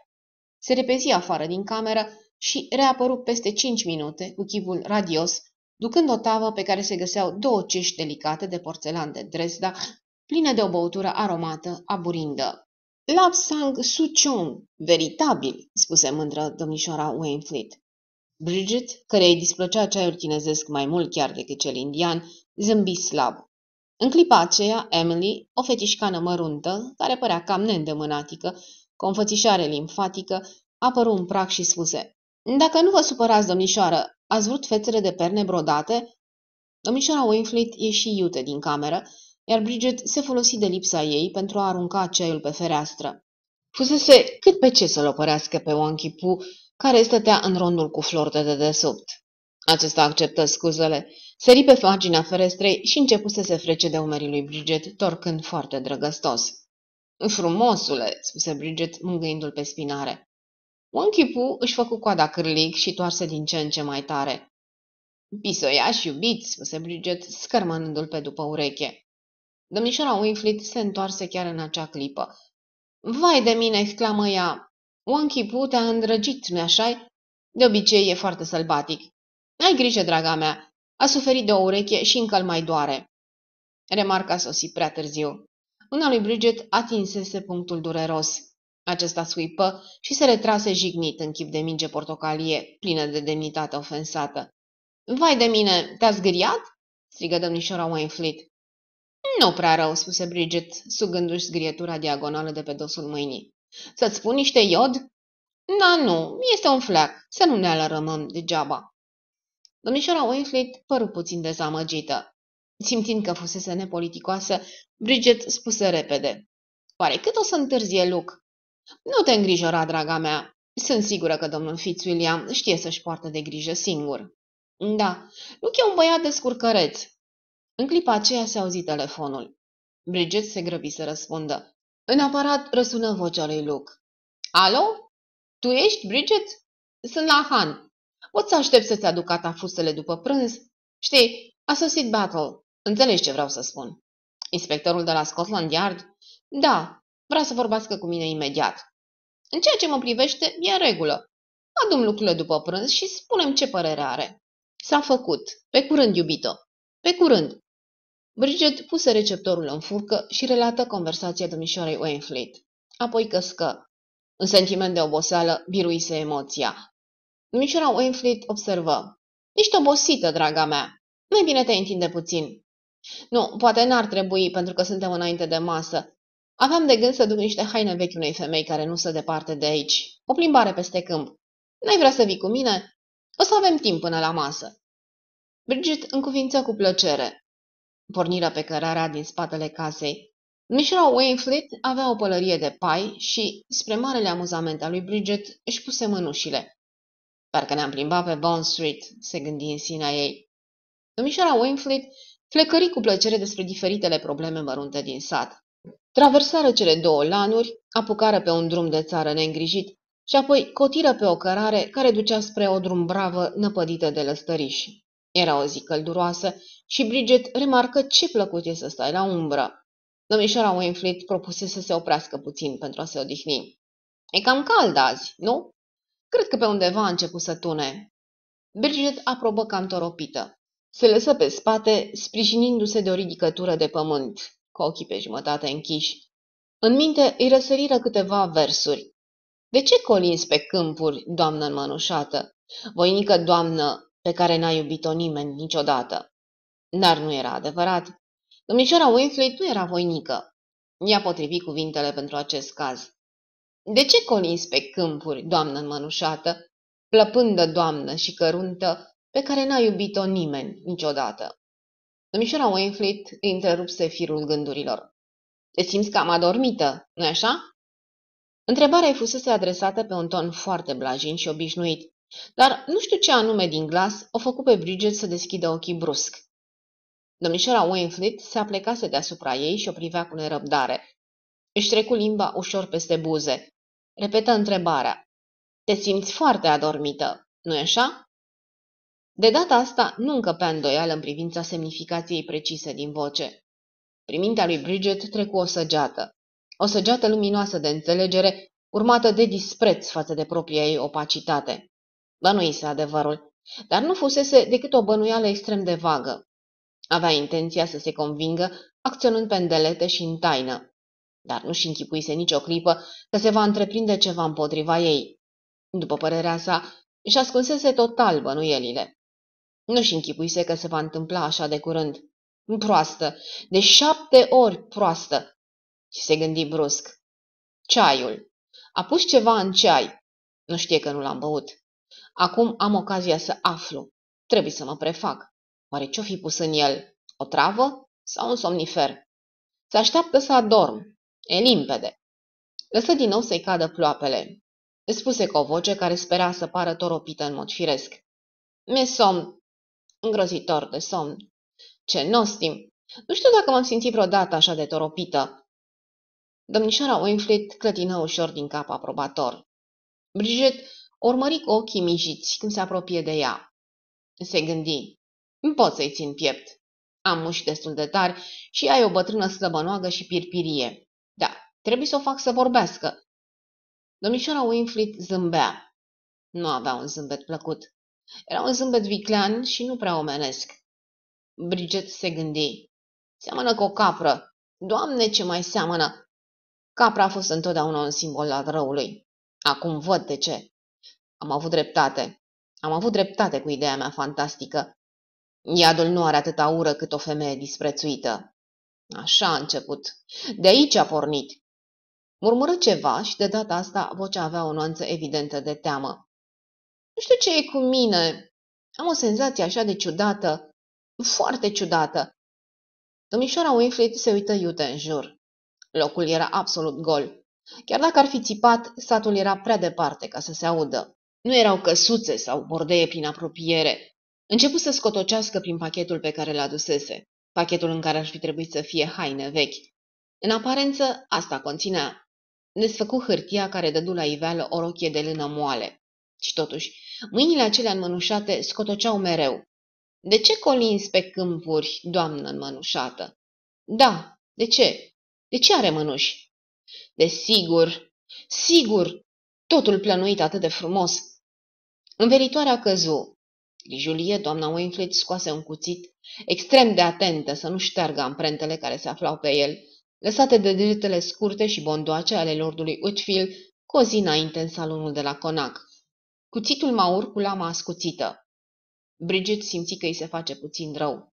Trebuie să joace un timp. Da, trebuie să o facă pe femeia asta să vorbească. Pe femeia asta slabă, cenușie, pe care n-a iubit-o nimeni. Nu o să fie greu, de fapt. Poate că o să vrea chiar ea să vorbească și încă atât de uricios. Iar singura persoană cu care ar fi putut să vorbească era cineva ca Bridget.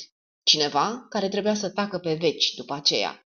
Bridget spuse cu o voce slabă, groasă. ce e ăsta? Cuțit? Și atunci domnișoara Winfried râse.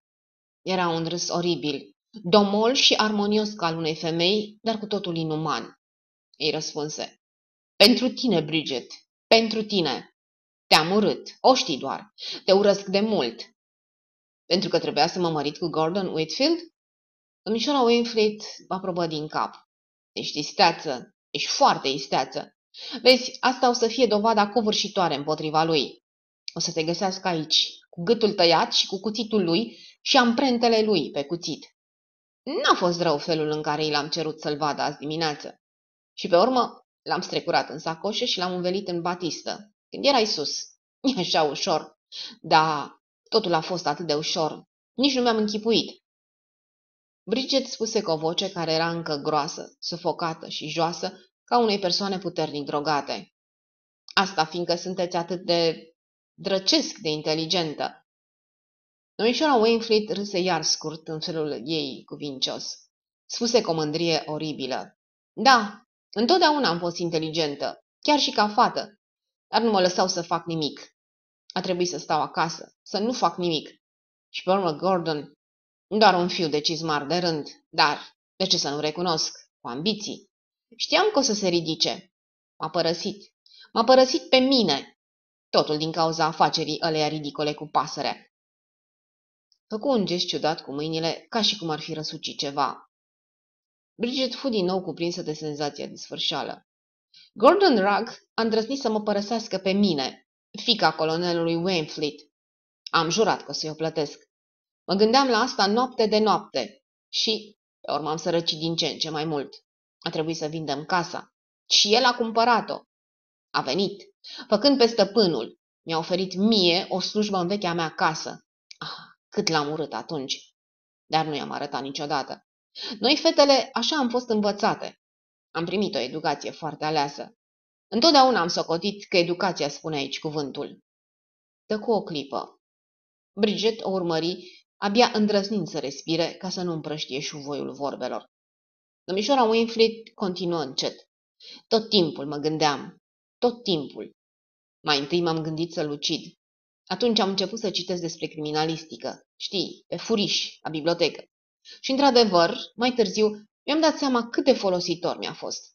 De exemplu, ușa de la camera lui Amy, cum am încuiat-o pe dinăuntru cu penseta după ce am schimbat sticluțele de lângă pat, Cum mai sfărăia fata aia? Mă dezgusta aproape.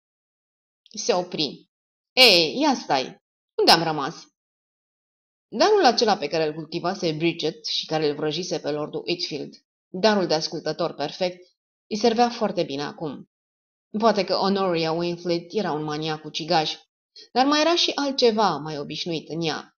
Era o ființă omenească care vrea să vorbească despre ea însăși. Și Bridget era pregătită bine să facă față acestei părți de omenie. Spuse cu o voce care o îmbia la vorbă în felul cel mai nimerit. La început ați vrut să-l ucideți. Da, dar asta nu mă satisfăcea. Era ceva prea obișnuit. Trebuia să fie ceva mai bun decât o crimă. Și pe urmă mi-a venit ideea. Pur și simplu mi-a venit în cap. Trebuia să sufere de pe urma multor crime fără să aibă vreo vină. Trebuia să fie socotit criminal. El trebuia să fie spânzurat pentru crimele mele. Sau să se creadă că e nebun și să fie închis pe viață. Poate că așa ar fi mai bine. Chicoti din nou. Un chicot scurt și oribil. Ochii scăpărau. Pupilele îi se măriseră ciudat de mult. După cum ți-am spus, am citit multe cărți despre crimă. Mi-am ales victimele cu grijă. La început nu trebuiau să existe bănuieli. Știi, continuă ea cu o voce care îi se năspri, îmi făcea plăcere să ucid. Nesuferita aia de Lydia Horton mă privea de sus. Odată m-a numit fată bătrână. M-am bucurat când Gordon s-a certat cu ea. Doi iepuri dintr-o lovitură, m-am gândit. Ce distracție să stai lângă pat și să-i strecori arsenic în ceai. Și pe urmă să te duci să-i spui surorii că doamna Horton s-a plâns de gustul amar al fructelor trimise de lordul Whitfield. Păcat că proasta aia n-a mai repetat ce i-am spus. Și pe urmă ceilalți. Cum auzeam că Gordon avea ceva împotriva cuiva, era așa de simplu să aranjezi un accident. Era atât de prost, de necrezut cât era de prost. L-am făcut să-și închipuie că era un om aparte, că oricine îi se opunea avea de suferit. A crezut foarte ușor. Sărmanul Gordon ar crede orice. E așa de credul. Bridget își aduse aminte cum îi spusese lui Luke disprețuitoare. Gordon ar fi în stare să creadă orice. Ușor? Extrem de ușor. Sărmanul, afectatul și credulul Gordon cel mărunțel. Da, trebuia să afle mai multe. Și asta era ușor. O făcuse în chip de secretară ani de zile. Îi încurajase pe nesimțite pe patron să vorbească despre ei. Iar femeia asta voia cu orice preț să vorbească și să se laude cu deșteptăciunea ei. Bridget murmură. Dar cum ați reușit? Nu înțeleg cum ați reușit. A, a fost foarte ușor. Nu aveai nevoie decât de organizare. Când Amy a fost concediată de la Conac, am angajat-o imediat.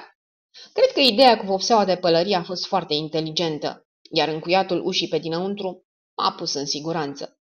Bineînțeles, eu am fost întotdeauna în siguranță, pentru că n-am avut niciun motiv. Și nu bănuiești pe nimeni de crimă dacă nu există motive. Cu Carter a fost foarte simplu. Se împleticea prin ceață. L-am ajuns la pod și l-am împins iute. Știi că am putere. Se opri și chicotitul scurt și oribil se auzi din nou. Va, ce m-am distrat!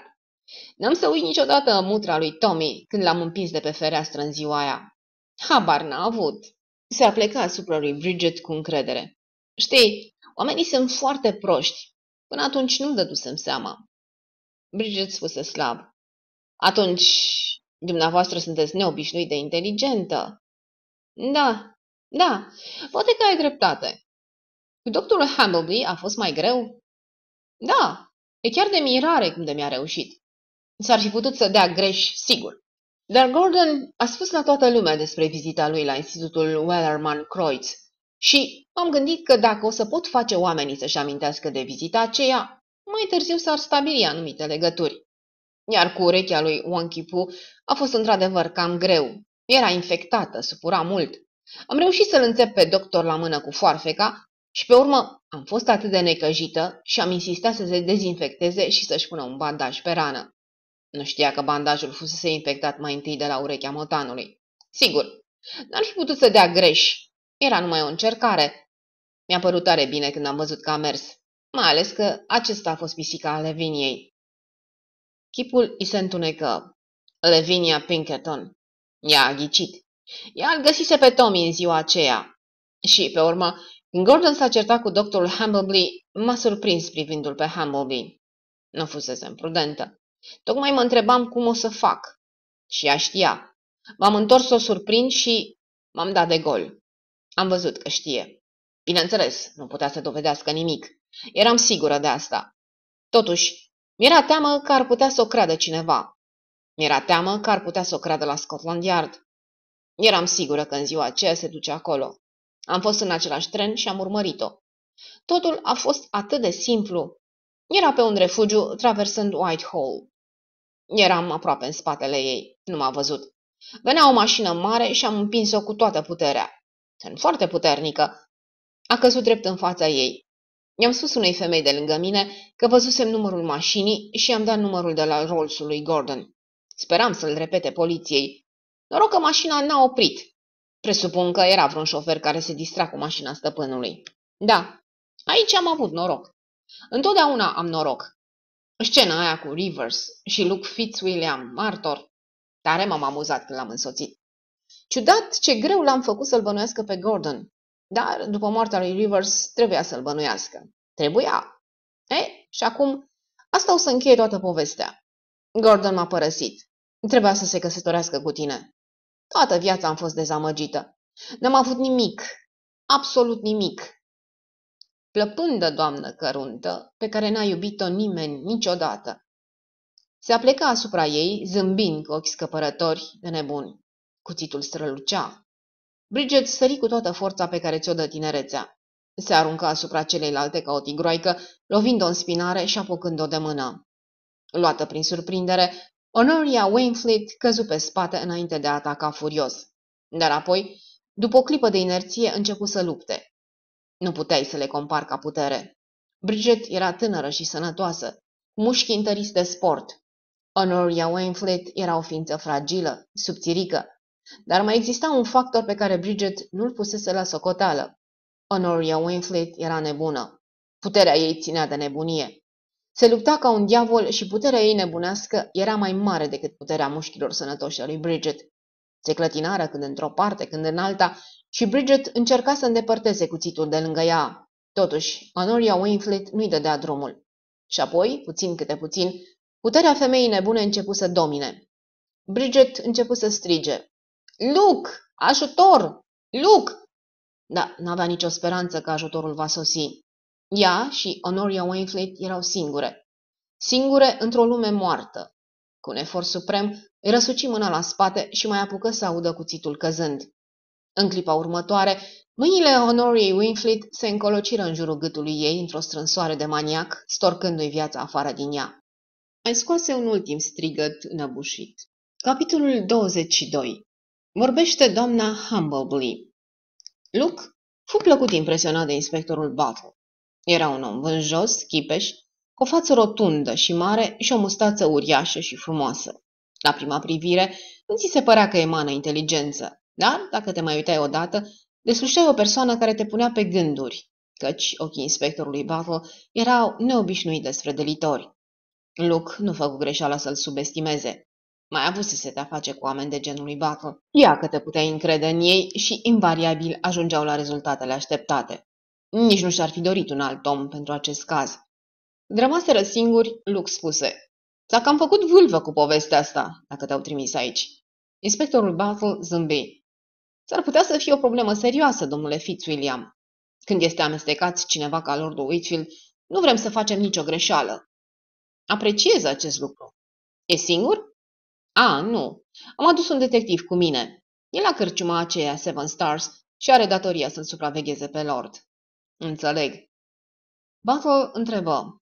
După părerea dumitale, domnule Fitzwilliam, nu există niciun dubiu? E sigur că el e omul? După fapte, nu văd vreo altă teorie posibilă. Vrei să-ți relatezi împrejurările? Mulțumesc. Le știu de la Sir William. E, care-i părerea dumitale? Cred că ți se pare ne la locul lui ca un om cu poziția lui Whitfield să fie un criminal?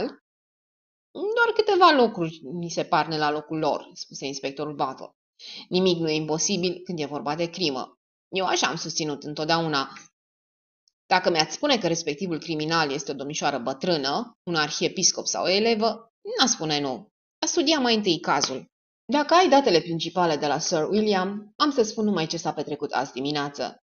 Luke expuse pe scurt ideile principale ale scenei cu Lordul Whitfield. Inspectorul Battle ascultă cu foarte mult interes, apoi interveni. Spuneați că încerca tăișul unui cuțit. Și-a ales vreo țintă, domnule Fitzwilliam? A amenințat pe cineva? Nu pe față. A încercat lama într-un fel amenințător, un fel de plăcere estetică și care nu mi-a plăcut deloc. Cred că și domnișoara Wainfleet a simțit același lucru. Dumnea ei este doamna despre care spuneați că îl cunoaște pe Lordul Whitfield din copilărie și pe vremuri a fost logodită cu el? Într-adevăr. Cred că puteți să fiți liniștit în privința tinerei domnișoare, domnule Fitzwilliam. Am pus pe cineva să o urmărească îndeaproape. Dacă ne gândim că și Jackson îl supraveghează pe Lord, pentru moment nu ne amenință niciun pericol. Mie o piatră de pe inimă, spuse Luke. Inspectorul dădu din cap înțelegător. Sunteți într-o situație cam neplăcută, domnule Fitzwilliam. Vă îngrijorează soarta domnișoarei Conway. Părerea mea este că nu avem de-a face cu un caz simplu. Probabil că Lord Whitfield e un om foarte abil. Cred că o să se dea la fund o bucată de vreme. Doar dacă n-a ajuns în ultima fază. Ce numești dumneata ultima fază? Un fel de vanitate exacerbată, datorită căreia criminalul crede că pur și simplu nu poate fi descoperit. El e atât de deștept și toți ceilalți atât de proști. Și atunci, sigur că punem mâna pe el. Luc dădu din cap. Se ridică. Ei, spuse el, îți urez noroc. Am să te ajut cât am să pot. Sigur. Nu pot să-mi dai nicio idee? Battle întoarse în minte întrebarea pe toate fețele. Nu cred. Încă nu. Acum aș vrea să fixez fiecare lucru la locul lui. Poate stăm de vorbă diseară, nu? Sigur. O să știu mai bine care e situația. Luc se simți puțin mai liniștit. Multora li se întâmpla asta după o discuție cu inspectorul Battle. Se uită la ceas. Să se ducă să o vadă pe Bridget până la prânz? Se gândi că mai bine nu. Domnișoara Wainfleet s-ar simți obligată să-l invite la masă și poate i-ar dezechilibra bugetul. Luc știa din experiența lui cu mătușile că doamnele în vârstă se preocupau de tot felul de probleme de gospodărie. Se întrebă dacă domnișoara Wainfleet era și ea mătușă. Probabil. Ieși pe ușa hanului. O siluetă negru, foarte grăbită, se opri brusc, văzându-l pe Luke. Domnul Fitzwilliam? Doamna Humbleby se apropie de ea și strânse rămâinile. Doamna spuse, am crezut că ați plecat. Nu, mi-am schimbat doar locuința. Acum stau aici. Și Bridget? Am auzit că a plecat și ea de la Conac. Da, a plecat. Doamna Humbleby suspină. Tare mă bucur. Mă bucur că a plecat din Witchwood. A, dar n-a plecat de aici. De fapt, acum stă la domnișoara Wainfleet. Doamna Humbleby se dădu un pas înapoi. Luke observă mirat că figura ei arăta o neliniște extraordinară. Stă la Honoria Wainfleet? Vai, dar de ce?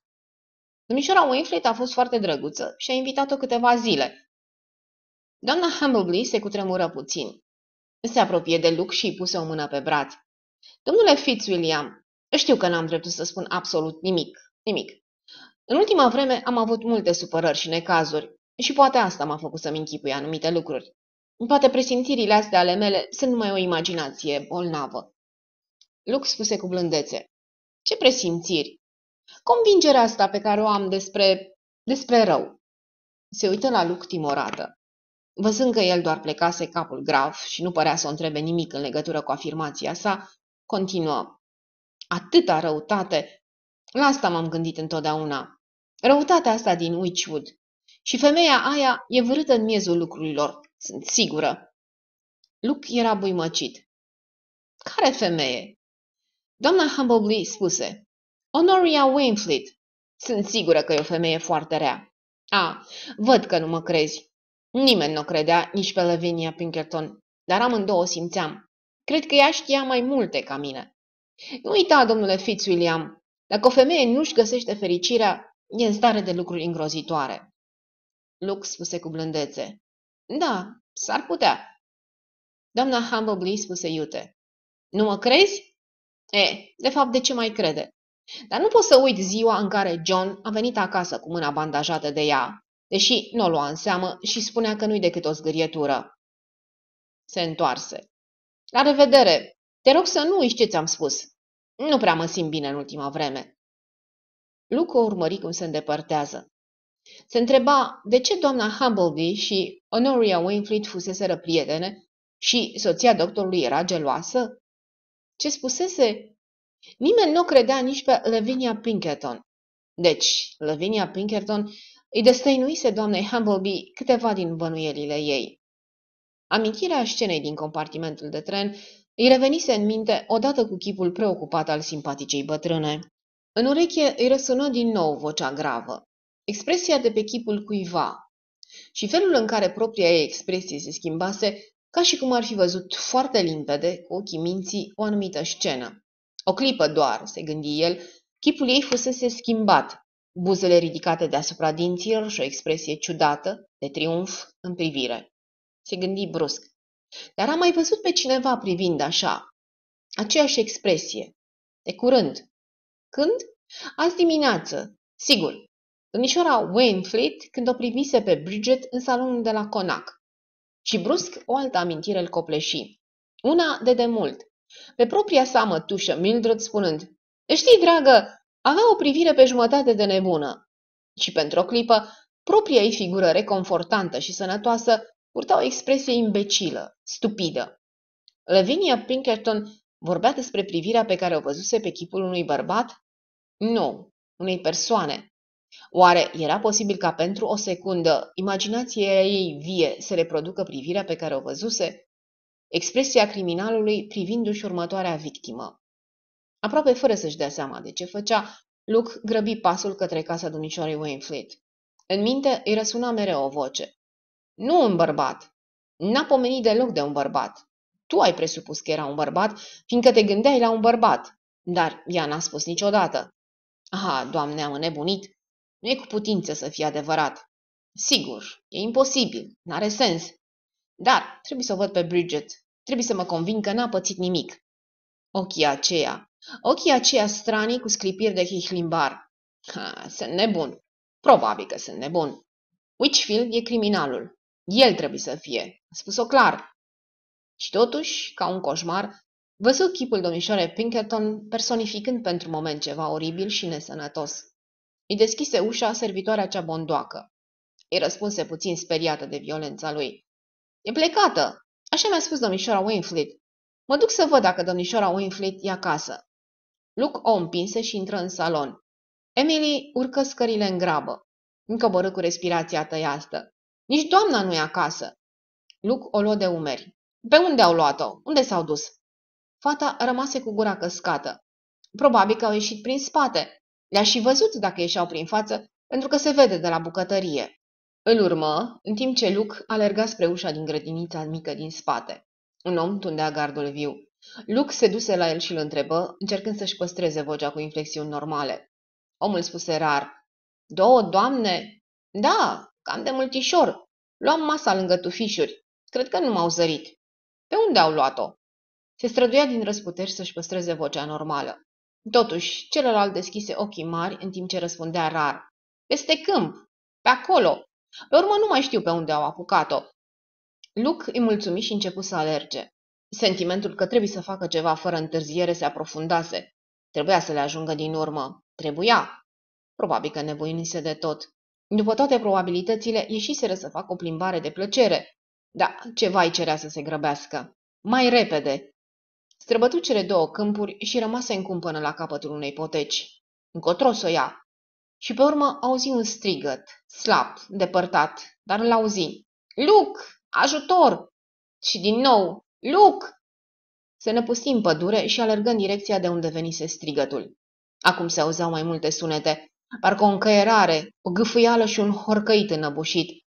Ieși dintre copaci la timp pentru a smulge mâinile unei femei nebune de pe gâtul victimei, pentru a o strânge în timp ce ea se zbătea, făcând spume, blestemând, până când se cutremură convulsiv și rămase țeapă în strânsoarea lui.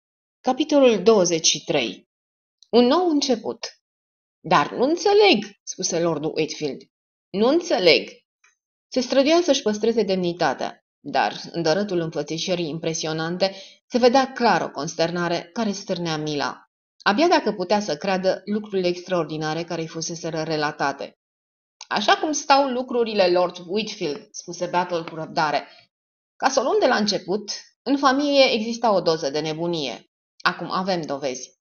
Așa se întâmplă cu familiile astea vechi. A spune chiar că avea o predispoziție pentru așa ceva. Pe lângă asta era și o doamnă ambițioasă, iar doamnei i s-au dejucat planurile. Mai întâi cariera și pe urmă idila. Tu și, după câte am înțeles, dumneavoastră ați părăsit-o? Lordul Whitfield spuse înțepat. Nu-mi place termenul părăsit. Inspectorul Battle își corectă expresia. Dumneavoastră ați rupt logotna? Ei bine, da.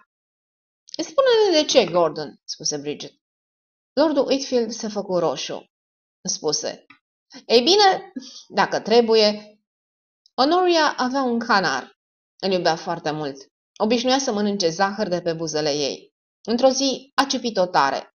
S-a înfuriat, l-a luat în mână și i-a sucit gâtul. După aceea, eu n-am mai avut acele sentimente față de ea. I-am spus că părerea mea e că amândoi greșeam. Battle aprobă din cap, spuse. Asta a fost începutul. După cum i-a povestit domnișoarei Conway, bătrâna și-a îndreptat toate gândurile și toată dibăcia minții, pe care fără îndoială că o avea, spre un singur scop. Lordul Whitfield spuse neîncrezător. Să fiu acuzat de crimă? Nu pot să cred. Bridget interveni. E adevărat, Gordon. Știi, chiar tu însuți ai fost mirat de felul extraordinar în care toți cei care te supărau erau imediat doborâți. Exista un motiv. Honoria Wainfleet a fost motivul, spuse Bridget. Să-ți intre în cap, Gordon, că nu providența l-a împins pe Tommy Pierce de pe fereastră și toate celelalte. A fost mâna Honoriei. Lordul Whitfield scutură din cap. Mi se pare incredibil, spuse el. Buffalo interveni. Îmi spuneați că ați primit un mesaj telefonic azi dimineață. Da, cam pe la ora 12. Am fost rugat să merg în pădurea Show imediat, deoarece tu, Bridget, aveai să-mi spui ceva. Nu trebuia să vin cu mașina. Bată aprobă din cap. Exact. Ăsta ar fi fost finalul. Domnișoara Conway ar fi fost găsită cu gâtul tăiat, iar lângă ea cuțitul dumneavoastră, cu amprentele dumneavoastră pe el. Dumneavoastră înșivă ați fi fost zărit prin apropiere la ora aceea. N-ați fi avut nicio șansă să vă dovediți nevinovăția. Orice juriu din lume v-ar fi condamnat. Pe mine? spuse lordul Whitfield speriat și abătut. Ar fi putut toată lumea să creadă asta despre mine? Bridget spuse cu blândețe. Eu n-am crezut, Gordon. N-am crezut niciodată. Lordul Whitfield o privi rece, apoi spuse înțepat. Având în vedere reputația mea și poziția mea în acest ținut, bănuiesc că nimeni n-ar fi dat crezare nici pentru o clipă acestei acuzații monstruoase. Ieși din cameră cu demnitate și închise ușa în urma lui. Lux spuse, nu o să creadă niciodată că a fost într-adevăr în primejdie. Apoi spuse, hai, Bridget, spune-ne cum ai ajuns să bănuiești pe femeia asta. Mi-ai spus că Gordon e criminalul. Nu-mi venea să cred. Știi, îl cunoșteam atât de bine. Am fost secretara lui doi ani de zile. Îl cunoșteam atât de bine. Știam că e îngânfat, mărunt, interesat de propria persoană, dar mai știam că este un om blajin și aproape absurd de bun. Îi făcea rău chiar să ucidă o viespie. Povestea aceea cu uciderea canarului domnișoarei Wainfleet era complet greșită. N-ar fi fost în stare să facă așa ceva. Odată mi-a spus că el o părăsise pe domnișoara Wainfleet. Acum, tu ai insistat că lucrurile se petrecuseră invers. Ei, s-ar fi putut. Poate mândria sa nu lăsase să recunoască că de fapt ea îl izgonise. Dar povestea cu canarul pur și simplu nu era genul lui. Gordon n-a tras măcar o dată cu pușca, pentru că îi se face rău când vede cum mor vietățile. Așa că am știut că partea aceea din poveste nu era adevărată. Dar dacă nu era, atunci domnișoara Wainfleet mințise.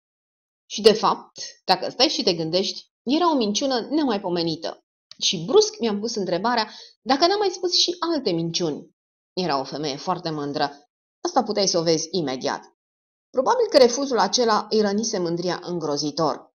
Probabil că era foarte supărată și nu trea gânduri de răzbunare. Împotriva lordului Whitfield, mai ales, după cum simțeam eu.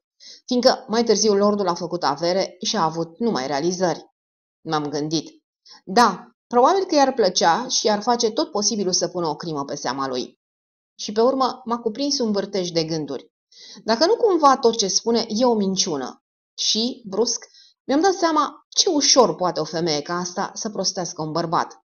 Și m-am gândit, e ceva fantastic. Dar dacă ea i-a ucis pe toți și l-a hrănit pe Gordon cu ideea că era un fel de pedeapsă divină, era foarte ușor să-l facă să creadă asta. După cum ți-am spus odată, Gordon ar fi în stare să creadă orice. Și m-am gândit, oare s-ar fi putut ca ea să fi săvârșit toate crimele? Și mi-am dat seama că ar fi putut. Ar fi putut să îmbrâncească pe bețiv, să împingă un băiat de pe fereastră, iar Amy Gibbs a murit în casa ei. Și doamna Horton. Honoria Wainfleet obișnuia să stea cu ea când s-a îmbolnăvit. Cu doctorul Hammerbley a fost mai greu. Nu știam că motanul avusese o ureche bolnavă și că ea infectase bandajele cu care a legat mâna doctorului. Moartea domnișoarei Pinkerton a fost și mai complicată, pentru că nu mi-o puteam închipui pe domnișoara Wainfleet în chip de șofer conducând un Rolls. Și pe urmă, brusc, mi-am dat seama că asta a fost cel mai ușor. Am brâncit-o pe la spate. E simplu când e aglomerație. Mașina n-a oprit și ea a prins ocazia și a spus unei femei că văzuse numărul mașinii și a dat numărul de la Rollsul Lordului Whitfield. Sigur, toate astea mi se învălmășeau în cap foarte confuz. Dar dacă Gordon nu comisese crimele în mod precis, iar eu știam, da, știam că nu era adevărat, ei bine, cine era criminalul? Și răspunsul mi s-a părut foarte clar. Cineva care îl urăște pe Gordon. Cine îl urăște pe Gordon? Honoria Wainfleet, fără discuție. Pe urmă, mi-am amintit că domnișoara Pinkerton spunea că asasinul este un bărbat. Asta am dărmat toată frumusețea mea de teorie, pentru că, dacă domnișoara Pinkerton nu avea dreptate, ea n-ar fi fost ucisă. Așa că te-am pus să-mi repeți exact cuvintele domnișoarei Pinkerton. Și imediat am observat că, de fapt, ea nu pronunțase niciodată cuvântul bărbat. Atunci am simțit că mă aflu, fără îndoială, pe urma bună.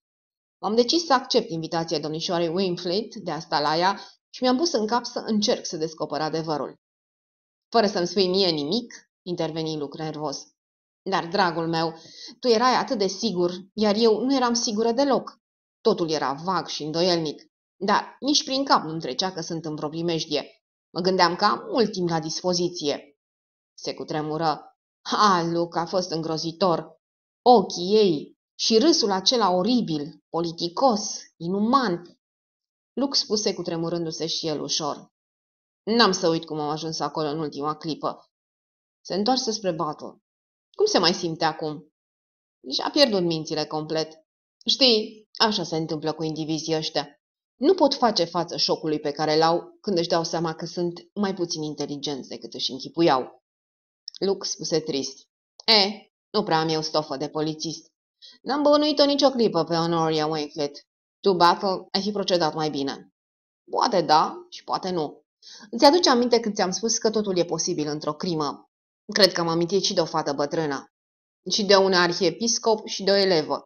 Oare trebuie să înțeleg că îi consider pe toți ăștia niște criminali potențiali? Zâmbetul lui Buckle se lălți în rânjet. Vreau să spun că oricine poate fi criminal. În afară de Gordon, spuse Bridget. Luke, hai să mergem să-l căutăm. Îl găsiră pe Lordul Whitfield în birou, preocupat de niște însemnări pe care le făcea. Gordon, spuse Bridget cu voce slabă și timidă. Acum că știi totul, te rog să ne spui că ne-ai iertat. Lordul Whitfield o privi binevoitor. Sigur, draga mea, sigur. Îmi dau seama de adevăr. Am fost un om preocupat, te-am neglijat.